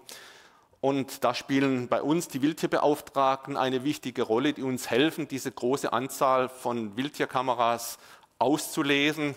Zehntausende von Bildern müssen da ausgewertet werden. Und nur mal, um einen kleinen Einblick zu geben, also auch in Baden-Württemberg gibt es manchmal eine größere Anzahl an Rehen und es gibt eben auch Bilder mit ja, Geiß mit zwei Kitzen. Also eine ganz unterschiedliche ähm, Ausgangssituation in den Landschaftstypen und wir wollen schauen, ob unsere Modellierung, die wir theoretisch gemacht haben, mit der Praxis des Vorkommens von Tierarten übereinstimmt. Dieses soll auch eine Grundlage werden für ein landesweites systematisches Monitoring auf Dauer, weil wir erheben da jetzt nicht nur Fuchs, Reh und Wildschwein, sondern da werden natürlich alle möglichen Wildtierarten erfasst. Und es ist auch ein Plädoyer für grundsätzliche ähm, Wege in Richtung systematischer Monitoring-Grundlagen. Wie kann ich das System der Landschaftstypen anwenden. Nur ein Beispiel. Im Rahmen des forstlichen Gutachtens äh, haben wir eine Auswertung gemacht. Äh, die Verbissintensität bei der Tanne stark, rot, mittel, gelb, grün, gering. Und das Erreichen waldbaulicher Ziele 2018 auch wieder rot. Im gesamten Jagdrevier ist die Tanne nicht zu verjüngen, gelb lokal nicht möglich und grün möglich. Sie sehen da Muster und wenn man das über längere Zeiträume sich anschaut, dann wird es noch deutlicher. Wir haben also die Gutachten von 2012 bis 2018 zusammengefasst und haben geschaut in Grün, wo war die Tanne zu verjüngen ohne Wildeinfluss 2012, 2015 und 2018. In Blau eine starke Verbesserung in diesem Zeitraum in Rot, wo es dauerhaft nicht möglich ist, und in Orange, dort, wo wir eine starke Verschlechterung in dem Zeitraum hatten. Und wenn man sich dieses anschaut, dann fällt einem auf, dass weder die roten noch die grünen Jagdreviere gleichmäßig verteilt sind. Also Jägerinnen und Jäger, die ausreichend jagen, andere, die zu wenig jagen, sondern dass es ein Muster gibt. Dass es größere Bereiche gibt im äh, südlichen Bereich, im östlichen Bereich vom Schwarzwald, wo alle Jagdreviere, teilweise auch staatliche Jagdreviere, rot sind. Und es gibt viele Bereiche, wo wir alles im grünen Bereich haben. Und wo wir besonders drauf schauen, sind die Jagdreviere mit starker Verbesserung. Das machen wir in einem anderen Projekt, wo wir schauen, welche Faktoren haben dazu geführt, dass die Entwicklung positiv läuft. Woran liegt es? Liegt es an der Kooperation äh, Akteure vor Ort oder an was liegt es? Und ein Thema, ein Problem, was wir dringend mehr beachten müssen, ist, ist die differenzierte Beurteilung der Wald-Feld-Verteilung. Ganz klar, wenn ich eine Verteilung zwischen Wald und Offenland habe, im Sommer reich gedeckter Tisch, im Winter gehen die Tiere in den Wald. Ich habe also in solchen Situationen eine extrem hohe Wilddichte im Winter im Sommer ist das Wild gleichmäßiger verteilt. Das bedeutet letztendlich, dass ich je nachdem einen karg gedeckten Tisch im Winter habe und im Sommer ein Schlaraffenland. Wichtig ist fürs Wildtiermanagement, dass die Maßnahmen vom landschaftlichen Kontext abhängig sind. Ich muss wissen, in welchem Kontext mein Jagdrevier, meine äh, Fläche, auf die ich schaue, liegt. Und in stark strukturierten Waldlandschaften ist die Zusammenarbeit mit den Akteuren im Offenland auch entscheidend wichtig. Ich darf also nicht nur die Waldbewirtschaftenden in das System mit reinnehmen. Zusammengefasst, die wildtierökologischen Landschaftstypen sind eine gemeinsame Grundlage für die Diskussionen, für differenziertere Diskussionen. Sie ermöglichen eine differenzierte Interpretation von Wildtiermonitoring-Daten und sie bedeuten auch eine Differenzierung im Wildtierlebensraum. Und letztendlich auch daraus abgeleitet, wir müssen unterschiedlich handeln. Abschließend ist es mir wichtig, die Jagd bleibt in der Verantwortung in diesem System als Teil des gesamten Wildtiermanagements. Also dieses Bild nehmen Sie bitte mit und auch das, was die Jagenden damit an Verantwortung haben. Vielen Dank. Ich stehe gern für Fragen zur Verfügung.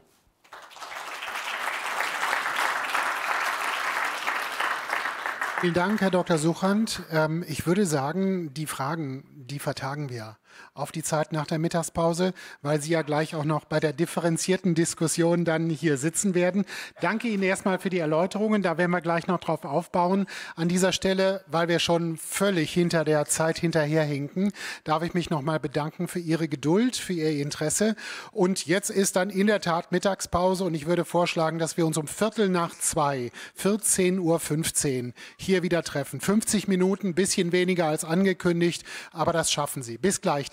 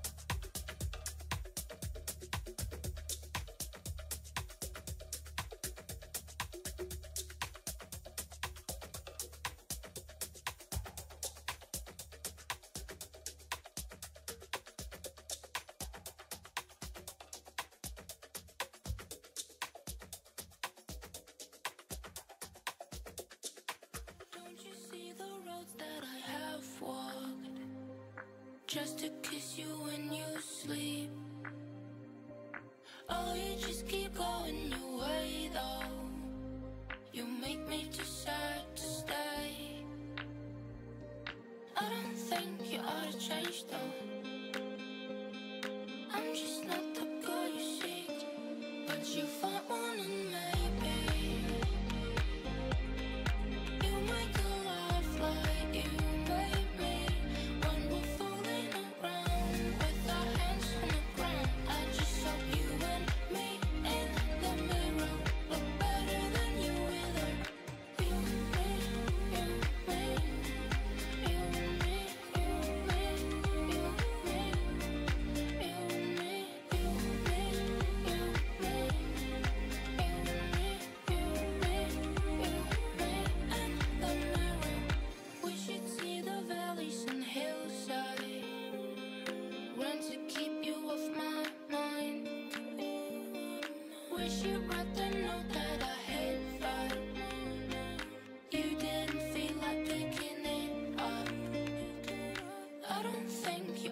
changed up. I'm just not the girl you seek. But you found one in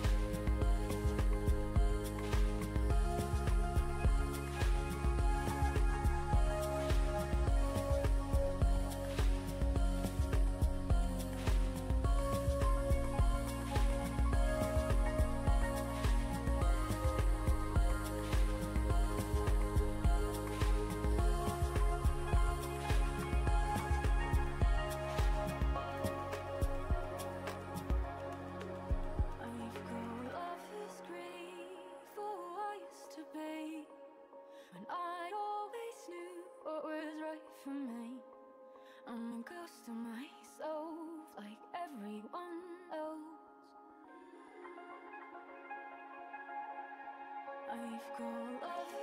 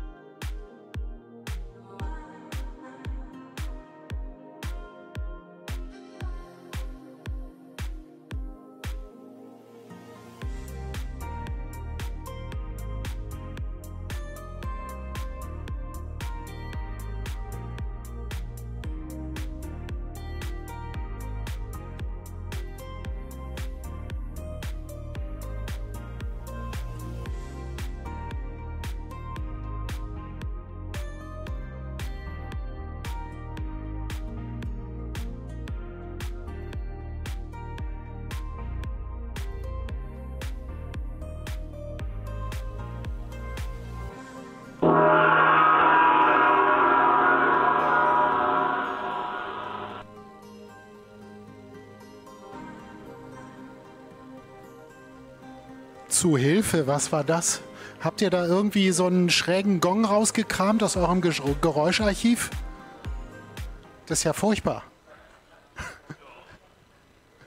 Aber es stimmt ja, wir nähern uns der von mir gesetzten Marke. Es ist jetzt 14.14 Uhr und ähm, das bedeutet, es wäre ganz schön, wenn alle jetzt so langsam wieder reinkämen und wir dann zum Nachmittag ansetzen.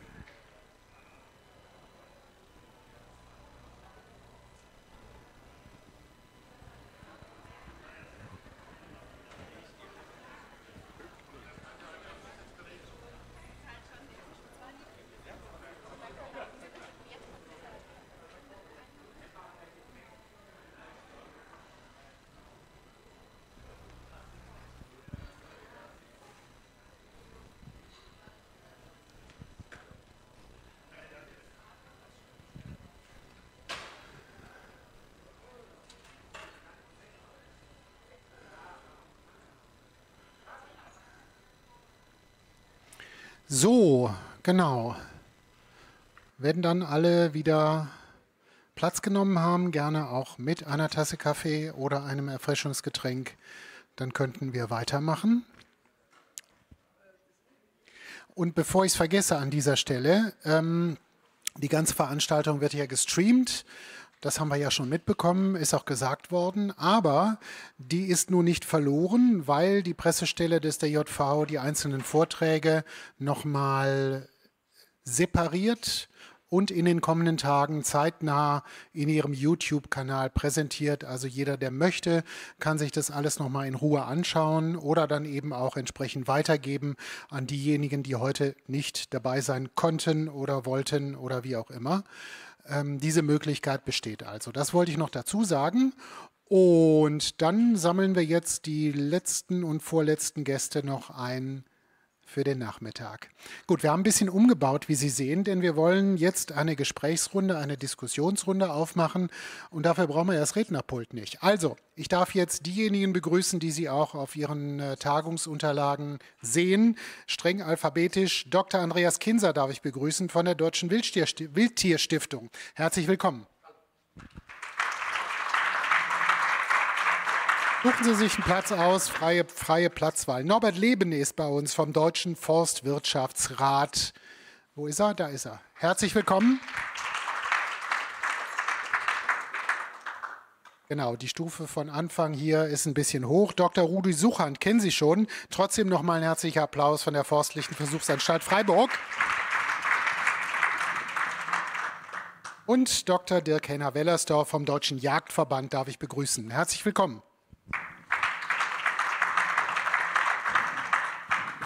Wir haben das jetzt so organisiert, dass jeweils zwei Leute sich ein Mikrofon teilen. Das geht ja jetzt dann wieder. Ich bitte Sie, sich da nicht drum zu zanken. Das kriegen wir hin. Herr Wellershoff, ich würde ganz gerne mit Ihnen beginnen. Ähm, also, wir haben jetzt gelernt, es braucht waldbauliche Maßnahmen. Der Wald muss verjüngt werden wegen des Klimawandels, wegen der Schäden durch den Borkenkäfer, wegen vieler anderer Dinge. Aber es gibt ja auch Eingriffe durch die Jagd und das muss man irgendwie in die Balance kriegen und nach Möglichkeit so, dass sich die Beteiligten nicht zu sehr verzanken. Was ist da Ihre Perspektive? Wie soll das gehen? Ja, das ist eine schwierige Frage. Wir haben die Perspektive ja ausführlich in unserem Lösungsansatz für Forstjagdkonflikte geschildert und im Vorwort schreibe ich ja schon oder schreiben wir schon, dass wir uns gegenseitig die Hände reichen müssen und natürlich miteinander darüber reden müssen, wie man die Probleme löst. Das ist das Geheimnis und die Veranstaltung heute zeigt ja, dass wir das ernst meinen, dass wir die Themen von ganz unterschiedlichen Sichtweisen beleuchten und Instrumente für die Lösung im Waldumbau präsentieren. Beispielhaft genannt, also das, was wir heute gehört haben aus den Hegegemeinschaften und von Herrn Suchand, ähm, eben Alternativen der Ernährung auch zu finden für unsere Tierarten und deutlich zu machen, wir haben eine große Verantwortung für unsere großen Schalenwildarten im Wald und der müssen wir gerecht werden. Also eine Fokussierung auf mehrere Themen. Waldumbau mit Wildbiologie, mit Wildpopulationen, die wir eben stützen. Jetzt sitzen wir natürlich in mehrerlei Hinsicht hier so ein bisschen auf dem Präsentierteller und sagen, macht's doch bitte so, wie wir es sagen. Aber es klingt ja immer wieder zwischendurch an, dass es in der Praxis in den Ländern, Brandenburg ist schon genannt worden, dann doch heftig hergeht. Äh, Haben Sie eine Erklärung dafür, warum dann doch manchmal die Fronten etwas verhärtet sind? Na, wenn ich das erklären könnte, dann würde ich das ja lösen. Ich glaube, dass wir wirklich alle gehalten sind, miteinander im Gespräch zu bleiben. Und der erste Schritt ist immer der gemeinsame Revierbegang vor Ort. Also die Probleme zu erkennen, gemeinsam zu betrachten, gemeinsam auch die unterschiedlichen Ziele kennenzulernen und daraus Lösungen zu entwickeln. Was mit Sicherheit nicht funktioniert, ist, wenn ich es quasi von oben überstülpe auf die unterschiedlichsten Regionen, auf die unterschiedlichsten Probleme, sondern ich glaube, wir brauchen eine Lösung von unten. Und da fand ich den Vorschlag hervorragend, eben auch eine gemeinsame Gesprächs- und Bildungsinitiative zu bilden, die Förster weiterzubilden, zu gucken, wo sind die wildbiologischen Grundlagen, die ich beherrschen muss, aber auch natürlich mit den Jägern zu reden, ähm, was habe ich für forstliche Herausforderungen und die sind unbenommen riesenhaft. Nicht? Aber dazu muss ich miteinander ins Gespräch kommen, dazu muss ich den Horizont erweitern und drehe mich im Kreise. Dazu sitzen wir hier heute zusammen und das ist genau der richtige Ansatz. Das ist ja eigentlich logisch, dass man regional denkt, dass man bedenkt, dass man bedenkt, welche Verhältnisse in einem bestimmten Bereich herrschen. Wenn Sie, Sie kennen ja die ganze Bundesrepublik, wenn Sie da mal drauf gucken, was für Lösungen würden denn da auseinanderfallen? Also was für Baden-Württemberg vielleicht gilt, gilt für Schleswig-Holstein nicht. Was sind da Ihre Perspektiven?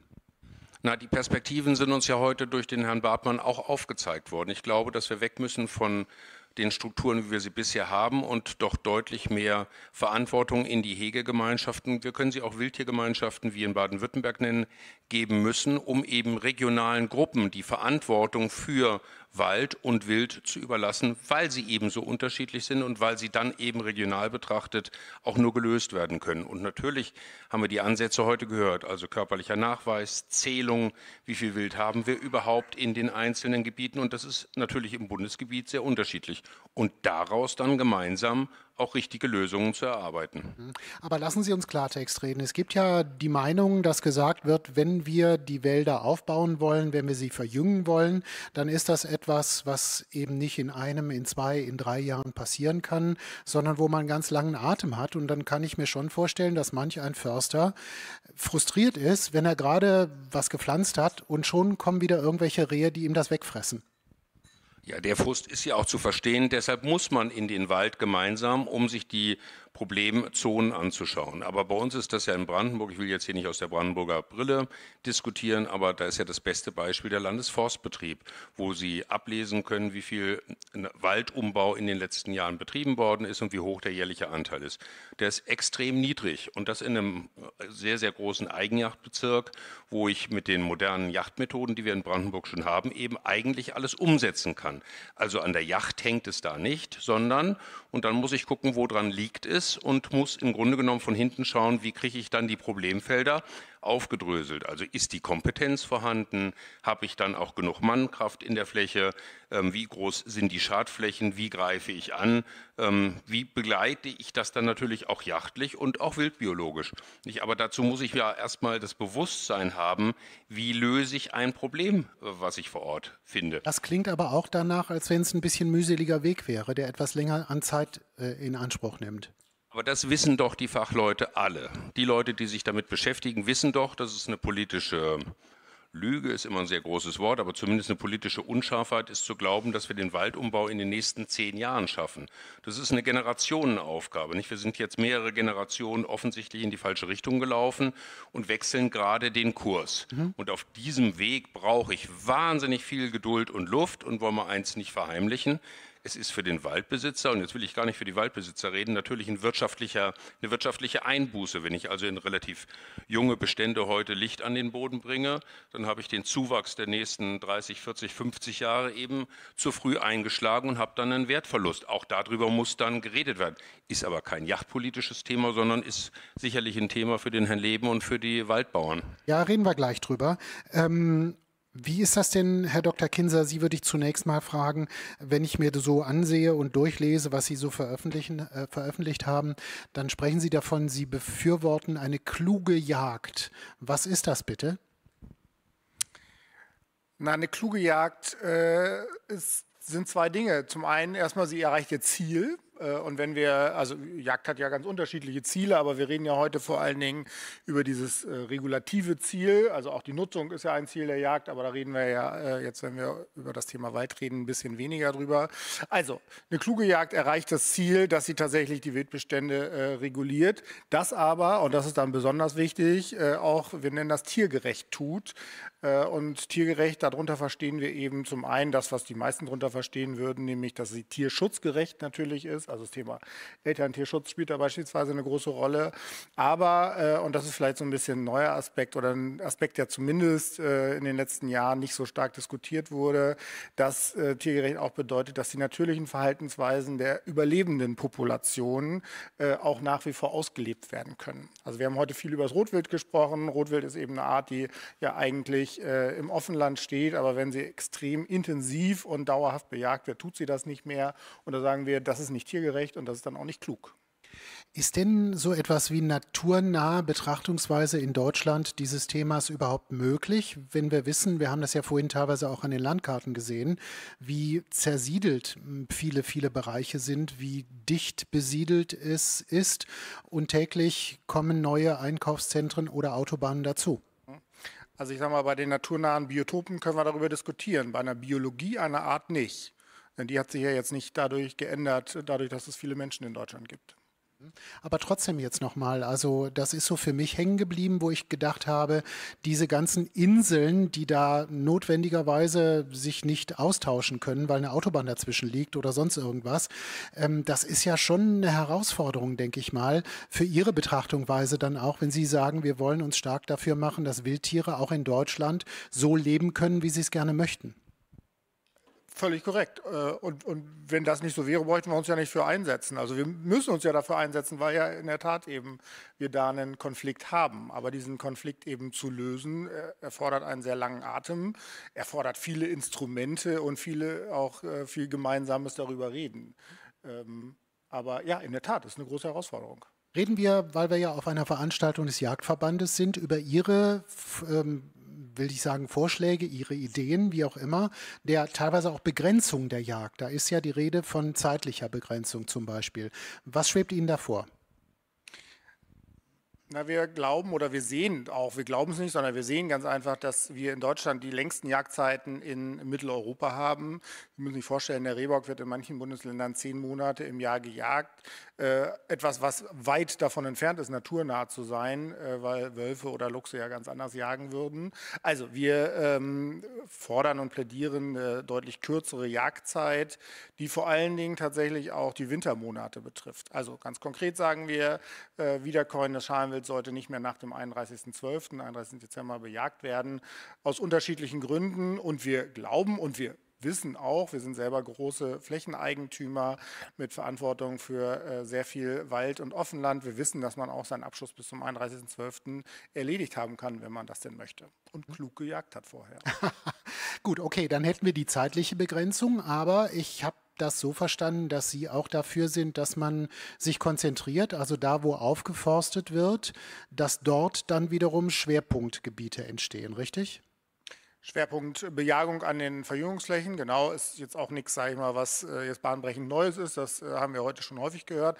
Was aber, glaube ich, wichtig bei der Diskussion ist, ist, dass wenn man äh, an einer Stelle besonders intensiv jagt, dann hat das ja zwei Effekte. Das eine ist, dass das Tier, was ich totgeschossen habe, nicht mehr frisst.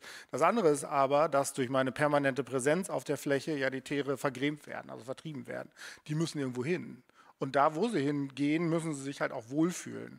Und dafür brauchen wir, plädieren wir eben für Wildruhezonen, also wirklich Gebiete, die im Grunde alle Lebensraumkomponenten mitbringen für so eine Art. Das muss gar nicht groß sein, das können manchmal auch nur 10 oder 15 Hektar sein, aber dass eben auf dieser Fläche wirklich nicht oder so gut wie nicht gejagt wird. Also vielleicht Könnten denn diese. Wildruhezonen, von denen Sie sprechen, aussehen? Na, idealerweise haben die sowohl Wald, also oder irgendwelche Einstandsgebiete, also wo sie sich dann auch tatsächlich zurückziehen könnten, aber eben, gerade wenn wir über Rotwild reden, dann auch äh, teilweise Offenlandcharakter haben. Das mag aber auch eine große Wildwiese sein, aber es sollte eben irgendwo etwas sein, wo sie ihre, ähm, äh, ihre natürliche Esung finden und das wäre nun beim Rotwild dann häufig dann auch Grasarten. Wer müsste das beschließen und im Zweifelsfall auch darauf achten, dass das umgesetzt und beachtet das muss wird? gewollt werden von den äh, Eigentümern, von den Landeigentümern. Und sehen Sie diesen Willen? Ja, doch. Also äh, das kann noch mehr werden, zweifellos. Aber ich erinnere mich, dass wir, glaube ich, 2008 schon, also vor 15 Jahren oder 14 Jahren, haben wir dieses Thema mal auf die Agenda gehoben durch eines unserer Rotwild-Symposien. Und ähm, ich will nur nicht sagen, dass es daran liegt, aber wir sehen schon auch in vielen, auch deutschlandweit überall in äh, vielen Forstbetrieben, auch Landesforstbetrieben, dass das Thema Wildruhezonen durchaus nicht nur diskutiert wird, sondern auch umgesetzt wird. Also dann fragen wir doch den Herrn Leben mal, ähm, diesen Punkt anzusetzen. Wäre das mit Ihnen zu machen? Also Sie sitzen ja jetzt hier quasi für die Wald, nicht für die Waldbesitzer, aber jedenfalls für viele Waldbesitzer. Ja, für die überwiegende Mehrzahl der Waldbesitzer in Deutschland, das sind die Privateigentümer oder diejenigen, die in den äh, Genossenschaftswäldern oder auch Kommunalwäldern ihr Eigentum haben. Also ich glaube, auch der heutige Tag hat gezeigt, dass wir großen Redebedarf haben und dass wir uns darüber klar werden müssen, dass wir es nur gemeinsam hinbekommen. Wir dürfen nicht übereinander reden, wir müssen miteinander reden. Und solange wir das nicht hinkriegen, werden wir es schwer haben. Für uns auf der Fläche ist es ganz wichtig, dass wir möglichst wenig Schäden haben. Wir haben eine Mammutaufgabe vor uns durch die Stürme, die wir gehabt haben in den letzten drei Jahren. Wir haben eine Mammutaufgabe vor uns durch den Waldumbau. Wenn ich das in Zahlen kleiden darf, das sind ungefähr 500.000 Hektar Kahlflächen in Deutschland und das sind ungefähr 2,8 Millionen äh, Hektar, die wir waldbaulich umgestalten wollen und müssen. Und zwar so müssen, dass wir mit den Baumarten kommen, die wir auch zukunftsfähig und zukunftsträchtig sehen. Es nützt uns nichts, dass wir jetzt mit, einem, mit einer Baumart kommen, von der wir wissen, dass sie die nächsten 20 Jahre nicht übersteht. Mhm. Ähm, wenn Sie so ein bisschen so mehr halten, das Mikrofon versteht, genau, dann versteht man Sie hinten in der letzten Reihe auch am besten. Also der Weg soll hingehen zu, ich sag mal, klimaresilienten Wäldern. Irgendjemand, das ist ja teilweise auch so eine Zahlenschlacht. Irgendjemand hat dann mal gesagt, wir brauchen fünf Milliarden Bäume, die gepflanzt werden müssen. Ist jetzt auch egal, ob es fünf sind oder sechs oder vier. Aber geht es überhaupt? Nein, ich glaube, im ersten Anlauf wird das nicht zu machen sein. Wir brauchen uns nur, ich sage mal, die Möglichkeiten des Verbandes der Forstbaumschulen oder der Baumschulen angucken. Wenn wir das aktiv pflanzen wollen, werden wir das nicht in dieser Summe hinbekommen. Also brauchen wir einen längeren Zeitraum. Und wenn wir fünf Milliarden Bäume pflanzen wollen und wissen, dass ungefähr über die forstlichen Vermehrungsbereiche 150 bis 200 Millionen jährlich zur Verfügung stehen, sieht man alleine an diesen Zahlen schon, dass es so nicht machbar ist. Das geht einfach nicht. Also brauchen wir andere Instrumente. Wir müssen möglicherweise mit einem Vorwald arbeiten. Das heißt, dass wir in einer Vegetationszeit von 10, 12 oder wie viele Jahren auch immer dann eine Baumart einbringen, die wir danach ablösen oder durch eine andere ersetzen. So, und dazu gehört natürlich auch ein für den Waldbesitzer immenser finanzieller Einsatz, denn er wird es nicht umsonst haben können, trotz Förderung und der Dinge, die uns ja entsprechend begleiten, die über die Bundesregierung oder über die Länderregierung oder EU dann mit ins Haus kommen. Aber es bleibt beim Waldbesitzer immer ein Anteil irgendwo um die 40 Prozent, die er selbst aus seinem Portemonnaie bezahlen muss. Und das ist doch schon eine deutliche Leistung. Also braucht der Waldbesitzer zwei Sachen. Er braucht Geduld und er braucht ein gutes Herz. Und wenn es geht, auch noch ein bisschen Finanzen, damit er das leisten kann, was er auf der Fläche dann möchte. Und er hat einen großen Nachteil. Der Waldbesitzer kann seinen Wald nicht von A nach B verschieben. Ich komme aus der Lüneburger Heide. die kann ich nicht nach Hessen oder hier nach Baden-Württemberg in den Schwarzwald bringen. Das geht so ohne weiteres nicht. Und äh, von daher bin ich relativ stationär und muss mich auf das begrenzen, was dort möglich ist. Und dieses Ausloten der Möglichkeiten wird auch eine der Aufgaben sein, die wir gemeinsam haben. Sie können auch keine Regentänze veranstalten, obwohl Sie das wahrscheinlich gerne würden mittlerweile in vielen Regionen in Deutschland. Aber sagen Sie uns mal, das ist ja, wenn ich das richtig begriffen habe, im Moment wirklich eine schwierige Situation, weil Sie in vielen Bereichen Bäume fällen müssen, damit die Borkenkäfer nicht noch mehr Schaden anrichten, als sie das ohnehin schon getan haben. Und da entstehen jetzt solche Brachflächen, nahezu wüstenhafte Geschichten. Dann müssen sie das Holz verarbeiten oder verkaufen, wie auch immer. Und dann ist erstmal lange Zeit nichts, ne? Ja, genau das wollen wir vermeiden. Also, dass wir ernten und solche Flächen dann auch in Angriff nehmen, das ist anders, als es manchmal über, ich sag mal, den Flimmerkasten dann überkommt, wenn also irgendwo abgestorbene Bäume äh, dann gezeigt werden. Aber bei uns ist es so, dass wir uns schon darum kümmern, dass wir diese äh, abgestorbenen Bäume von der Fläche kommen und dass wir sie auch, ich sag mal, in Kultur nehmen. Ob wir sie jetzt über Naturverjüngung in Kultur nehmen oder ob wir sie über äh, eine normale Kultur in äh, die Situation bringen, dass der nächste oder der nächste Baum dann auch eine Zukunft hat. Dazu möchte ich noch mal sagen, dass es uns auch ganz wichtig ist, dass wir nicht nur über die Naturverjüngung kommen dürfen, sondern wir müssen auch das einbringen, was zukunftsfähig ist. Ich muss auch einen Baum pflanzen dürfen, der eine Chance hat. Ich sage einfach mal, wenn ich die Douglasie nehme, wenn ich die Roteiche nehme oder wenn ich die Küstentanne nehme, dann sind das Baumarten, die in vielen Bereichen eine Chance haben. Ob sie am Ende durchkommen, bleibt auch noch mal abzuwarten. Aber wenn uns die von vornherein aus der Hand geschlagen werden, dann wird es schwierig. Das ist ein ganz großer Wunsch, den der Privatwald hat in Deutschland, dass wir über diese Weise auch ins Wirtschaften und in einen vernünftigen, ich sag mal, wirtschaftlichen Ja. Bereich kommen können. Das heißt, wenn ich das richtig verstanden habe, Sie wollen, dass solche Flächen dann geschützt werden, dass einzelne Bäume, Setzlinge ummantelt werden, geschützt werden vor Fraß oder wie? Also ich gehe noch davon aus, dass ich Waldbau ohne Zaun machen kann. Wenn ich das, und wir haben die Modelle gehört vorhin, wir werden nicht eine so große Anzahl an Flächen einzäunen können. Erstens, weil wir dann auch das Wild regulieren oder ausgrenzen vielerorts. Und zum anderen kann es auch nicht sein, dass wir teure Zäune, Niedersachsen hat bis 2017, glaube ich, 10 Millionen jährlich für Zaunbau gegeben. Das kann es nicht sein. Und ich als Waldbesitzer partizipiere, weil ich oft den Zaunbau auch nicht gefördert bekomme. Also da stehe ich dann ganz alleine mit meinen Kosten da. Also auch unsere Prämisse ist Waldbau ohne Zaun. Und wenn wir die Bejagungsstrategien entsprechend gut machen, Herr Bartmann hat es ja vorhin ein Stück weit aufgezeigt, dann haben wir auch eine Chance. Ich kann das sogar in einigen Bereichen bei uns, äh, ich sag mal, nachvollziehbar darstellen. Man muss nur die Nerven behalten, dann offensichtlich an der einen oder anderen Das- Stelle. Ne? Das gehört auch dazu. Aber was mir bei Herrn Bartmann aufgefallen ist, wenn ich das eben noch sagen darf, Sie haben ja das Bild äh, auch an die Wand geworfen, wo Sie gesagt haben, wie können wir was verbessern? Und beim Dialog waren Sie zum Beispiel in der regionalen Ebene bei acht und auf der Landes- oder Bundesebene bei zwei. Also brauchen wir eigentlich ein Anforderungsprofil für diese Leute, die das können, die eine Hegegemeinschaft so führen können, dass sie alle mitgenommen werden, dass es dort auch zu entsprechenden Ergebnissen kommt. Dann sind wir eine ganze Ecke und eine gewaltige Ecke weiter.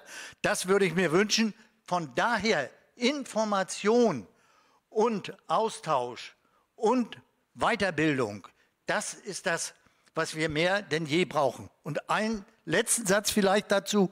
Wenn ich mir heute meine äh, Prüflinge in einer Jägerprüfung angucke und sie nach Baumarten frage und da fünf nebeneinander lege und die vielleicht nochmal ausschneide, glauben Sie nicht, dass die auch nur annähernd gekonnt werden.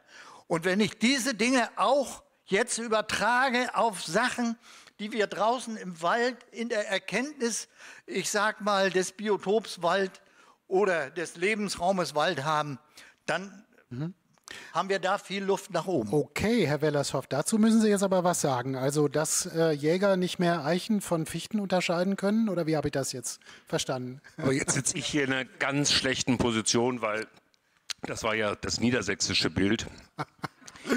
In Brandenburg beherrschen unsere Prüflinge selbstverständlich alle Baumarten und können die aus dem FF.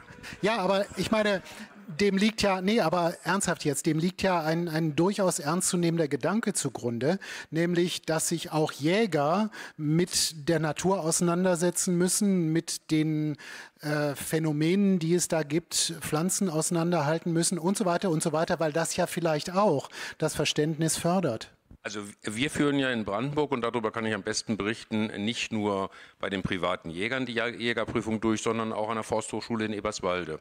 Und das, was Sie gerade sagen, gilt tatsächlich für beide Bereiche. Und das ist genauso, wie ich es eben schon gesagt habe. Natürlich müssen wir die Jäger mit auf die Reise nehmen. Da reicht auch nicht der Erwerb des Jagdscheins, um Waldumbau zu begreifen, sondern da brauche ich die Praxis vor Ort und ehrlich gesagt die jahrelange Begleitung von Gebieten, um zu sehen, was entwickelt sich und was entwickelt sich nicht. Nicht? Also das muss ich erleben, um es zu begreifen. Und das ist kein Prozess, den wir in 14 Tagen abgearbeitet haben. Da muss ich heute die theoretischen Grundlagen liefern, um sie dann in den nächsten Jahren umzusetzen. Aber dasselbe gilt, die Diskussionen habe ich alle hinter mir, natürlich in Eberswalde in der Forsthochschule, ganz genauso andersrum. Nicht? Also ich brauche da das Verständnis, auch das haben wir ja heute gelernt, für die offene Landschaft. Ich muss verstehen, wie funktioniert Landwirtschaft draußen, weil sich das Wild eben hin und her bewegt. Und aus dieser Interaktion kann ich dann gute Konzepte und gemeinsame Lösungen entwickeln, die ich am besten dann in Hegegemeinschaften auch transportieren kann. Denn ich muss ja immer darauf achten, was auch immer ich theoretisch plane, muss ich in die breite Masse tragen. Nicht? Das geht im Augenblick nur über die Landesjachtverbände. In die Untergliederung. Und wenn ich dann äh, gut funktionierende Untergliederungen habe, also gut durchgestaffelt bin, dann erreiche ich die Leute, sonst erreiche ich sie nicht. Oder man nimmt so einen Film, wie Sie ihn eben gezeigt haben. Das fand ich ja nun sehr eindrucksvoll, dass man ein sehr komplexes äh, Thema sehr verständlich aufbereiten kann. Ich würde gerne noch mal ansetzen an dem, was Sie vorhin äh, geschildert haben. Wöld war ja so ein Stichwort. Anderes Stichwort, das darauf aufbaut, ist Wörp. Das klingt jetzt irgendwie wie so eine Magenunverträglichkeit. Damit ist aber gemeint die wildökologische Raumplanung. Und die steht so ein bisschen hinter dem, was Sie wollen, wenn ich das richtig begriffen habe, aber was vielleicht noch nicht überall angekommen ist. Was ist damit gemeint? Ja, die wildökologischen Landschaftstypen können als Teil einer wildökologischen Raumplanung gesehen werden. Äh, Und die wildökologische Raumplanung, so wie sie bisher gemacht wurde, wird immer auf eine spezielle Tierart bezogen gemacht. Ob jetzt das für Rotwild ist oder für eine andere Tierart, es wird für, das für die jeweilige Tierart die Raumplanung gemacht. Und mit diesen wildökologischen Landschaftstypen wollen wir eine Grundlage schaffen, mit der leichter diese Raumplanung auf die Tierart bezogen gemacht werden kann. Ähm, hat auch den, das Ziel, den Sinn, dass wir überhaupt mal unsere Landschaft auch langfristig beobachten können. Wenn wir in die Vergangenheit zurückschauen, 100 Jahre zurück, 50 Jahre zurück, dann würden diese Grundlagen völlig anders aussehen, hätten wir eine andere Waldverteilung, hätten ein anderes Straßennetz, hätten eine andere Siedlungsverteilung. Und das müssen wir in unsere Beurteilung einbeziehen. Bei der Genetik, was der Herr Reiner vorgestellt hat, spielt das eine große Rolle. Was hat sich denn da verändert? Wie ist die Dynamik? Wir brauchen für diese ganzen Bereiche auch ein Monitoring und dafür ist der Ansatz der wildökologischen Landschaftstypen eine aus meiner Sicht unentbehrliche Grundlage. Das wird ja, wenn ich es richtig begriffen habe, in Österreich, in einigen Bundesländern schon äh, vorexerziert, in Kärnten beispielsweise oder in Vorarlberg. Damit wir es ein bisschen besser verstehen, was passiert denn da im Gegensatz meinetwegen jetzt zu Deutschland?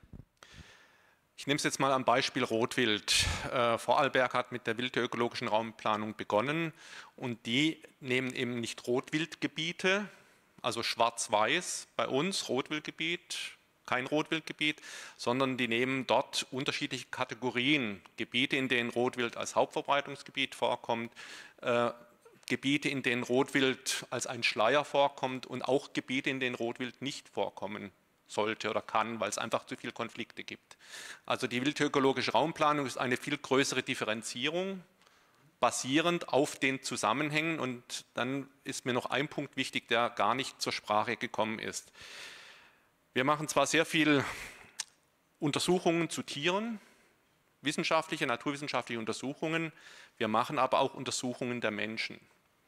Und wenn ich jetzt die Einstellungen der Leute hier im Saal erfassen würde, da kämen schon mal relativ große Unterschiede zum Tragen. Und das haben wir auch bei, bei den Menschen jetzt in Baden-Württemberg gemacht, in verschiedenen Projekten aktuell in Baden-Württemberg die Einstellungen zum Rotwild erfragt, weil wir können noch lang Lösungen anstreben aus Sicht der Waldbesitzenden, aus Sicht der Jagenden. Äh, Wir brauchen ein Stück weit die Bevölkerung Ja. hinten dran. Kommen wir gleich zu. Aber nochmal zurück jetzt zu der wildökologischen Raumplanung. Als Ergebnis ist dann eine Karte eines Landes beispielsweise mit ganz vielen unterschiedlichen bunten Flecken, so ähnlich wie Sie es vorhin auch geschildert haben. Aber was passiert dann damit? Solche Karten ähm, können in der Schublade landen oder irgendwo an der Wand hängen. Äh, wichtig ist, dass für jeden dieser Bereiche Maßnahmen festgelegt werden in Richtung Waldbau, in Richtung Landwirtschaft, in Richtung Jagd. Sagen Sie mal konkret, was könnte zum Beispiel so eine, ich sag mal, Empfehlung oder eine Schlussfolgerung dann sein, bezogen auf eine Region, die Sie definiert haben? Ich nehme jetzt mal das Beispiel Rotwild. Wenn ich ein Hauptverbreitungsgebiet von Rotwild definiere, dann muss ich dort eine differenzierte Waldbewirtschaftung möglich machen und muss auch einen bestimmten Wildeinfluss von Rotwild tolerieren. Ich kann dann Grenzen festlegen, wie weit diese Toleranz gehen kann, aber ich muss das Rotwild als Standortfaktor einbeziehen. Wenn ich Rotwild in einem äh, Gebiet quasi als Schleierbestand habe, dann darf das Rotwild dort die Waldbewirtschaftung überhaupt nicht beeinflussen. Und so kann ich für jedes dieser Gebiete festlegen, was in Richtung Waldbewirtschaftung gemacht werden soll, was toleriert werden sollte und was in Richtung Jagd zur Steuerung des Wildbestandes gemacht werden muss. Okay, aber das sind ja dann relativ klare, so stelle ich es mir vor, Schlussfolgerungen. Und da hätte ich von Ihnen dreien dann schon ganz gerne gewusst, wenn Ihnen beispielsweise seitens eines Bundeslandes so etwas präsentiert wird mit der, nennen wir es mal, dringenden Aufforderung, sich danach zu richten und diesen Empfehlungen zu folgen. Tun Sie das dann auch? Na, wir haben ja erste Schritte, wo das vollzogen wird. Der Landesforstbetrieb in Brandenburg hat ja interaktive Karten, wo der Wildverbiss dargestellt wird. Also der erste Schritt ist vorhanden und man kann sich darüber informieren, wie ist mein Wildverbiss in meiner Region. Und dann zu sagen, ich lege eine wildökologische Lebensraumplanung darüber, um zu gucken, mit we welchen Wildarten operiere ich in welchen Gebieten, halte ich für eine ganz hervorragende Lösung. Denn natürlich gibt ein monotoner Kiefernwald eine niedrigere Wildpopulation her als jetzt ein durchgemischter Gewalt, auch wenn vielleicht im ähm, Mischwald der Verbiss höher ist. Also das in Korrelation zu bringen, ist auf jeden Fall ein Instrument, mit dem man anfangen kann, die Probleme zu erarbeiten. Aber, und ich drehe mich da wirklich im Kreise, dazu gehört nicht nur die interaktive Karte im Internet und die theoretische Planung, sondern dazu gehört die Implementierung in die Beteiligten. Also Waldbesitzer, Landbesitzer, Jäger müssen dann gemeinsam mit denen, die es durchführen, diese Themen besprechen und dazu eine Lösung finden. Und nur dann kriege ich ja auch die Akzeptanz für solche Instrumente, um sie dann mit Leben zu füllen. Und wenn das der Fall ist und wenn das auch klar geregelt ist, bin ich ein wirklich hundertprozentiger Freund, weil wir anfangen, uns wissenschaftlich mit den Themen zu beschäftigen. Leben? Er hat selber, genau. Ja, also ich denke mal, wir in Niedersachsen haben mit der Wildtiererfassung und das schon sehr lange ein gutes Instrument, auch um ablesen zu können, was draußen in den Revieren passiert. Darüber hinaus haben wir in Niedersachsen mit 42 Verbänden, ich sage mal, ein gemeinsames Papier 2017 schon verabschiedet, wie wir mit dem Wild und wie wir mit dem Lebensraum des Wildes und dessen, was da mit einhergeht, umgehen wollen. Mit 42 Verbänden, da waren alle Naturschutz, nicht alle, aber fast alle Naturschutzverbände dabei und, und, und. Und wir haben es auch jetzt nochmal in Niedersachsen gut hingekriegt mit dem Yachtgesetz, wo wir nicht im Streit auseinandergegangen sind, sondern wo wir eine Linie gefunden haben, wo weitestgehend die Beteiligten zufrieden waren. Ich sage mal, das zeugt davon, dass wir miteinander reden und auch über die richtigen Themen miteinander reden. Und ich fühle mich da auf einem guten Weg. Kinder? Vegetationsgutachten, das möchte ich dann auch sagen, die wir dann in besonderen Situationen brauchen, würde ich auch auf jeden Fall begrüßen. Also die Frage war ja, ob wir wildökologische Raumplanung gut finden oder schlecht, äh, schlecht finden oder ob wir sie akzeptieren würden. Ja, und unterstützen oder Genau. eben auch bekämpfen. Ein ganz klares Ja, wir würden sie unterstützen. Ähm, Es gibt ja, und wir haben das seit vielen Jahren ein Stück weit mit hochgefeiert, äh, die Rotwildkonzeption Südschwarzwald, an der Rudi Suchand äh, maßgeblich damals mitgearbeitet hat, wo wir glauben, dass genau das eben gelungen ist, dass ein Ausgleich zwischen den Interessen des Menschen und der Wildtiere auf eine Fläche projiziert wurde. Wir haben, äh, also ich glaube, das ist erstmal ein sehr gutes Modell. Die Frage ist, wer macht das? Äh, Und wir glauben nach wie vor sehr fest daran, dass die geeignete Institution für so etwas die Hegegemeinschaft sein kann. Allerdings in einer neuen Prägung, so wie wir es heute von Gundolf Bartmann auch gehört haben, wo eben die Grundeigentümer zwingend mit drin sein müssen, äh, mit einer Stimme. äh, Und wo es aber auch etwas, also wirklich durchsetzungsfähige Instrumente geben muss, damit wirklich die Dinge, die in dieser, wir können sie anders nennen, Wildtiergemeinschaft eben miteinander besprochen und verhandelt werden, die dann auch wirklich umgesetzt werden können. Was meinen Sie mit durchsetzungsfähigen Instrumenten? Naja, dass es eine Disziplinarordnung beispielsweise gibt, dass sie anerkannt ist, also das Thema Körperschaft öffentlichen Rechts, dass sie nicht zahnlos ist, sondern dass wirklich die, nennen wir sie neue Wildtiergemeinschaft, eine Institution ist, die äh, auch öffentlich gehört wird bei Planungsvorhaben, was auch immer, die eben wirkliches Mitspracherecht hat äh, bei, bei Planungen, wenn es um den Lebensraum geht. Herr Suchand, jetzt habe ich Sie eben ausgebremst, als Sie bei dem Thema Mensch waren. Der ist ja nun äh, manchmal störend, also auch im Wald. Wir haben das eben gesehen in dem Film, wenn dann Wandergruppen laut singend durch den Wald ziehen, fröhlich, gute Laune haben, aber eben zum Beispiel wild verjagen. Also welche Rolle spielt das? spielt eine sehr große Rolle und das Bewusstsein in der Bevölkerung, dass Wildtiere in dieser Landschaft leben, ist nicht sehr weit verbreitet. Muss man feststellen. Viele, viele machen das, sich frei in der Natur zu bewegen, als Ausgleich für ihren getakteten Alltag. Sie wollen einen Raum haben, wo sie nicht wieder Regularien unterliegen, sondern sie wollen einfach das tun, wozu sie Lust haben, Tag und Nacht, Sommer und Winter. Und das allererste, was es da braucht, ist eine Bewusstseinsbildung. Das bedeutet, ich muss den Menschen vermitteln, das ist auch Lebensraum von Wildtieren. Und wenn ihr da reingeht, habt ihr eine Wirkung. Das Zweite, also das ist die Appellstrategie, also liebe Leute, seid euch bewusst, da hat es Tiere. Ähm, Das Zweite, was man gleichzeitig angehen muss, ist die Verbotsstrategie, weil der rei- reine Appell funktioniert nicht in allen politischen Entscheidungen, den Leuten zu sagen, fahrt weniger Auto, das bringt nichts. Ähm, Es braucht auch bestimmte Verbote. Und So Betretungsverbote zum Beispiel. Betretungsverbote, wir haben vorhin von den Wildruhezonen gesprochen, ähm, die kann ich auch auf einer Karte darstellen. Die Frage ist, werden die eingehalten?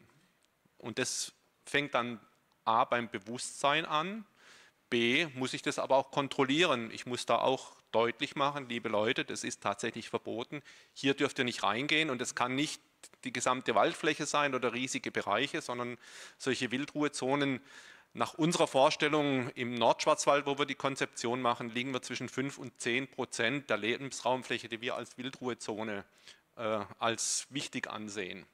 Und ich glaube, da gibt es dann auch ein großes Verständnis. Also das, was wir in Umfragen feststellen, es gibt schon ein Grundverständnis. Es gibt natürlich irgendwelche Wilde, die halt sich kreuz und quer immer bewegen wollen, die sich nicht an Regeln halten, aber es gibt ein Grundverständnis und den Tieren einen bestimmten Teil der Fläche als ihr Schlafzimmer ähm, anzuerkennen und zu respektieren. Ich glaube, das kriegt man schon hin. Mhm. Herr Wellershoff, wenn ich mir so Ihre Papiere durchlese, dann ist ja auch dieses Thema, das wir gerade miteinander besprechen, ganz interessant, weil Sie ähm, zitieren ganz viele Gespräche, Diskussionen, die stattgefunden haben und äußern sich da sehr zuversichtlich. Andererseits steht da dann zum Beispiel so ein Satz, es gab keinen konstruktiven Kontakt mit Touristikvertretern ähm, und das Thema freies Betretungsrecht des Waldes scheint ein ganz heikles zu sein. Wie, welche Erfahrung machen Sie da? Ja, ich sehe das schon so wie Herr Suchand. Ich glaube, dass wir uns, wenn wir das eine wollen, mit dem anderen beschäftigen müssen. Also wer Waldumbau möchte, weil wir einen Klimawandel haben und dann aufmerksam auch heute zugehört hat, der weiß, wir kommen um Wildruhezonen, um Touristensteuerung nicht herum. Deshalb ist eben nur die Betrachtung durch die Yachtbrille viel zu wenig. Ich muss dann eben eine viel größere Brille aufziehen und muss auch bereit sein, den Leuten zu erklären, warum sie den Wald zu gewissen Zeiten an gewissen Orten eben nicht zu betreten haben.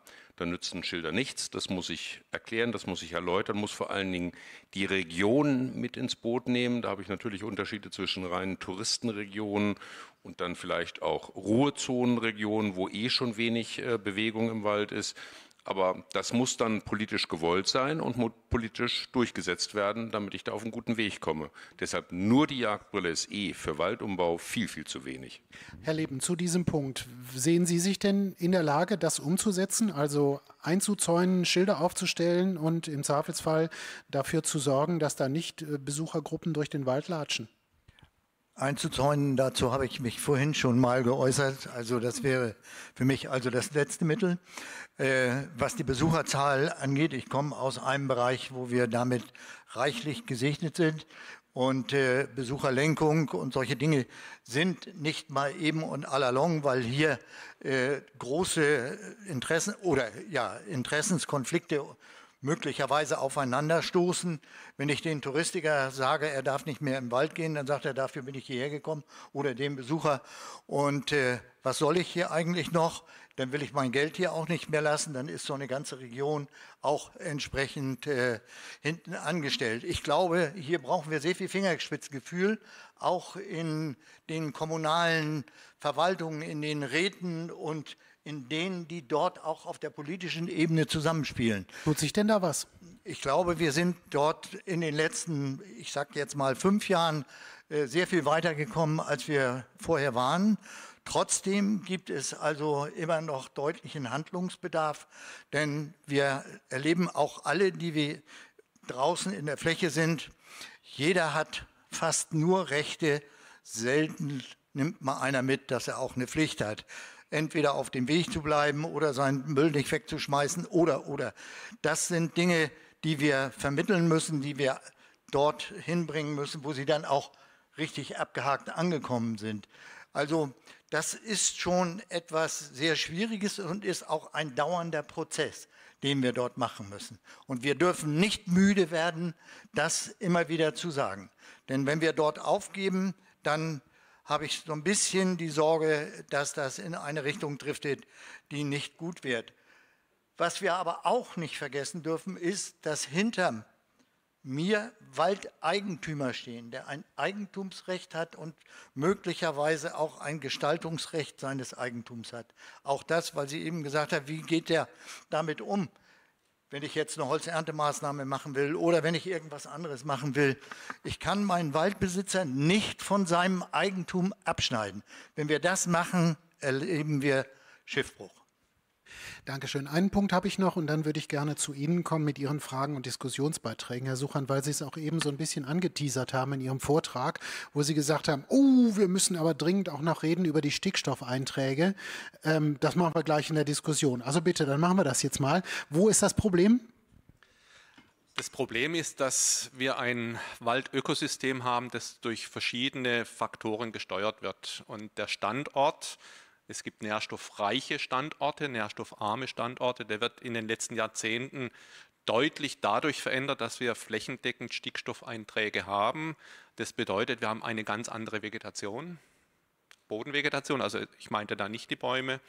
Und wir haben einen Zuwachs an Bäumen, den wir noch nie so hatten. Äh, Das ist nicht nur die längere Vegetationsperiode durch den Klimawandel, sondern es sind auch diese Stickstoffeinträge. Und dieses System bedeutet, wir haben auch für Wildtiere eine andere Nahrungsgrundlage. Damit ich Sie verstehe, da wächst zu viel oder wie? Wächst mehr als bisher. Und wo ist das Problem? Ist kein Problem, das ist vielleicht sogar ein Segen, je nachdem. Ähm, Aber ich muss anerkennen, dass ich eine andere Nahrungsgrundlage habe. Mit anderer Nahrungsgrundlage habe ich eine andere Reproduktionsrate und habe damit auch höhere Wildbestände. Das müssen wir einfach sehen. Also in den vergangenen Jahrzehnten, wenn ich die Jagdstrecken anschaue, ist es ein ständiger Anstieg. Kann ich sagen, ja, es wird mehr gejagt oder es wird zu wenig weiblich gejagt, deswegen steigt es an. Aber es ist auch ein äh, Ausdruck dessen, dass die Systeme sich grundlegend verändern, nicht nur aufgrund des Klimawandels. Herr Kinser, merken Sie das auch? Spielt das für Ihre Diskussion eine Rolle, dass sich da was tut? Äh, ja, allerdings weniger beim Thema äh, Wald und Wild. Ähm, wir wissen, wir sind eine Stiftung, die sich von der Wildbiene bis zum Rothirsch um ganz viele Arten kümmert und wir wissen einfach, dass diese Eutrophierung, das ist der Fachbegriff für diesen Stickstoffeintrag, einfach das, eines der größten na, ich nenne es jetzt mal Hemmnisse für Artenvielfalt in Deutschland ist. Also wir reden dabei dann eher über die Wildbiene, wenn wir über das Thema Stickstoff reden. Ansonsten ist es natürlich, es ist eine bessere Lebensgrundlage äh, für Rehwild und Rotwild, ganz klar. Ähm, hat mehr mit Masten zu tun, was dann die Wildschweine auch betrifft. Äh, aber ich glaube, Herr Leben hatte waldbauliche äh, Punkte dazu anzumerken beim Thema Stickstoff. Ja, machen Sie ruhig, so viel Zeit haben wir. Ja, also Stickstoff ist für mich in zweierlei Hinsicht äh, ein Problem. Einmal, wie Herr Suchern das äh, ja sehr treffend gesagt hat. Zum anderen, wenn wir jetzt also nicht den entsprechenden Boden aufbereitet haben und er nicht einen pH-Wert hat, der auch die Umsetzung des Stickstoffs mit sich bringt, dann verschwindet das im Grundwasser. Und ich komme aus einem Bereich, wo Grundwasser für Hamburg oder Trinkwasser für Hamburg äh, ja, ich sage mal, manchmal auch zu unserem Leidwesen gefördert wird. Also das, da gibt es mehrere Komponente, auf die ich fein und säuberlich achten muss, damit mir das nicht in so ein Ungleichgewicht gerät. Und gerade Grundwasserneubildungsrate, Grundwasser wird ja eines der Themen sein, die wir für die Zukunft, zumindest wir im Waldbau, äh, mit ganz großer Sorge betrachten. So, jetzt haben wir ganz viele Punkte schon mal angesprochen, vielleicht nur angerissen, wie auch immer. Und jetzt bin ich natürlich gespannt auf Ihre Fragen, um das Thema weiterzuführen, tiefer zu graben. Und ich bin bei Ihnen. Wie vorhin, ne? Sie sagen bitte jeweils kurz, wer Sie sind, und dann geht das los. Nee. Moment, Sie wollen mir durchs Wort abschneiden nachher. Nein, ich will nur das Mikrofon behalten. Alles klar, Clemens von Ohr, Bundesarbeitsgemeinschaft der Jagdgenossenschaften und Eigenjachten. Eine Frage. Wir sind ja mittlerweile alle so weit einig, dass es Gelegenheiten geben wird, einen Abschuss durchzusetzen, aus den verschiedensten forstlichen Gründen, die heute alle schon erläutert wurden. Jetzt gibt es aber auf der Gegenseite durchaus nennenswerte Anzahl von Jagdausübungsberechtigten, die daran nicht interessiert sind. Die Durchsetzung eines sagen wir, als notwendig erachteten Abschusses. Wie können wir uns das vorstellen gegen den Willen des Jagdausübungsberechtigten? Diese Situationen haben wir teilweise schon und sie werden sich wahrscheinlich noch verschärfen. Na, es gibt vielfältige Möglichkeiten, so etwas durchzusetzen. Wir haben ja in Brandenburg den Rehwildabschuss ohne jeden Abschussplan. Da ist es eben jedem selber überlassen und dann kann er das machen oder lassen. Ich habe kein Druckmittel mehr. Wir haben aber natürlich Abschusspläne regelmäßig in Deutschland und Abschusspläne sind regelmäßig zu erfüllen. So, und wenn die nicht erfüllt werden, ähm, dann brauche ich natürlich behördliches Handeln. Das ist doch wie bei jeder anderen Geschichte auch. Die Diskussion haben wir ja hinreichend geführt. Wenn ich Geschwindigkeiten auf der Autobahn übertrete, die ich nicht übertreten kann und werde nicht erwischt und keiner kontrolliert, ist es eben ungeahndet. Aber wenn ich mit, mich damit auseinandersetze, dann muss ich auch für Vollzug sorgen. So sind die Gesetze in Deutschland. Also ich brauche eine Abschussplanung, damit ich überhaupt einem Vollzug nachkommen kann. Und dann haben wir heute ja die Instrumente gehört, die hervorragend geeignet sind, so etwas zu lösen. Also Zwangshegegemeinschaften, am besten als Körperschaft des öffentlichen Rechts, äh, gekoppelt in den Gebieten, wo ich es benötige. Und ich plädiere da wirklich nur Gesetze zu installieren, wo ich sie benötige, also wo ich Problemfälle habe.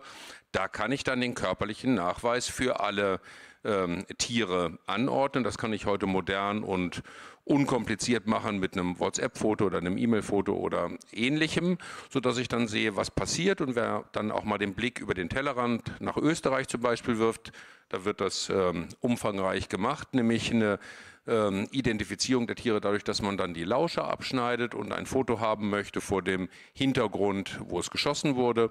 Und wir lernen gerade in Brandenburg bei der ASP-Bejagung, dass wir das Ganze mit GPS-Garten garnieren können. Also, die Instrumente kennen wir, die haben wir. Ich glaube, dass es nur notwendig, sinnvoll und zielführend ist, wenn ich es da mache, wo ich Problemregionen habe, weil ich mich sonst mit Daten ähm, töte und jedes Handeln verhindere. Also wenn man es benötigt, dann da, wo Probleme sind und dann da eben eine konsequente umsetze, wenn ich die Strukturen dazu habe. Okay, ich bin jetzt hier und bin bei Ihnen. Ja, nee, nee, also gerne, gerne aufstehen und gerne Mikrofon nicht ergreifen. Ja, äh, nochmal Eckart Fuhr, Ökologischer Jagdverein. Ähm, es war jetzt heute den ganzen Tag über sehr viel von Komplexität die Rede. Ich habe sehr viel gelernt. Das waren fachlich sehr, sehr gute Vorträge.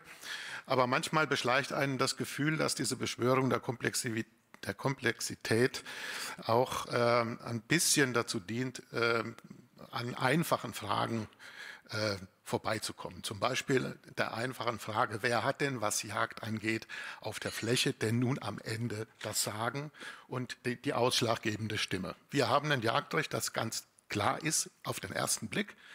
Jagdrecht haben die Eigentümer. Und jetzt stellt sich doch die Frage, wie können wir Eigentümer äh, wieder in ihr Recht setzen und äh, auch die Verantwortung für Waldentwicklung zum Beispiel und für Waldumbau adressieren. Das heißt, wir müssen über Jagdgesetze nachdenken. Das ist in Brandenburg passiert. Das hat zu den bekannten heftigen Auseinandersetzungen geführt, die aber nur ein Anzeichen dafür sind, dass die richtigen Fragen gestellt worden sind. Also die jagdliche Enteignung der Eigentümer ist ein falscher Weg und der muss korrigiert werden. Es ist ein Skandal, dass es in Rheinland-Pfalz Hegegemeinschaften äh, des öffentlichen Rechts gibt, äh, ohne die Eigentümer, dass man jetzt die Eigentümer äh, sozusagen hinzunehmen soll. Es muss Hegegemeinschaften geben, in denen Eigentümer die ausschlaggebende Stimme haben. Das wäre eine vernünftige äh, Ebene und eine vernünftige Institution der Zusammenarbeit.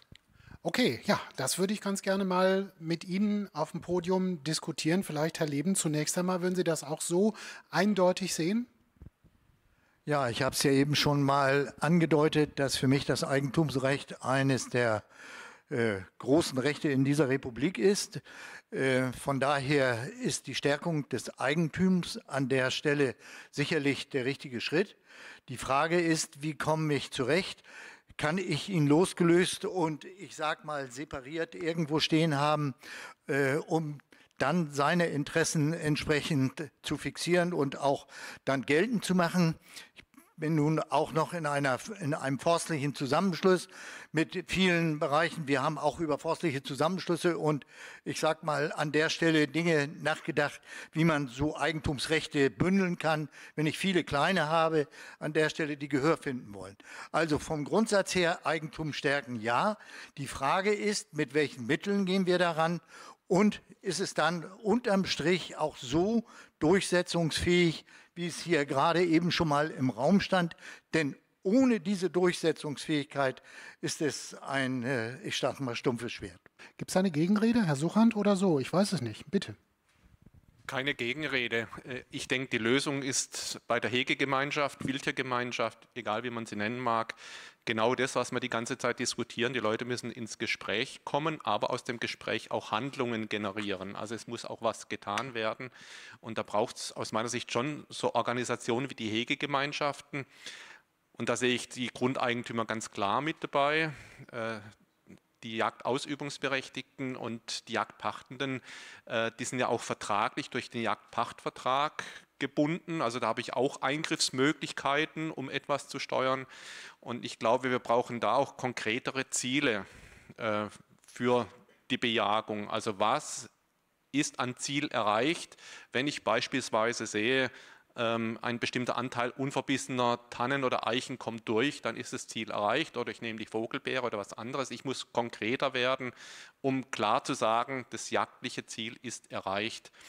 Was ergänzend wichtig ist, wir sind nicht nur in einer Welt, in der Wildtiere in Bezug auf den Waldbesitz eine Rolle spielen, auch in Bezug auf den Naturschutz spielen Wildtiere eine Rolle und auch diese Freizeitaktivitäten. Jetzt wäre es zu weit gedacht, eine Wildtiergemeinschaft, Hegegemeinschaft äh, mit all diesen Gruppierungen zu bilden. Ich glaube, das wäre sehr wenig konstruktiv. Äh, wir sind am Überlegen, ob wir eine Art Beirat bei diesen Hegegemeinschaften noch bilden, ähm, in dem eben diese anderen Gruppierungen auch beteiligt sind. Wir müssen wirklich sehen, dass wir die Gruppierung der Gesellschaft in diese ganzen Überlegungen mit reinnehmen und ähm, dann beispielsweise Wildruhezonen auch gemeinsam angehen, damit es nicht eine Sache ist, die die Jagenden oder die Grundeigentümer definieren, sondern wo auch die Touristiker sagen, sie sind bereit, es mit zu unterstützen. Mhm.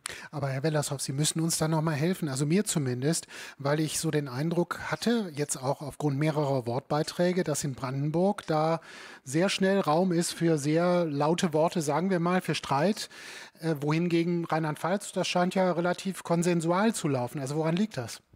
Na, weil Rheinland-Pfalz die Zwangsmitgliedschaft hat. Ich möchte da vielleicht noch mal ausholen, um das auch zu erklären. Wir haben natürlich die Mitspracherechte Rechte der Eigentümer in Brandenburg auch. Aber der erste Schritt ist, dass der Eigentümer sich für Jagd überhaupt interessiert. Also ich leite seit vielen Jahren die größte Hegegemeinschaft in Brandenburg mit ähm, 85.000 Hektar. Wir laden seit zehn Jahren die großen Eigentümer, die wir kennen, mit ein. Wer kommt? Niemand. Überhaupt niemand kommt da. Also das Interesse der Eigentümer muss man formulieren. Und ich habe in den vielen Jahren, in denen ich sowas begleite, in unterschiedlichsten Funktionen, auch immer wieder interessierte Eigentümer gehabt. Mit denen redet man, dann lernt man die gegenseitigen Standpunkte kennen und dann findet man Lösungen dafür. Und das, was der Herr Fuhr gerade vorgetragen hat, ist ja nur eine Seite der Medaille. Jeder Eigentümer kann, wenn er in der Yachtgenossenschaft ist, natürlich die Stimme ergreifen und seine Interessen formulieren und bei entsprechenden Mehrheiten, und ich bin dankbar, dass wir in einer Demokratie leben, bei entsprechenden Mehrheiten natürlich all das, was er gerne möchte, im Pachtvertrag formulieren. Zielvereinbarungen treffen, ähm, Waldbegänge initiieren. Also da leben wir doch in einer unendlich faszinierenden Gesellschaft. Wir können, wenn wir unsere Interessen formuliert haben, alles umsetzen, was wir möchten. So, wenn das nicht gemacht wird, und dann drehen wir uns doch da wirklich wieder im Kreis, dann sind wir da, wo wir angefangen haben. Dann muss Politik das Verständnis für die Themen, die dann politisch gewollt sind, in die Breite tragen, in die Bevölkerung tragen, zu den Eigentümern tragen, muss die Leute mitnehmen auf die Reise Jagd, Waldumbau, Klimawandel. Wenn das dem nicht Fall jetzt eine passiert, konkrete Aufforderung an die jetzt heute hier nicht vorhandene Landesregierung in Potsdam. Ähm, Ja, das äh, mache ich ja ständig. Ich glaube, das ist wirklich eine Weiterbildungsoffensive, die man starten müsste. Und dann brauche ich gar keine neuen Gesetze, sondern dann kann ich mit den bestehenden Gesetzen, und das ist immer die zweite Seite der Medaille, die jetzt gerade vollkommen ausgeblendet wurde, ist, ähm, sobald Yachtgebiete größer sind als in Brandenburg 150, im, im Bundesgebiet in der Regel 75 Hektar, kann doch der Eigentümer ganz entscheiden, was er macht. Also wir reden bei der Diskussion, die gerade geführt wurde, doch über einen Bruchteil der Yachtfläche. Der Landesforstbetrieb als größter Eigenjachtbesitzer, ähm, die privaten Eigentümer mit ihren zusammenhängenden Waldgebieten können doch all das heute schon tun. Und dann frage ich natürlich, warum funktioniert dann in diesen Gebieten der Waldumbau nicht? Also ich glaube, dass da ganz andere Problemfelder auf uns zukommen und Fragestellungen, als sie jetzt so formuliert worden sind. Ich habe gerade in der Mimik von Herrn Leben äh, gelesen, ja, ich weiß es nicht. Ich hatte so den Eindruck, Sie wollen da widersprechen. Und dann, damit wir jetzt nicht die ganze Zeit nur über Brandenburg reden, komme ich zu Ihnen. Nein, ich will eigentlich gar nicht widersprechen. Ich wollte nur noch mal anmerken, also wir haben ja, wenn wir die großen Waldeigentümer nehmen, die dann nicht erscheinen, äh, einige wenige, sage ich jetzt mal, wenn wir die große Masse in Niedersachsen zum Beispiel haben wir 100.000 kleine, mittlere äh, Waldeigentümer. Die gilt es zu bündeln, die gilt es, ich sag mal, mit ihren Interessen, Interessen so äh, auf die Spur oder auf die Schiene zu bringen, dass dort als Ergebnis was rauskommt. Und das ist manchmal schwierig. Herr Wellershoff hat ja vollkommen recht. Er kann das in der Yachtgenossenschaftsversammlung artikulieren, aber ob er dafür eine Mehrheit kriegt, das ist die zweite Frage. Also von daher, uns geht es eigentlich darum, so wie wir, dass wir auch diese Eigentümer mitnehmen können, dass sie sich abgeholt fühlen. Das ist für mich ganz wichtig, dass sie hinter ihrer Yachtgenossenschaft stehen und mit den Jägern dann rausgehen und gemeinsam was machen. Dann sind wir eine ganze Ecke voran. Dankeschön, wir sind hier bei Ihnen. Ja, ich möchte noch einen Gedanken zu dem Thema äh, Eigentumsrechte und bevormundet der Jachtausübungsberechtigte das Jagdrecht äh, sagen. Ich glaube, es gibt ähm, in den gemeinschaftlichen Yachtbezirken noch einen Faktor, der bei der Wald-Wild-Problematik bedacht werden muss. Das ist der, dass die Yachtgenossenschaften selbstverständlich auch landwirtschaftliche Flächen äh, betreuen und die Interessen der Bauern im Blick haben. Und häufig äh, eben Yachtgenossenschaften auch geprägt sind von landwirtschaftlichen Betrieben, die sagen so, als erstes Mal hat mein Yachtpächter mir die Wildschweine vom Feld zu jagen. Äh, und für Wil- Wildschä Wildschäden im, im Feld zu sorgen. Und äh, die Gemeindewälder nebendran halten still und sagen, okay, wir wollen noch nicht die große Yachtpacht hier verlieren und die Einnahmen und so weiter. Wir machen keinen Eigenjachtbezirk bei uns und lösen somit äh, oder verschärfen den Konflikt der, mit der Landwirtschaft, indem dort ein eigener Yachtbezirk entsteht. Und von daher müssen wir auch die Interessen der Landwirtschaft sehen und die Bauern haben überhaupt kein Interesse daran, äh, dass an dem System was verändert wird, behaupte ich. Zweitens, ähm, wo sind die Waldeigentümer eigentlich und die Grundbesitzeigentümer, wenn es um, wenn klar ist, dass Störungen im Wald äh, eine Wildschadensursache sind, von sich aus, und sie haben die Rechte in den Landesgesetzen häufig, äh, Erholungstatbestände zu gestatten oder eben nicht zu gestatten. Sie müssen nicht den Premium-Wanderweg dulden. Sie müssen nicht den Mountainbike-Parcours in ihrem Wald äh, dulden. Die Waldbesitzer haben sehr viele Möglichkeiten, selbst diesen Faktor auch mitzusteuern und tun das natürlich, verstehe ich auch, aus touristischen, aus sonstigen Überlegungen nicht hinreichend. Aber ich glaube, da ist auch noch eine Menge Verantwortung auch im Eigentum äh, in diesem Thema drin. Und zu den Störungen und Erholungseinwirkungen noch ein Satz, was ich auch gar nicht verstehe, ist, dass es nicht eine konzertierte Aktion der Naturschutzverbände, der Yachtverbände, des äh, Deutschen Forstwirtschaftsrates gibt, auch im Waldbetretungsrecht was zu ändern. Es kann doch nicht sein, dass wir äh, einfach sagen, oh ja, wir machen so weiter.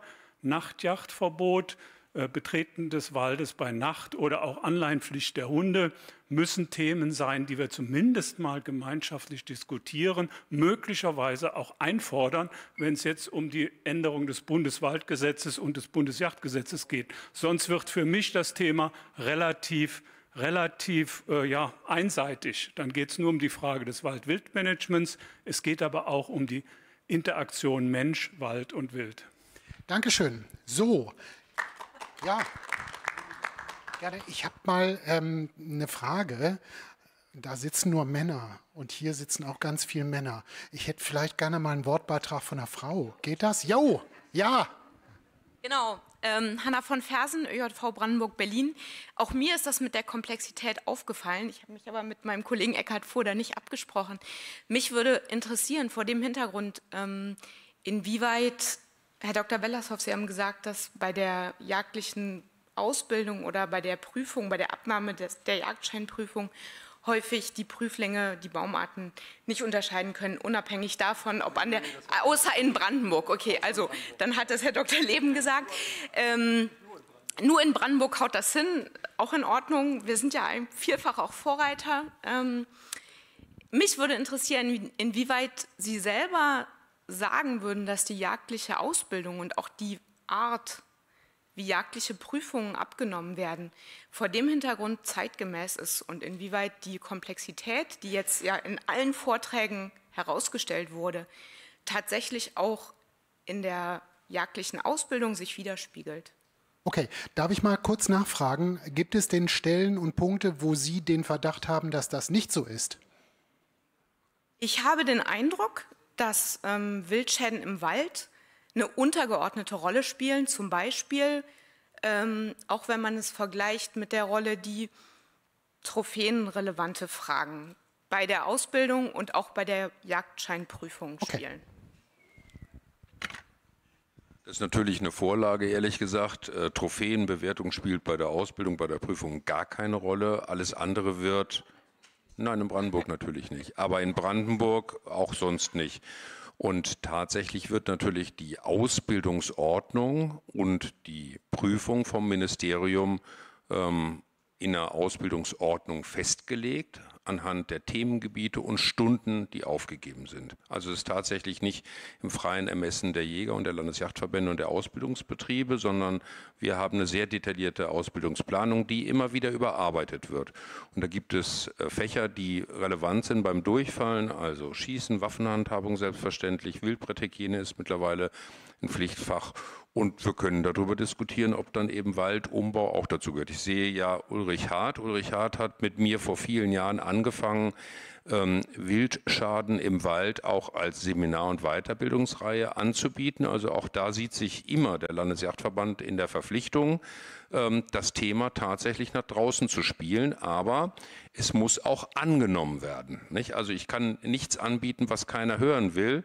Insofern haben wir da mit Sicherheit Nachholbedarf. Bin ich wirklich äh, mit allen hier, glaube ich, einer Meinung. Da könnten wir mehr drüber reden und könnten das weiter qualifizieren. Aber die Grundausbildung, die wir bieten, ist wirklich hervorragend. Wird bei uns ja in Brandenburg, wie Sie wissen, durch das Yachtpraktische Jahr auch begleitet. Also die Leute sind sowohl draußen als auch in der Theorie wirklich gut ausgebildet und gut gerüstet. Und dann muss man aufsatteln, wie in allen Themengebieten, mit Fortbildungsveranstaltungen und mit Weiterbildung. Egal jetzt, Entschuldigung, dazu direkt noch eine Erwiderung. Ich sehe das ein bisschen anders. Ich glaube nicht, dass wir nur das anbieten können, was auch nachgefragt wird, nicht wenn es um jagdliche Ausbildung geht.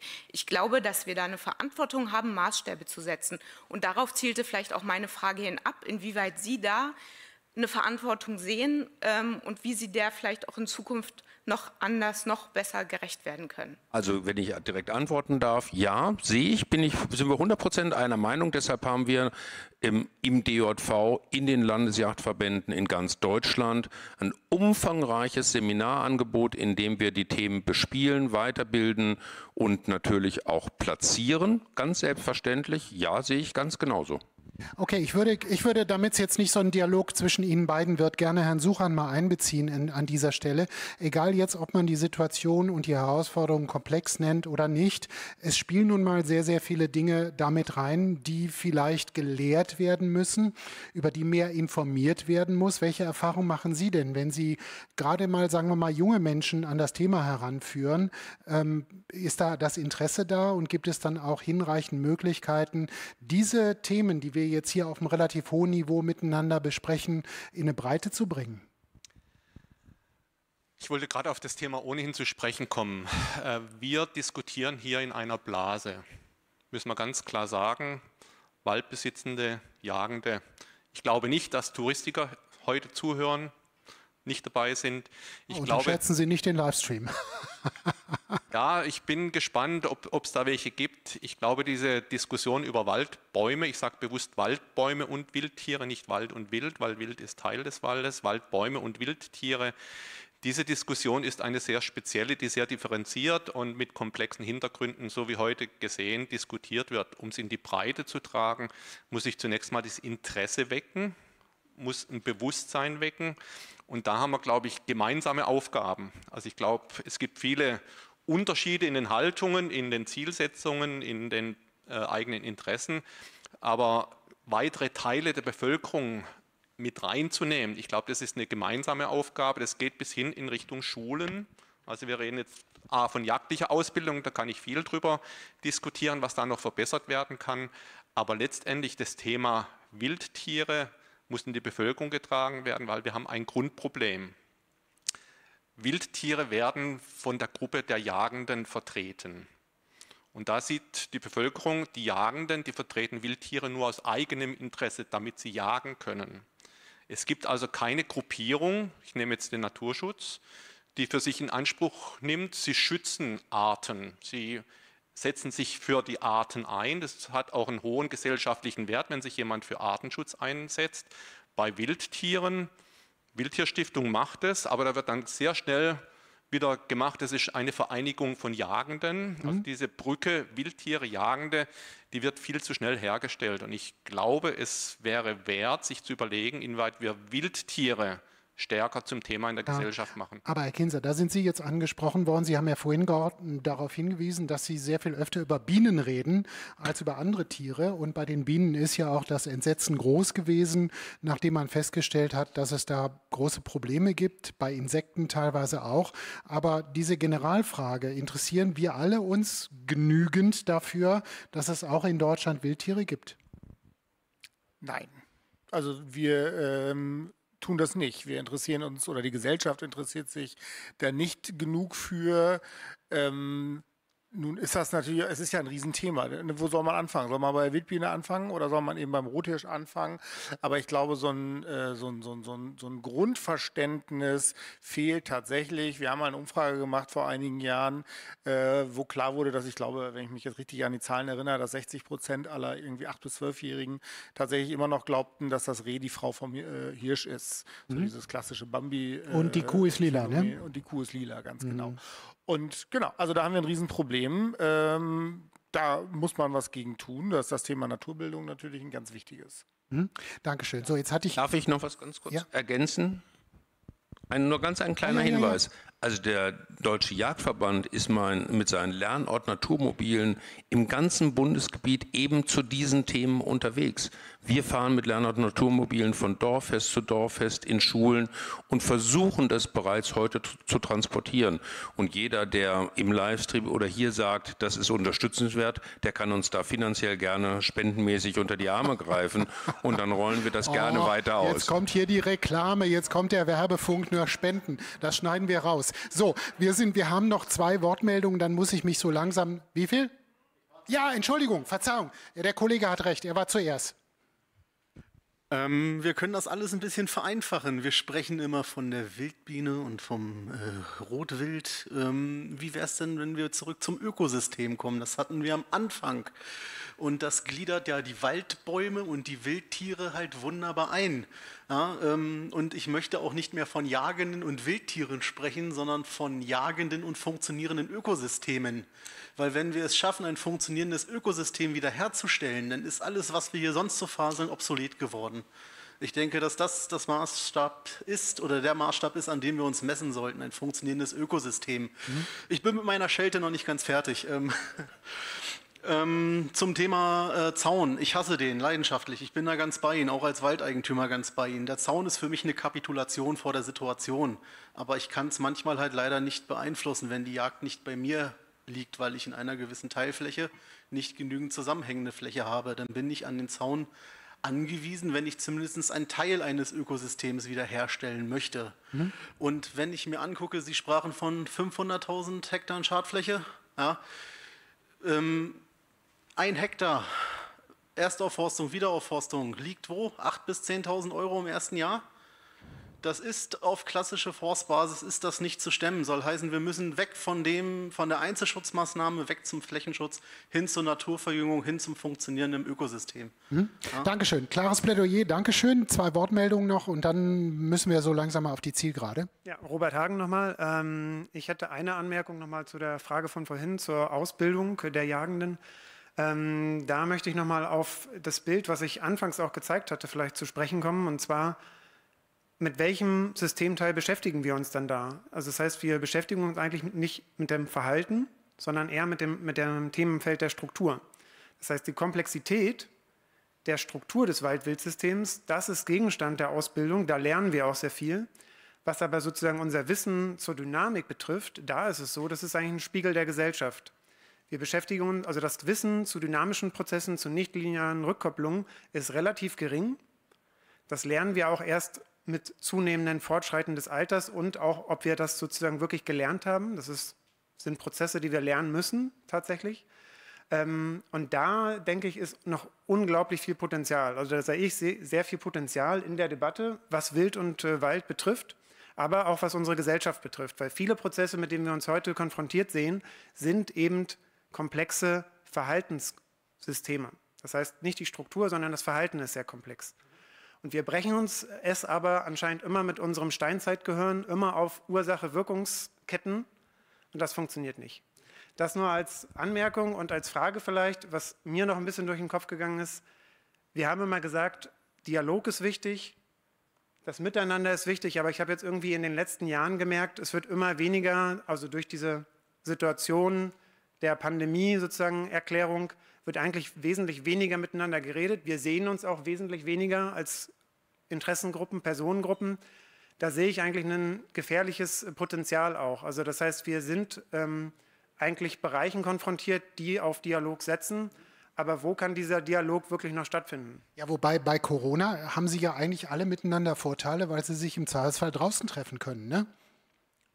Also, sag ich mal so, ne? Okay, so, jetzt Sie noch. Ja, Stendel, äh, Jagdverband Brandenburg. Äh, dass der Bildungsstand in weiten Kreisen der Bevölkerung äh, nicht so ist, wie wir uns das alle vorstellen, ist ein Umstand, den kann man beklagen. Ich habe meinen gestrigen Sonntag auch in eben solchem Lernortmobil oder vor solchem Mobil zugebracht. Kann man beklagen.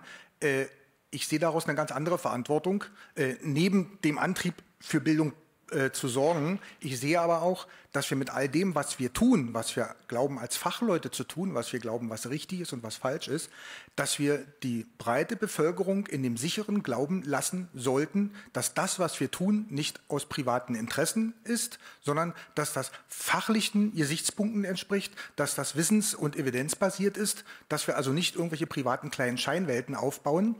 Und äh, zum Kollegen dort äh, vom Ökologischen Jagdverein, äh, auch das, was der Rudi Suchand hoffentlich jeden Tag sehen darf, eine Weinrebenlandschaft, ist ein Ökosystem. Das heißt also jetzt äh, dem Bestand von Waldbäumen seine Eigenschaft als Ökosystem abzusprechen, sind wir wieder an dem Punkt, den ich heute, den ich heute Morgen schon ansprach. Es ist eine Frage der Definition. Ja? Äh, auch das ist ein Ökosystem. Und äh, wenn ich äh, das Bild sehe, was dort uns heute äh, äh, vorschwebt, das ist sicherlich nicht der Idealvorstand, aber letzt, äh, Zustand, aber letztendlich ist es so, hier mitten in Berlin haben wir erst jetzt im Zuge der Ukraine-Krise mitbekommen, dass 70 Prozent des hier verbauten Bauholzes russisches Nadelholz aus Sibirien ist. Aus, aus Primärwäldern gewonnen, wo ein Stamm, den wir aus der Kiefer in 80 Jahren bekommen, in 400 Jahren heranwächst, äh, wo die Kiefer, die, die wir hier bei uns äh, in 80 Jahren wieder haben werden, wenn wir sie heute hochwachsen lassen, äh, ist dort in Sibirien, in den Primärwäldern, immer noch ein kahler Fleck. Und äh, ich sehe dabei, genauso wie bei der, bei der Bildung, dass wir das äh, äh, hinnehmen müssen, dass, dass die Bevölkerung davon ausgeht, wir machen das Richtige, sehe ich auch das, dass wir dort Verantwortung tragen. Nicht Verantwortung für den eigenen Hausgarten, den wir da Wald nennen, sondern Verantwortung für das Ökosystem äh, global gesehen. Dankeschön. Ja, also, dann würde ich jetzt mal versuchen, das zusammenzufassen, zusammenzubinden, was natürlich bei all diesen Aspekten nicht ganz einfach ist. Aber es ist ja deutlich geworden heute im Laufe des Tages, dass ähm, das Oberziel Kommunikation Dialog ist, selbst bei streitigen Ausgangspositionen. Und da stellt sich ja die Frage, wie können Förster, wie können Jäger, wie können andere zusammenarbeiten, um einerseits die ähm, Nutzung eines Waldes zu ermöglichen, ökonomisch auch, und trotzdem Ansprüchen von Wildtieren, von heimischen Tieren generell gerecht zu werden. Das hätte ich gerne als Schlussfrage mal aufgeworfen. Herr Kinser, mögen Sie anfangen? Also Sie fragen danach, wie diese Kommunikation aus. Ja, wie kriegt man das zusammengebunden, ohne dass sofort nach fünf Minuten einer einen Wutanfall kriegt oder sich benachteiligt fühlt? Mhm. Also da hilft tatsächlich die Flasche Bier am Stammtischabend, sage ich jetzt mal. Nein, aber also wir haben es heute äh, schon häufig gehört. Ich glaube, wir brauchen eine, äh, ein Stück weit eine Institution, die man nennen kann, wie man will. Äh, unser Vorschlag sind eben solche Hegegemeinschaften, wo die Grundeigentümer, und das ist Dreh- und Angelpunkt des Ganzen, äh, mit am Tisch sitzen und stimmberechtigt sind, auch wenn es darum geht, eben äh, Abschusshöhen oder Abschussregeln für die Wildtiere festzulegen. Herr Leben? Ich bin der Meinung, wir brauchen ein Bündnis zwischen Jägern, Förstern und all denen, die sich verantwortlich um die Natur und um den Wald kümmern. Wenn wir das vernünftig miteinander verabreden und hinbekommen und auch noch miteinander darüber reden, dann glaube ich, sind wir auf einem guten Weg. Herr Suchan vielleicht? Stellen Sie sich vor, es hätte Corona gegeben ohne Robert Koch Institut. Da hätte die Politik ziemlich Schwierigkeiten gehabt. Und dasselbe brauchen wir auch für die Fragen äh, Waldbäume und Wildtiere. Wir brauchen wissenschaftliche Grundlagen, auf denen aufgebaut werden kann, um Entscheidungen zu treffen. Und das ist aus meiner Sicht was ganz Wichtiges, dass wir die gleichen Grundlagen haben, dass wir wissen, worüber wir reden. Herr Wellershoff. Jetzt soll mir zu dem Thema auch noch was einfallen. Also ich glaube, da sind ja wirklich alle. alle Sie können, Sie können ja einfach sagen, sehe ich genauso. Nein, ich sehe okay. das genauso wie meine Vorredner, selbstverständlich. Aber ich würde das dann nur noch ergänzen wollen um die Gebiete, wo wir tatsächlich Probleme haben und wo die Eigentümer dann auch die Probleme benennen und waldbauliche Zielsetzungen ähm, formulieren können. Wo ich keine Probleme habe, brauche ich keine gesetzliche Initiative. Dankeschön. Ich denke, Wir haben sicher nicht alles angesprochen, nicht alle Aspekte abgegrast, aber wesentliche schon. Und deswegen würde ich gerne auch, weil wir jetzt 15.31 Uhr haben, diese Diskussion gerne beenden. Danke Ihnen recht herzlich für Ihre Geduld, für Ihre Fragen, für Ihre Argumente. Danke Ihnen auch für Ihre Argumente hier auf dem Podium. Und von meiner Seite war es das. Ich darf mich herzlich bedanken, dass ich heute hier sein durfte. Und das Schlusswort hat natürlich der, der auch das erste Wort hatte. Und jetzt gebe ich das Mikrofon dann ab, Dr. Volker Böning. Mögen Sie noch was sagen? Bitte schön. Ja, herzlichen Dank. Äh, wer zuerst was sagen durfte, soll am Ende auch noch mal was sagen. Äh, unser Moderator hat das erstmal ganz toll gemacht äh, und er hat schon.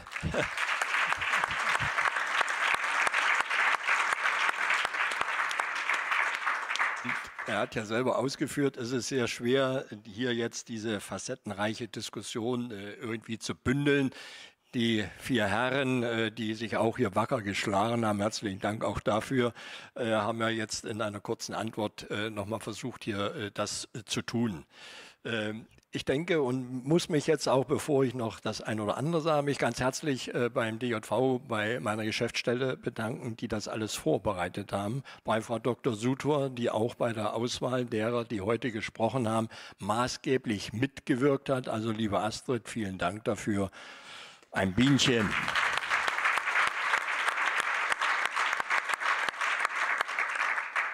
Ansonsten muss ich auch sagen, auch wenn der ökologische Yachtverband hier ist, es war doch im Großen und Ganzen eine relative Einigkeit, dass der Waldumbau sein muss. Und da gab es keine zweierlei Meinungen. Da, Sie nicken sogar. Äh, Und über die Art und Weise gab es in der großen Mehrheit als Grundthema wildökologische Raumplanung. Und was zuletzt nochmal gesagt worden ist, wir möchten natürlich alle entscheiden auf wissenschaftlicher Basis. Das Beispiel hier mit der Pandemie und dem Institut bringt es genau auf den Punkt. Wir brauchen Leute, die uns hier dort auch begleiten. Und wir möchten eins nicht, wir möchten nicht nur über uns reden, ich weiß nicht, ob das Herr Leben gesagt hat, die Jäger und die Förster, wir haben auch andere, ob es die Touristiker sind, die Sportler und was da im Wald sich alles noch bewegt, mit denen müssen wir auch reden. Und ich bin der Meinung, mit so einer Veranstaltung wie heute, und wir hatten ja schon mal drei äh, ähnliche Veranstaltungen gemacht und wir werden weitere machen, es geht darum, dass wir diese Thematik raustragen, an, und das ist gesagt worden, an die Bevölkerung. Wir Jäger und wir Förster, wir wissen eigentlich Bescheid um diese Thematik. Aber wir brauchen die Mitstreiter, die damit nicht täglich konfrontiert werden. Und ich denke auch an Herrn Wellershoff Worte. Wir haben sehr viel geregelt. Wir haben große Vollzugsdefizite. Wenn wir jetzt immer hinstellen, Menschenskind, der arme, arme Waldbesitzer, der wird von dem Wild sein Wald aufgefressen, weil er nichts machen kann. Das halte ich für eine Farce. Wir haben diese Hegegemeinschaft nicht nur jetzt äh, in Rheinland-Pfalz, wir haben sie eigentlich überall flächendeckend. Äh, und äh, dort besteht jeder Eigentümer, sitzt mit, wenn es um die Bewirtschaftung, um die Planung geht, sitzt mit am Tisch und sie haben die Möglichkeit. Und sie können auch, wenn irgendetwas dann nicht so läuft, können Sie Einfluss nehmen, denn Sie, die Yachtgenossenschaften, sind ja die Verpächter im Endeffekt. Sie können also Einfluss nehmen, wenn Ihnen der eine oder andere Jäger dort äh, überhaupt nicht passt. Äh, dass es vielleicht nicht so gemacht wird, gut, das ist aber dann nicht Sache der Jäger, äh, sondern dann Sache der Eigentümer. Und das kam mir eindeutig raus. Denken Sie mal dran, 50 Prozent des Waldes sind diese kleinen Flächen drei, vier Hektar und so weiter. Manche wissen gar nicht, dass sie Wald haben. Das ist jetzt ein bisschen boshaft gemeint. Aber die haben natürlich jetzt von waldbaulichen Zielen null. Und denken Sie dran, 50 Prozent ist Staatswald, Landeswald. Und woran, das kann man sich ja gar nicht vorstellen, dass der Staatswald und der Landeswald nicht so bewirtschaftet wird, dass der Waldumbau hinhaut. Das staune ich, wenn das so jetzt manchmal dargestellt wird. Das sind doch die Leute, die dort das Sagen haben, die Förster und so weiter. Das muss doch klappen.